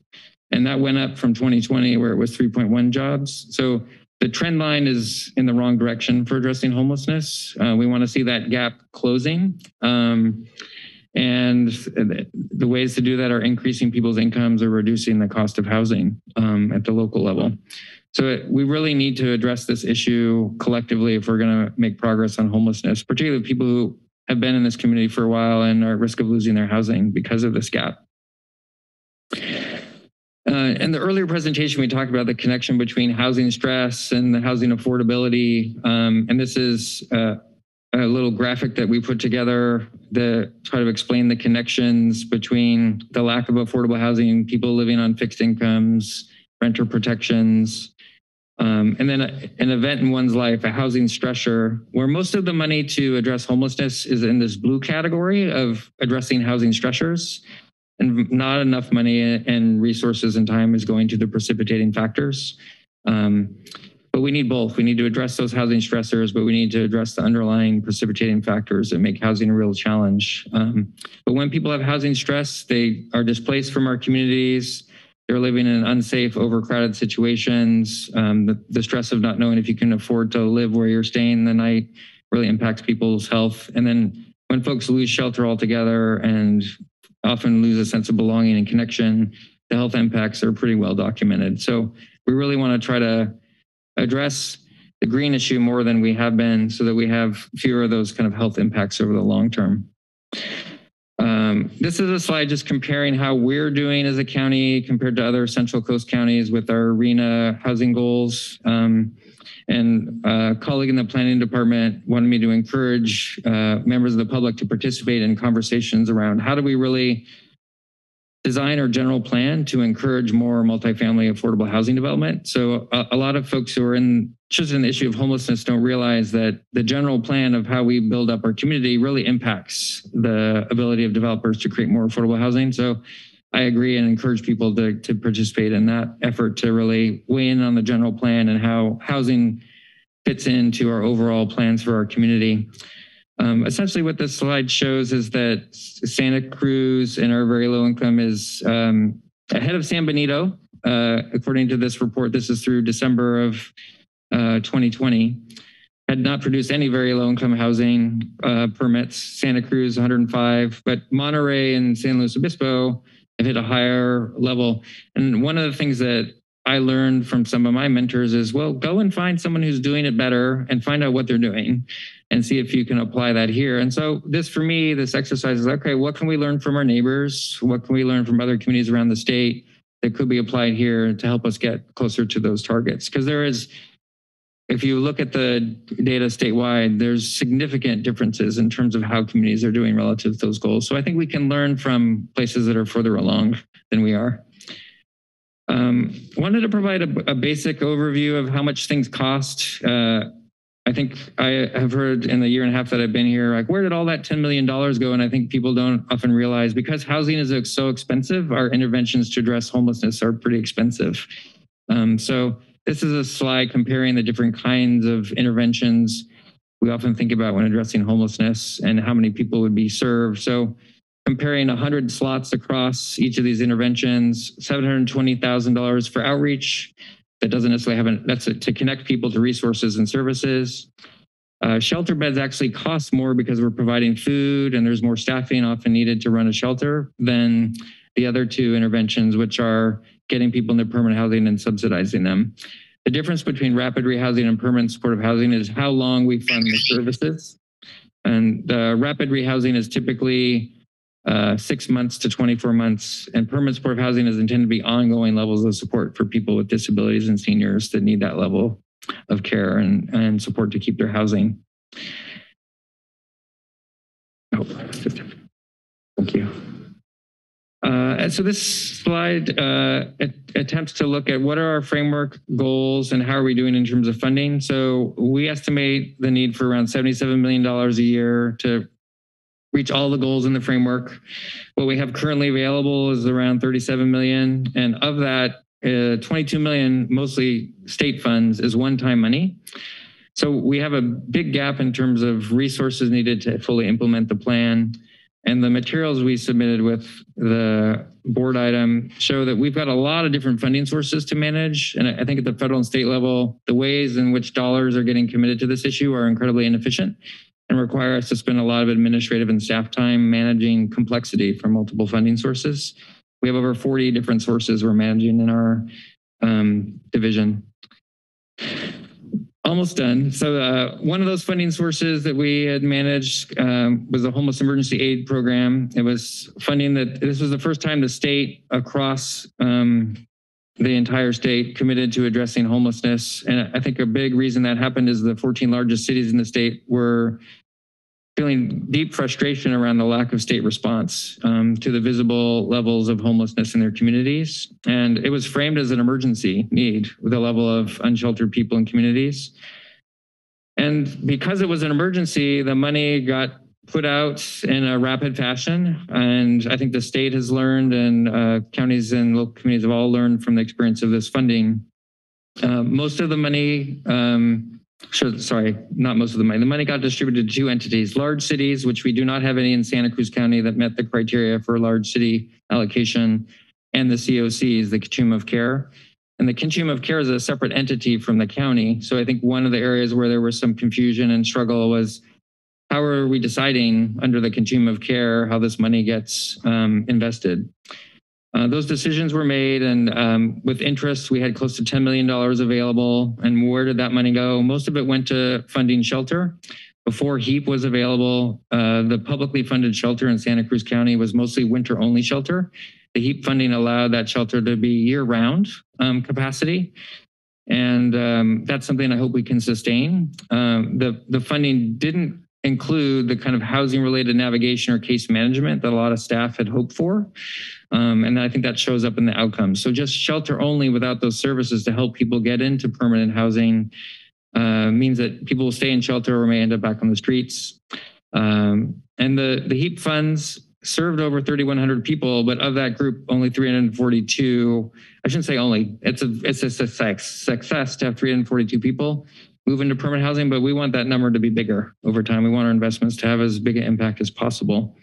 Um, so monitoring collectively how our investment strategies relate to outcomes is something that I'm really committed to and, and trying to move money in ways that get us the best outcomes for people in our community. Uh, so lessons learned from the um, HEAP funds, a lot of new innovative programs got set up, uh, infrastructure needs, uh, accessible shower facilities and buildings um, got created as a result. We helped smaller organizations build up their capacity and mobilize um, their volunteer and small staff resources. We helped meet some emergency health and safety needs for people in the community. We got a pattern going of year-round funding for shelter that I hope we can sustain. Uh, and then we expanded youth services for um, people between the ages of 18 and 24 who are struggling with housing. Areas where I, th I think we can improve, uh, we need to have services linked with the shelter to have a housing exit focus and keep them as low barrier as possible so people can come into shelter. Uh, we need to link together our investments. So we have to make sure that we can thread together if we're investing in outreach, how does outreach link to shelter and how does shelter link, link to helping people get permanent housing? I think we have a we had a tendency with the HEAP funds to give a little bit of money to a lot of different organizations. So the, the lack of a deep investment in particular programs, I think made it diff difficult for organizations to really get to stable staffing and outcomes. So I think we need to look at deeper investments in organizations over the longer term for them to build their capacity. And then our, our data, our HMIS data, we can do a better job of collecting information on what's happening, what the needs are, and what the outcomes are from our investments. Next six months, uh, we, we're going to get the point in time count data. Uh, this is a list of some of the priority areas. We're launching our new continuum of care structure. We're um, going to follow up on those home key applications and hopefully submit some more. Street outreach efforts have launched. Uh, we just talked about the eviction and homelessness prevention network that we're hoping to build with our community partners, improving data, wrapping up our COVID shelters and getting us to a stable baseline shelter capacity. Working with our partners in managed care, Central California Alliance, there's major opportunities for us to partner and get services resources for people experiencing homelessness who are on Medi-Cal. And then centralizing our funding for flexible housing assistance to help people return to home if it's outside the area, help with security deposits, um, application fees. Those things can be real barriers to people getting back into housing, and we can make that um, effort more efficient. And that's our update. Sorry, I went a little longer, but um, happy to take questions and open up for discussion. All right, thank you, Dr. Ratner. And Director Morris, questions from members of the board? Sure, Mr. Chair. Uh, yes, Supervisor Coonerty. Yeah, so um, thank you for the report and uh, as always, sobering. Um, can I ask, uh, so the board set as a goal to uh, end uh, children, uh, local children being homeless, and the numbers, as you pointed out, are going in the wrong direction. What are the uh, short-term and intermediate steps we can take to, at very least, reverse this trend and then get it going in the right direction? Thanks for the question, Supervisor Coonerty. Uh, one of the things that we're contemplating as staff and absolutely open to ideas is I, I, think that our work has not partnered well with the school districts. And I think we have data from the school districts um, that indicate households that are struggling, where there are children who may be doubled up. Let me back, back up a little bit. The definition of homelessness from a school district reporting perspective is different than the one we typically use when we're reporting on homelessness. So people who are doubled up or in situations where they're struggling. So I think there's opportunities for us to go a little bit more upstream and tighten our partnership with the school districts to identify children who are in unstable and unsafe housing situations and who are frankly literally homeless as well. So um, with our challenge grant that we're seeking board approval um, to submit an application, my hope is that we will be able to partner with um, our school districts where we see the most number of uh, students experiencing homelessness. I think the other area where I feel like we can make some progress is um, the state has put some more funding through the Department of Social Services into addressing family homelessness. So we, we can expand those programs. Um, and we also are now able to work with um, some special vouchers for homeless families that the Housing Authority has set aside to help connect people to resources. And then I, I think more broadly, we just got to keep working on the housing affordability issue, um, particularly for families. So when we're looking at affordable housing development, are we are we building two bedroom and three bedroom units that can accommodate families, as well as um, single adults or smaller households?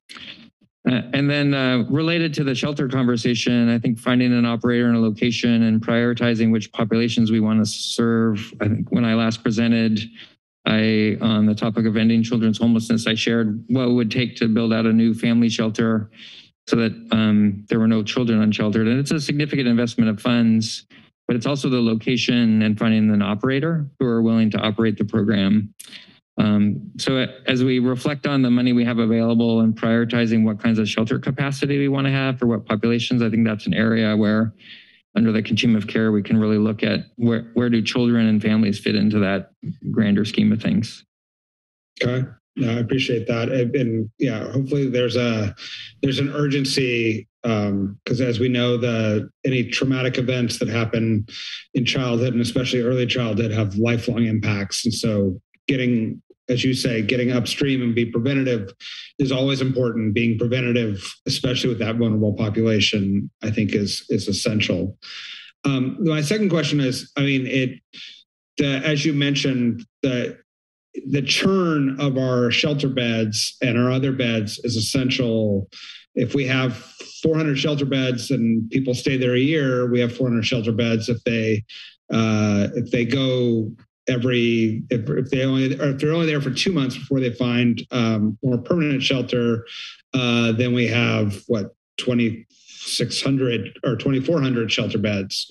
Um, and um, but as you mentioned one of the challenges is finding places uh, for those folks to go and finding places in santa cruz county is going to be extremely difficult even if we were meeting our RHNA numbers uh, it would still be uh, a very, very challenging environment.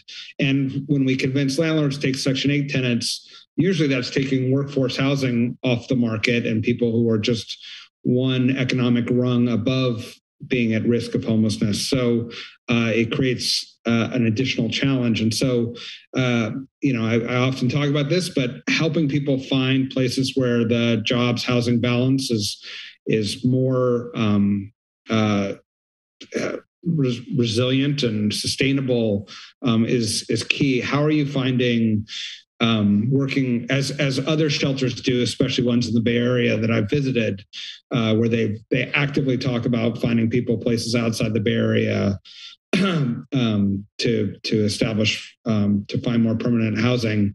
How how is that effort going here?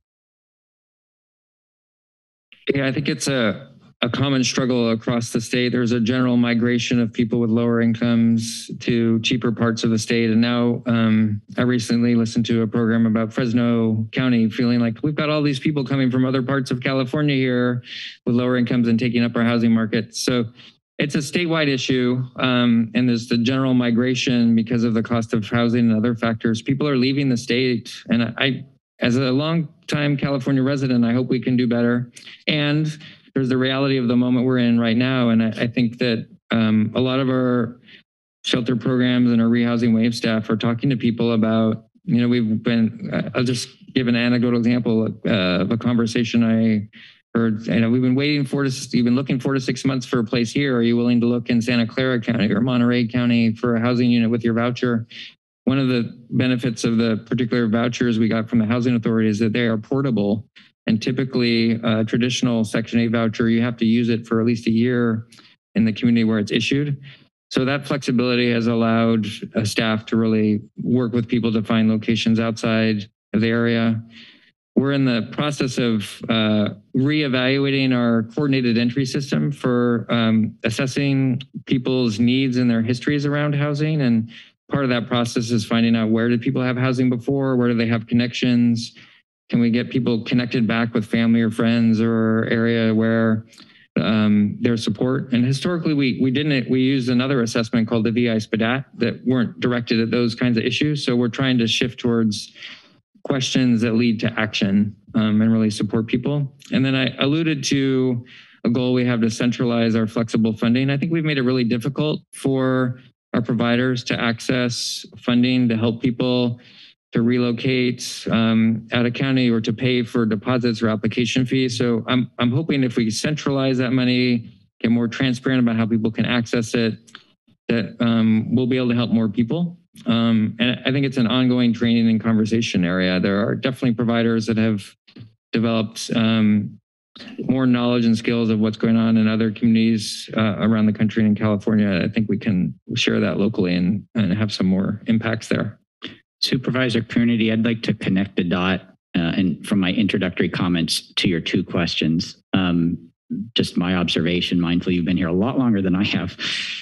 I think that in my introductory comments, I spoke to how absent information and communication with the community, the default image community has when they hear the word homeless is an image that is not a, a child and their family doubled up at risk of losing their housing and somewhere. So I think one of the answers to your questions are communication, education. I have a feeling we will have less struggles with siting issues when and if we can be more proactive in communication about target populations because usually community are not as concerned about helping children and family keep housing and having affordable housing available. So that's one comment I want to make. Very mindful, absent those details, people rush to the conclusion that it's the most severe image they see, and that's the, what they're worried is going to come to their community. And the second comment I want to make, um, I've only been in one other jurisdiction. I got to see a little bit of how much money was put into shelters. And the secondary gain of having a shelter system funded adequately to be successful in what you often call churn, but actually help people get services and get support to move on, is then that community sees and the broader community experiences a shelter resourced well being a value added and an asset as opposed to a place they just worry about where people come and just leave and come and go and the struggles that play out in that community. So I think there's a secondary gain of deeper investment in a successful and effective shelter system. I think it potentially will change the image of what a shelter is, but we haven't invested deeply enough. So I hope that that's a connection point as well. If looking forward, we can be successful. Yeah, and and let me just say, I mean, I think the the resources uh, for fa- for family shelters is a real challenge. I, in my time on various boards, I think every uh, I, I, dare to say, I think uh, it would be a unanimous vote among the Board of Supervisors or most city councils to site a family shelter in any neighborhood in Santa Cruz County because we all see the need and can differentiate between it. Um, I think what we need is the, the resources to, to both build it and then operate it um, going forward. But uh, I don't think I, th- I, think I think we can mobilize to get support for family shelters um, and and overcome any opposition, as we've seen in frankly in the San Lorenzo Valley, where the vets um, proposed uh, Project Homekey uh, project is getting you know solid support from people because they they they want to help that particular vulnerable population. The final thing I'll say is I think um, uh, in the list of of things that are driving homelessness, as you say, it's not driving all homelessness or even a majority of homelessness, but um, the impact of methamphetamine and opioids uh, and uh, especially impacting the most visible and impactful uh, parts of homelessness in our community has to be called out as a as a major driver for that specific pub, subpopulation. And um, and needs a coordinated response from our other uh, health divisions that focus on substance use. Because um, that is you know the people i know who i grew up with who i see uh, visibly uh, homeless and experiencing homelessness in santa cruz county are um, the drugs were the primary primary driver in that uh, homelessness and continued homelessness. And um, until we reckon with that as a community, uh, and then provide services and also do what we can to get methamphetamine off our streets, um, we're going to continue to see very visible impacts uh, on people's lives and families and the community as a whole.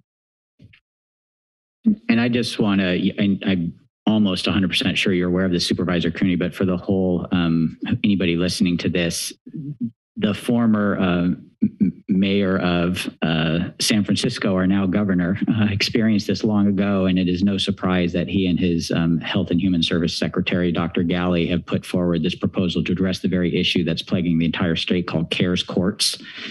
So whether or not that makes it through the process, it's a very vexing issue. But I just want to recognize that that issue is known all the way up to our governor, who has chosen to bypass legislature and just say this is a priority as a governor to find some way to intervene on this issue that's getting worse. So just want to appreciate the state understands and our governor understands and is trying to push forward legislation to sort of move that needle on um, the issue that is most visible and most disturbing to many people.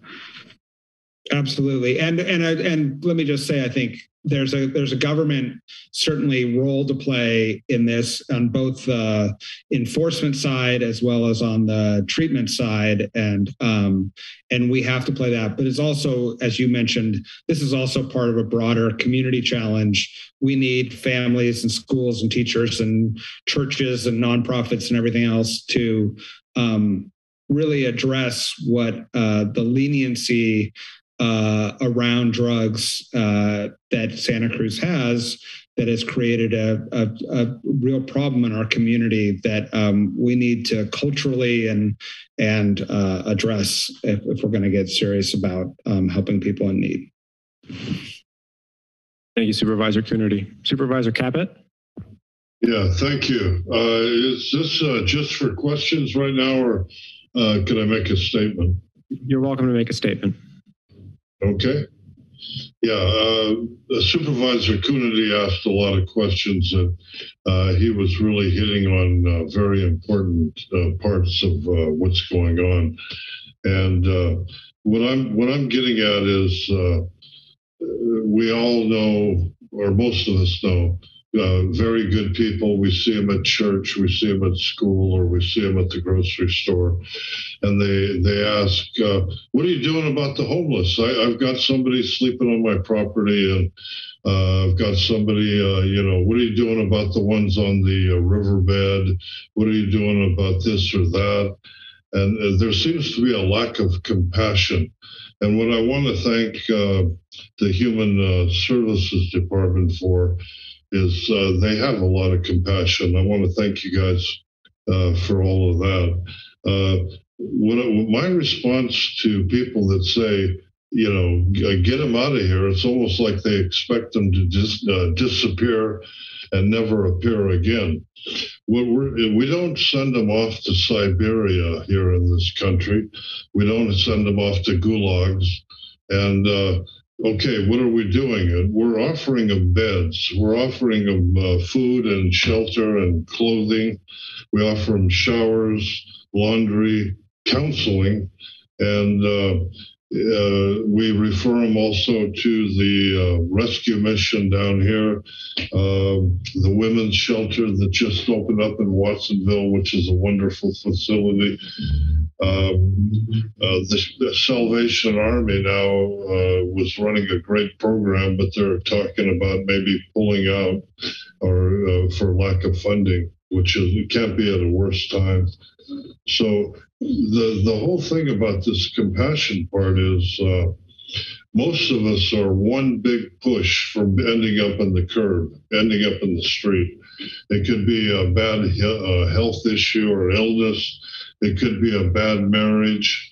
It could be a death of a loved one uh, or more. It could be addiction, like Supervisor Coonerty talked about.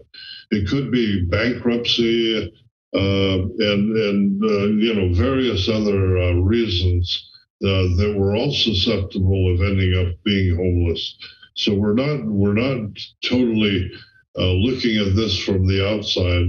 We're also looking at uh, what are we going to have if something happens to us. And uh, the one the thing that I worry about and what I really uh, really uh, care about are safety nets that we offer to the homeless is uh, I've got five kids, right? And uh, maybe I'm going to be able to last and uh, somehow survive everything. And uh, uh, we, my wife and I won't end up homeless, right? But how about all five of my kids? Are they going to all have a, a perfect marriage, or are they going to have an Ozzie, Ozzie and Harriet uh, family when they grow up, which is finding it's very hard to find. So uh, this safety nets that we're talking about and the compassion we're showing is actually uh, going to help uh, our children uh, or our grandchildren, for that matter. So uh, just keep doing up the great work you guys are doing with human services, and uh, keep showing that we do care and uh, we're trying our best and we're you know uh, we're trying to handle it. We need more help from the churches. We need more help from uh, the nonprofits and everybody. We're in this together. And uh, we're not only talking about the present time, but we're talking about uh, the future and the, uh, the next generation. So that's it. Sorry for the lecture. Thank you, Supervisor Caput. Are there questions or comments from I don't know if Zach to speak for, uh, yeah, I'd like to make a couple comments too. I can say that in my eight plus years on the County Board of Supervisors, um, I have never seen such you know, a detailed and comprehensive description of what we're facing and the scope of this issue, which is humongous, as you have stated. It's far fetched and it's going to take a community wide effort to uh, resolve it or sure, surely help um, get to some solutions. And, and many in this community are, are, really frustrated, as we know, with the lack of progress that's been made. And I think that's probably good say in about every community in California and probably throughout the nation. We're not the only ones. Uh, but for decades, the solutions um, put forward have been well intentioned and provided safety net services, but um, yet there's more people than ever that are falling before the, the cracks and uh, are homeless. And What's different about what you're presenting is that it clearly defines uh, the core contributing factors of um, which we're how we're linked. And uh, but the distinct and complicated one that we have to fit for each one of them to to make this whole thing work. Um, it's really the first time in my memory that the resource issue has been addressed so clearly. Um, as you might have remembered a couple years ago, uh, Director Morris, I said, let's get real of what we really can do uh, with what we have. And we just have seen their need is in the estimates of $77 million, and we've only got 47 million. So we've got what 2,500 homeless that are identified. And um, and, and, then there's a great number more that are just about ready to get there if we don't do something and keep them in a house. So um, I just think that this approach of what we're talking about, what you're talking about and presenting, is right on target. We've got to do what we can do to keep as many people that are just ready to get uh, lose their house to keep them there, and then go from there to uh, get more people in their houses. Um, we have a, a, very, very complicated situation here, as was mentioned. We have the highest house uh, house prices uh, comparatively in the state at and well, what fourth highest in the nation. It makes it very difficult. But to take this comprehensive community-wide approach is the right, right, way to go. And I really applaud you for getting us to where uh, we need to go and get us in that right direction, but also to give us a reality check uh, that we're not going to be able to serve each and every person that's homeless. We, we would do whatever we can with what we have, and we will because we have this good plan of attack. So I want to compliment you on, on presenting this and uh, getting a, a new path forward of how we're going to address this issue of housing in Santa Cruz County. Uh, I just want to take the minute, mindful I'm speaking to a statesman who spent a lot more of your career in elected office. Um, I'm at a point 30 years in my career. I have a, a couple of lessons learned that I hope apply to this moment that I want to share. Human services, and I'd say health as well, um, have a mandate to try to serve very vulnerable people in local communities. And I've seen this story play out many times, and I'm hoping it plays out here with this issue. The community is rightly so very, very frustrated. And 30 years in government, I've come to realize it's really hard for even somebody who's really plugged in to understand where do I point the finger? Is this the federal government's fault? Is this the state? Is this the county? Is this the city? I hope the materials for those who have time to read them illuminates it's actually all of it. But what my hope is, is when I look back at where public policy reform and government actually did a good job and intervened and moved a humanitarian crisis to significantly less, it often was because, like what we're doing here, and this is where my hope is, we actually have some good data. We're teasing things out. We're being realistic about expectation. I think taxpayers are willing to invest if they know it works. But right now, most communities don't have any confidence if they invest taxpayers' money, it's going to do anything because everyone's just pointing fingers. So I hope that this framework, the detailed reports we're giving, the honesty and the transparency, begin to show federal officials, state officials, you as our elected officials, our city councils, there is a pathway to solve this here's the resources needed, here's what we can do as a county, and here's what we need the federal and state governments to do, then we can get better organized where to apply pressure. Right now, nobody knows where to, and just everyone's yelling. so I am hopeful that we're at the beginnings of being more clear on what the issues are and what we need to do to solve them, and then we can work together on advocating where we need to advocate. I don't think many communities are in that place right now, but we're getting closer. So I hope those materials um, highlight we're trying to be very honest and transparent about what we see as staff a renewed focus, and it's good to, to see it. So thank you again. Thank you, Supervisor McPherson. Any other questions or comments from the board? Seeing none, we'll open it to the public. If you'd like to address us on this item, please uh, approach the podium.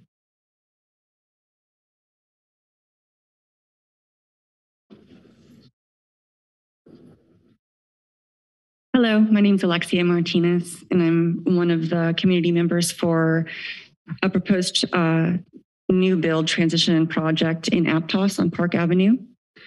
We as affordable housing advocates feel it would be a travesty if the property owner developer at this time, Novin, would be able to bypass the normal development review processes and bypass the normal environmental review processes by paying a fine to opt out of public funding requirements of AB 140, which was introduced in 2021 to provide timely and permanent transitional housing if there are no significant liquidated damages to prevent construction or delays, and there is not a significant penalty to opt out of the proposed transitional housing project, which is in favor, seems to be in favor of a market value project. The property owner and developer Novin would stand to make millions of dollars at taxpayers' expense. And this seems to be a predatory development. We look forward to your timely response to our concerns and these additional concerns and we continue to wait for you and Homekey to build an honest relationship with your community. However, as of today, the most pressing concern and question we do have is during this review process that's happening actively right now, there is no little, there is little to no history referring to the past EIRs and reasons for unapproved development over the past 20 to 30 years, because since my meeting with them, the development department Sheila and Joyce Drake from your principal for recent DRGs. February 28th at 9 a.m., I was confused about how the APN numbers lined up and was working with them to try and decipher how to read that.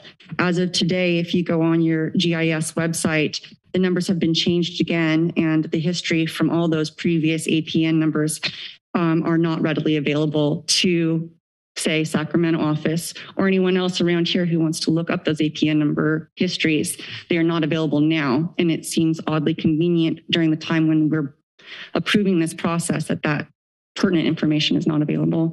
Why is that? Thank you, Ms. Martinez.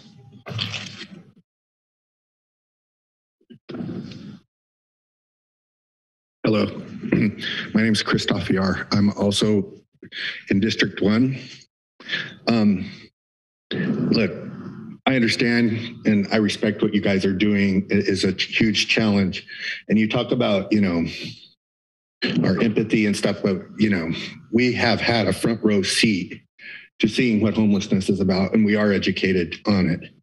Um, that really isn't what my concern is. I'm hearing all this and hearing about the affordable housing and stuff like that, but and it is a huge challenge. We live in a very expensive area to live here. Our area in particular is kind of semi-rural and a nice area, and we like it. There's a reason we chose to live there, not down here in Santa Cruz. Now that being said, uh, it appears like, for example, this project Homekey with Novin Development got really pushed through really quick.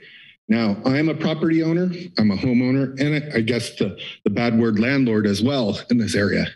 Um, and homelessness is kind of a bad word now. So unhoused is the new word, I guess, or whatever. But we don't think it's right what happened. You know, it, you know, there were numerous other concerns, environmental concerns, endangered species concerns, infrastructure concerns, the water. How the heck did they get access to water. Anybody that's tried to build in this county, anybody that's tried to just improve their own property, the people even just trying to rebuild their homes up from the CZU fire, they've gone through nightmares. And I'm talking, I went two years just to build an ADU unit and still headache. How did this guy Novin get pushed through so fast? Because you write homeless and COVID on an application and all of a sudden, boom. And now all the churches in our neighborhoods and anybody with any large property or businesses are getting approached with these developers because they found a green light ticket just to produce uh, like low income you know high density housing in our neighborhood. And you, and you say you don't think that affects our property values or the crime rate and all that really does. And that is not my concern. I'm not classist. Thank you mr you know, i'm just letting you know. You need to look out for us too, the, the people that actually live here and pay the taxes here and voted because it does matter. And you know what? I wake up at 3:30 in the morning and find my wife crying in the living room, upset because she's worried about what's happening in our neighborhood. Sir, you know, and I didn't get a chance to address you at the last one because she stormed out, upset, crying. Sir, I'm happy to talk to you later. Thank you. Is there anyone else here in the audience who would like to address us? Seeing none, is there anyone on the phones or Zoom? Yes, we have one, two speakers. Serg Kagno, your microphone is available. Hi, good afternoon. Um, can you hear me? Yes. Okay. Uh, my name's Serg Kagno. Um, I'm going to talk from a few of the different hats that I wear.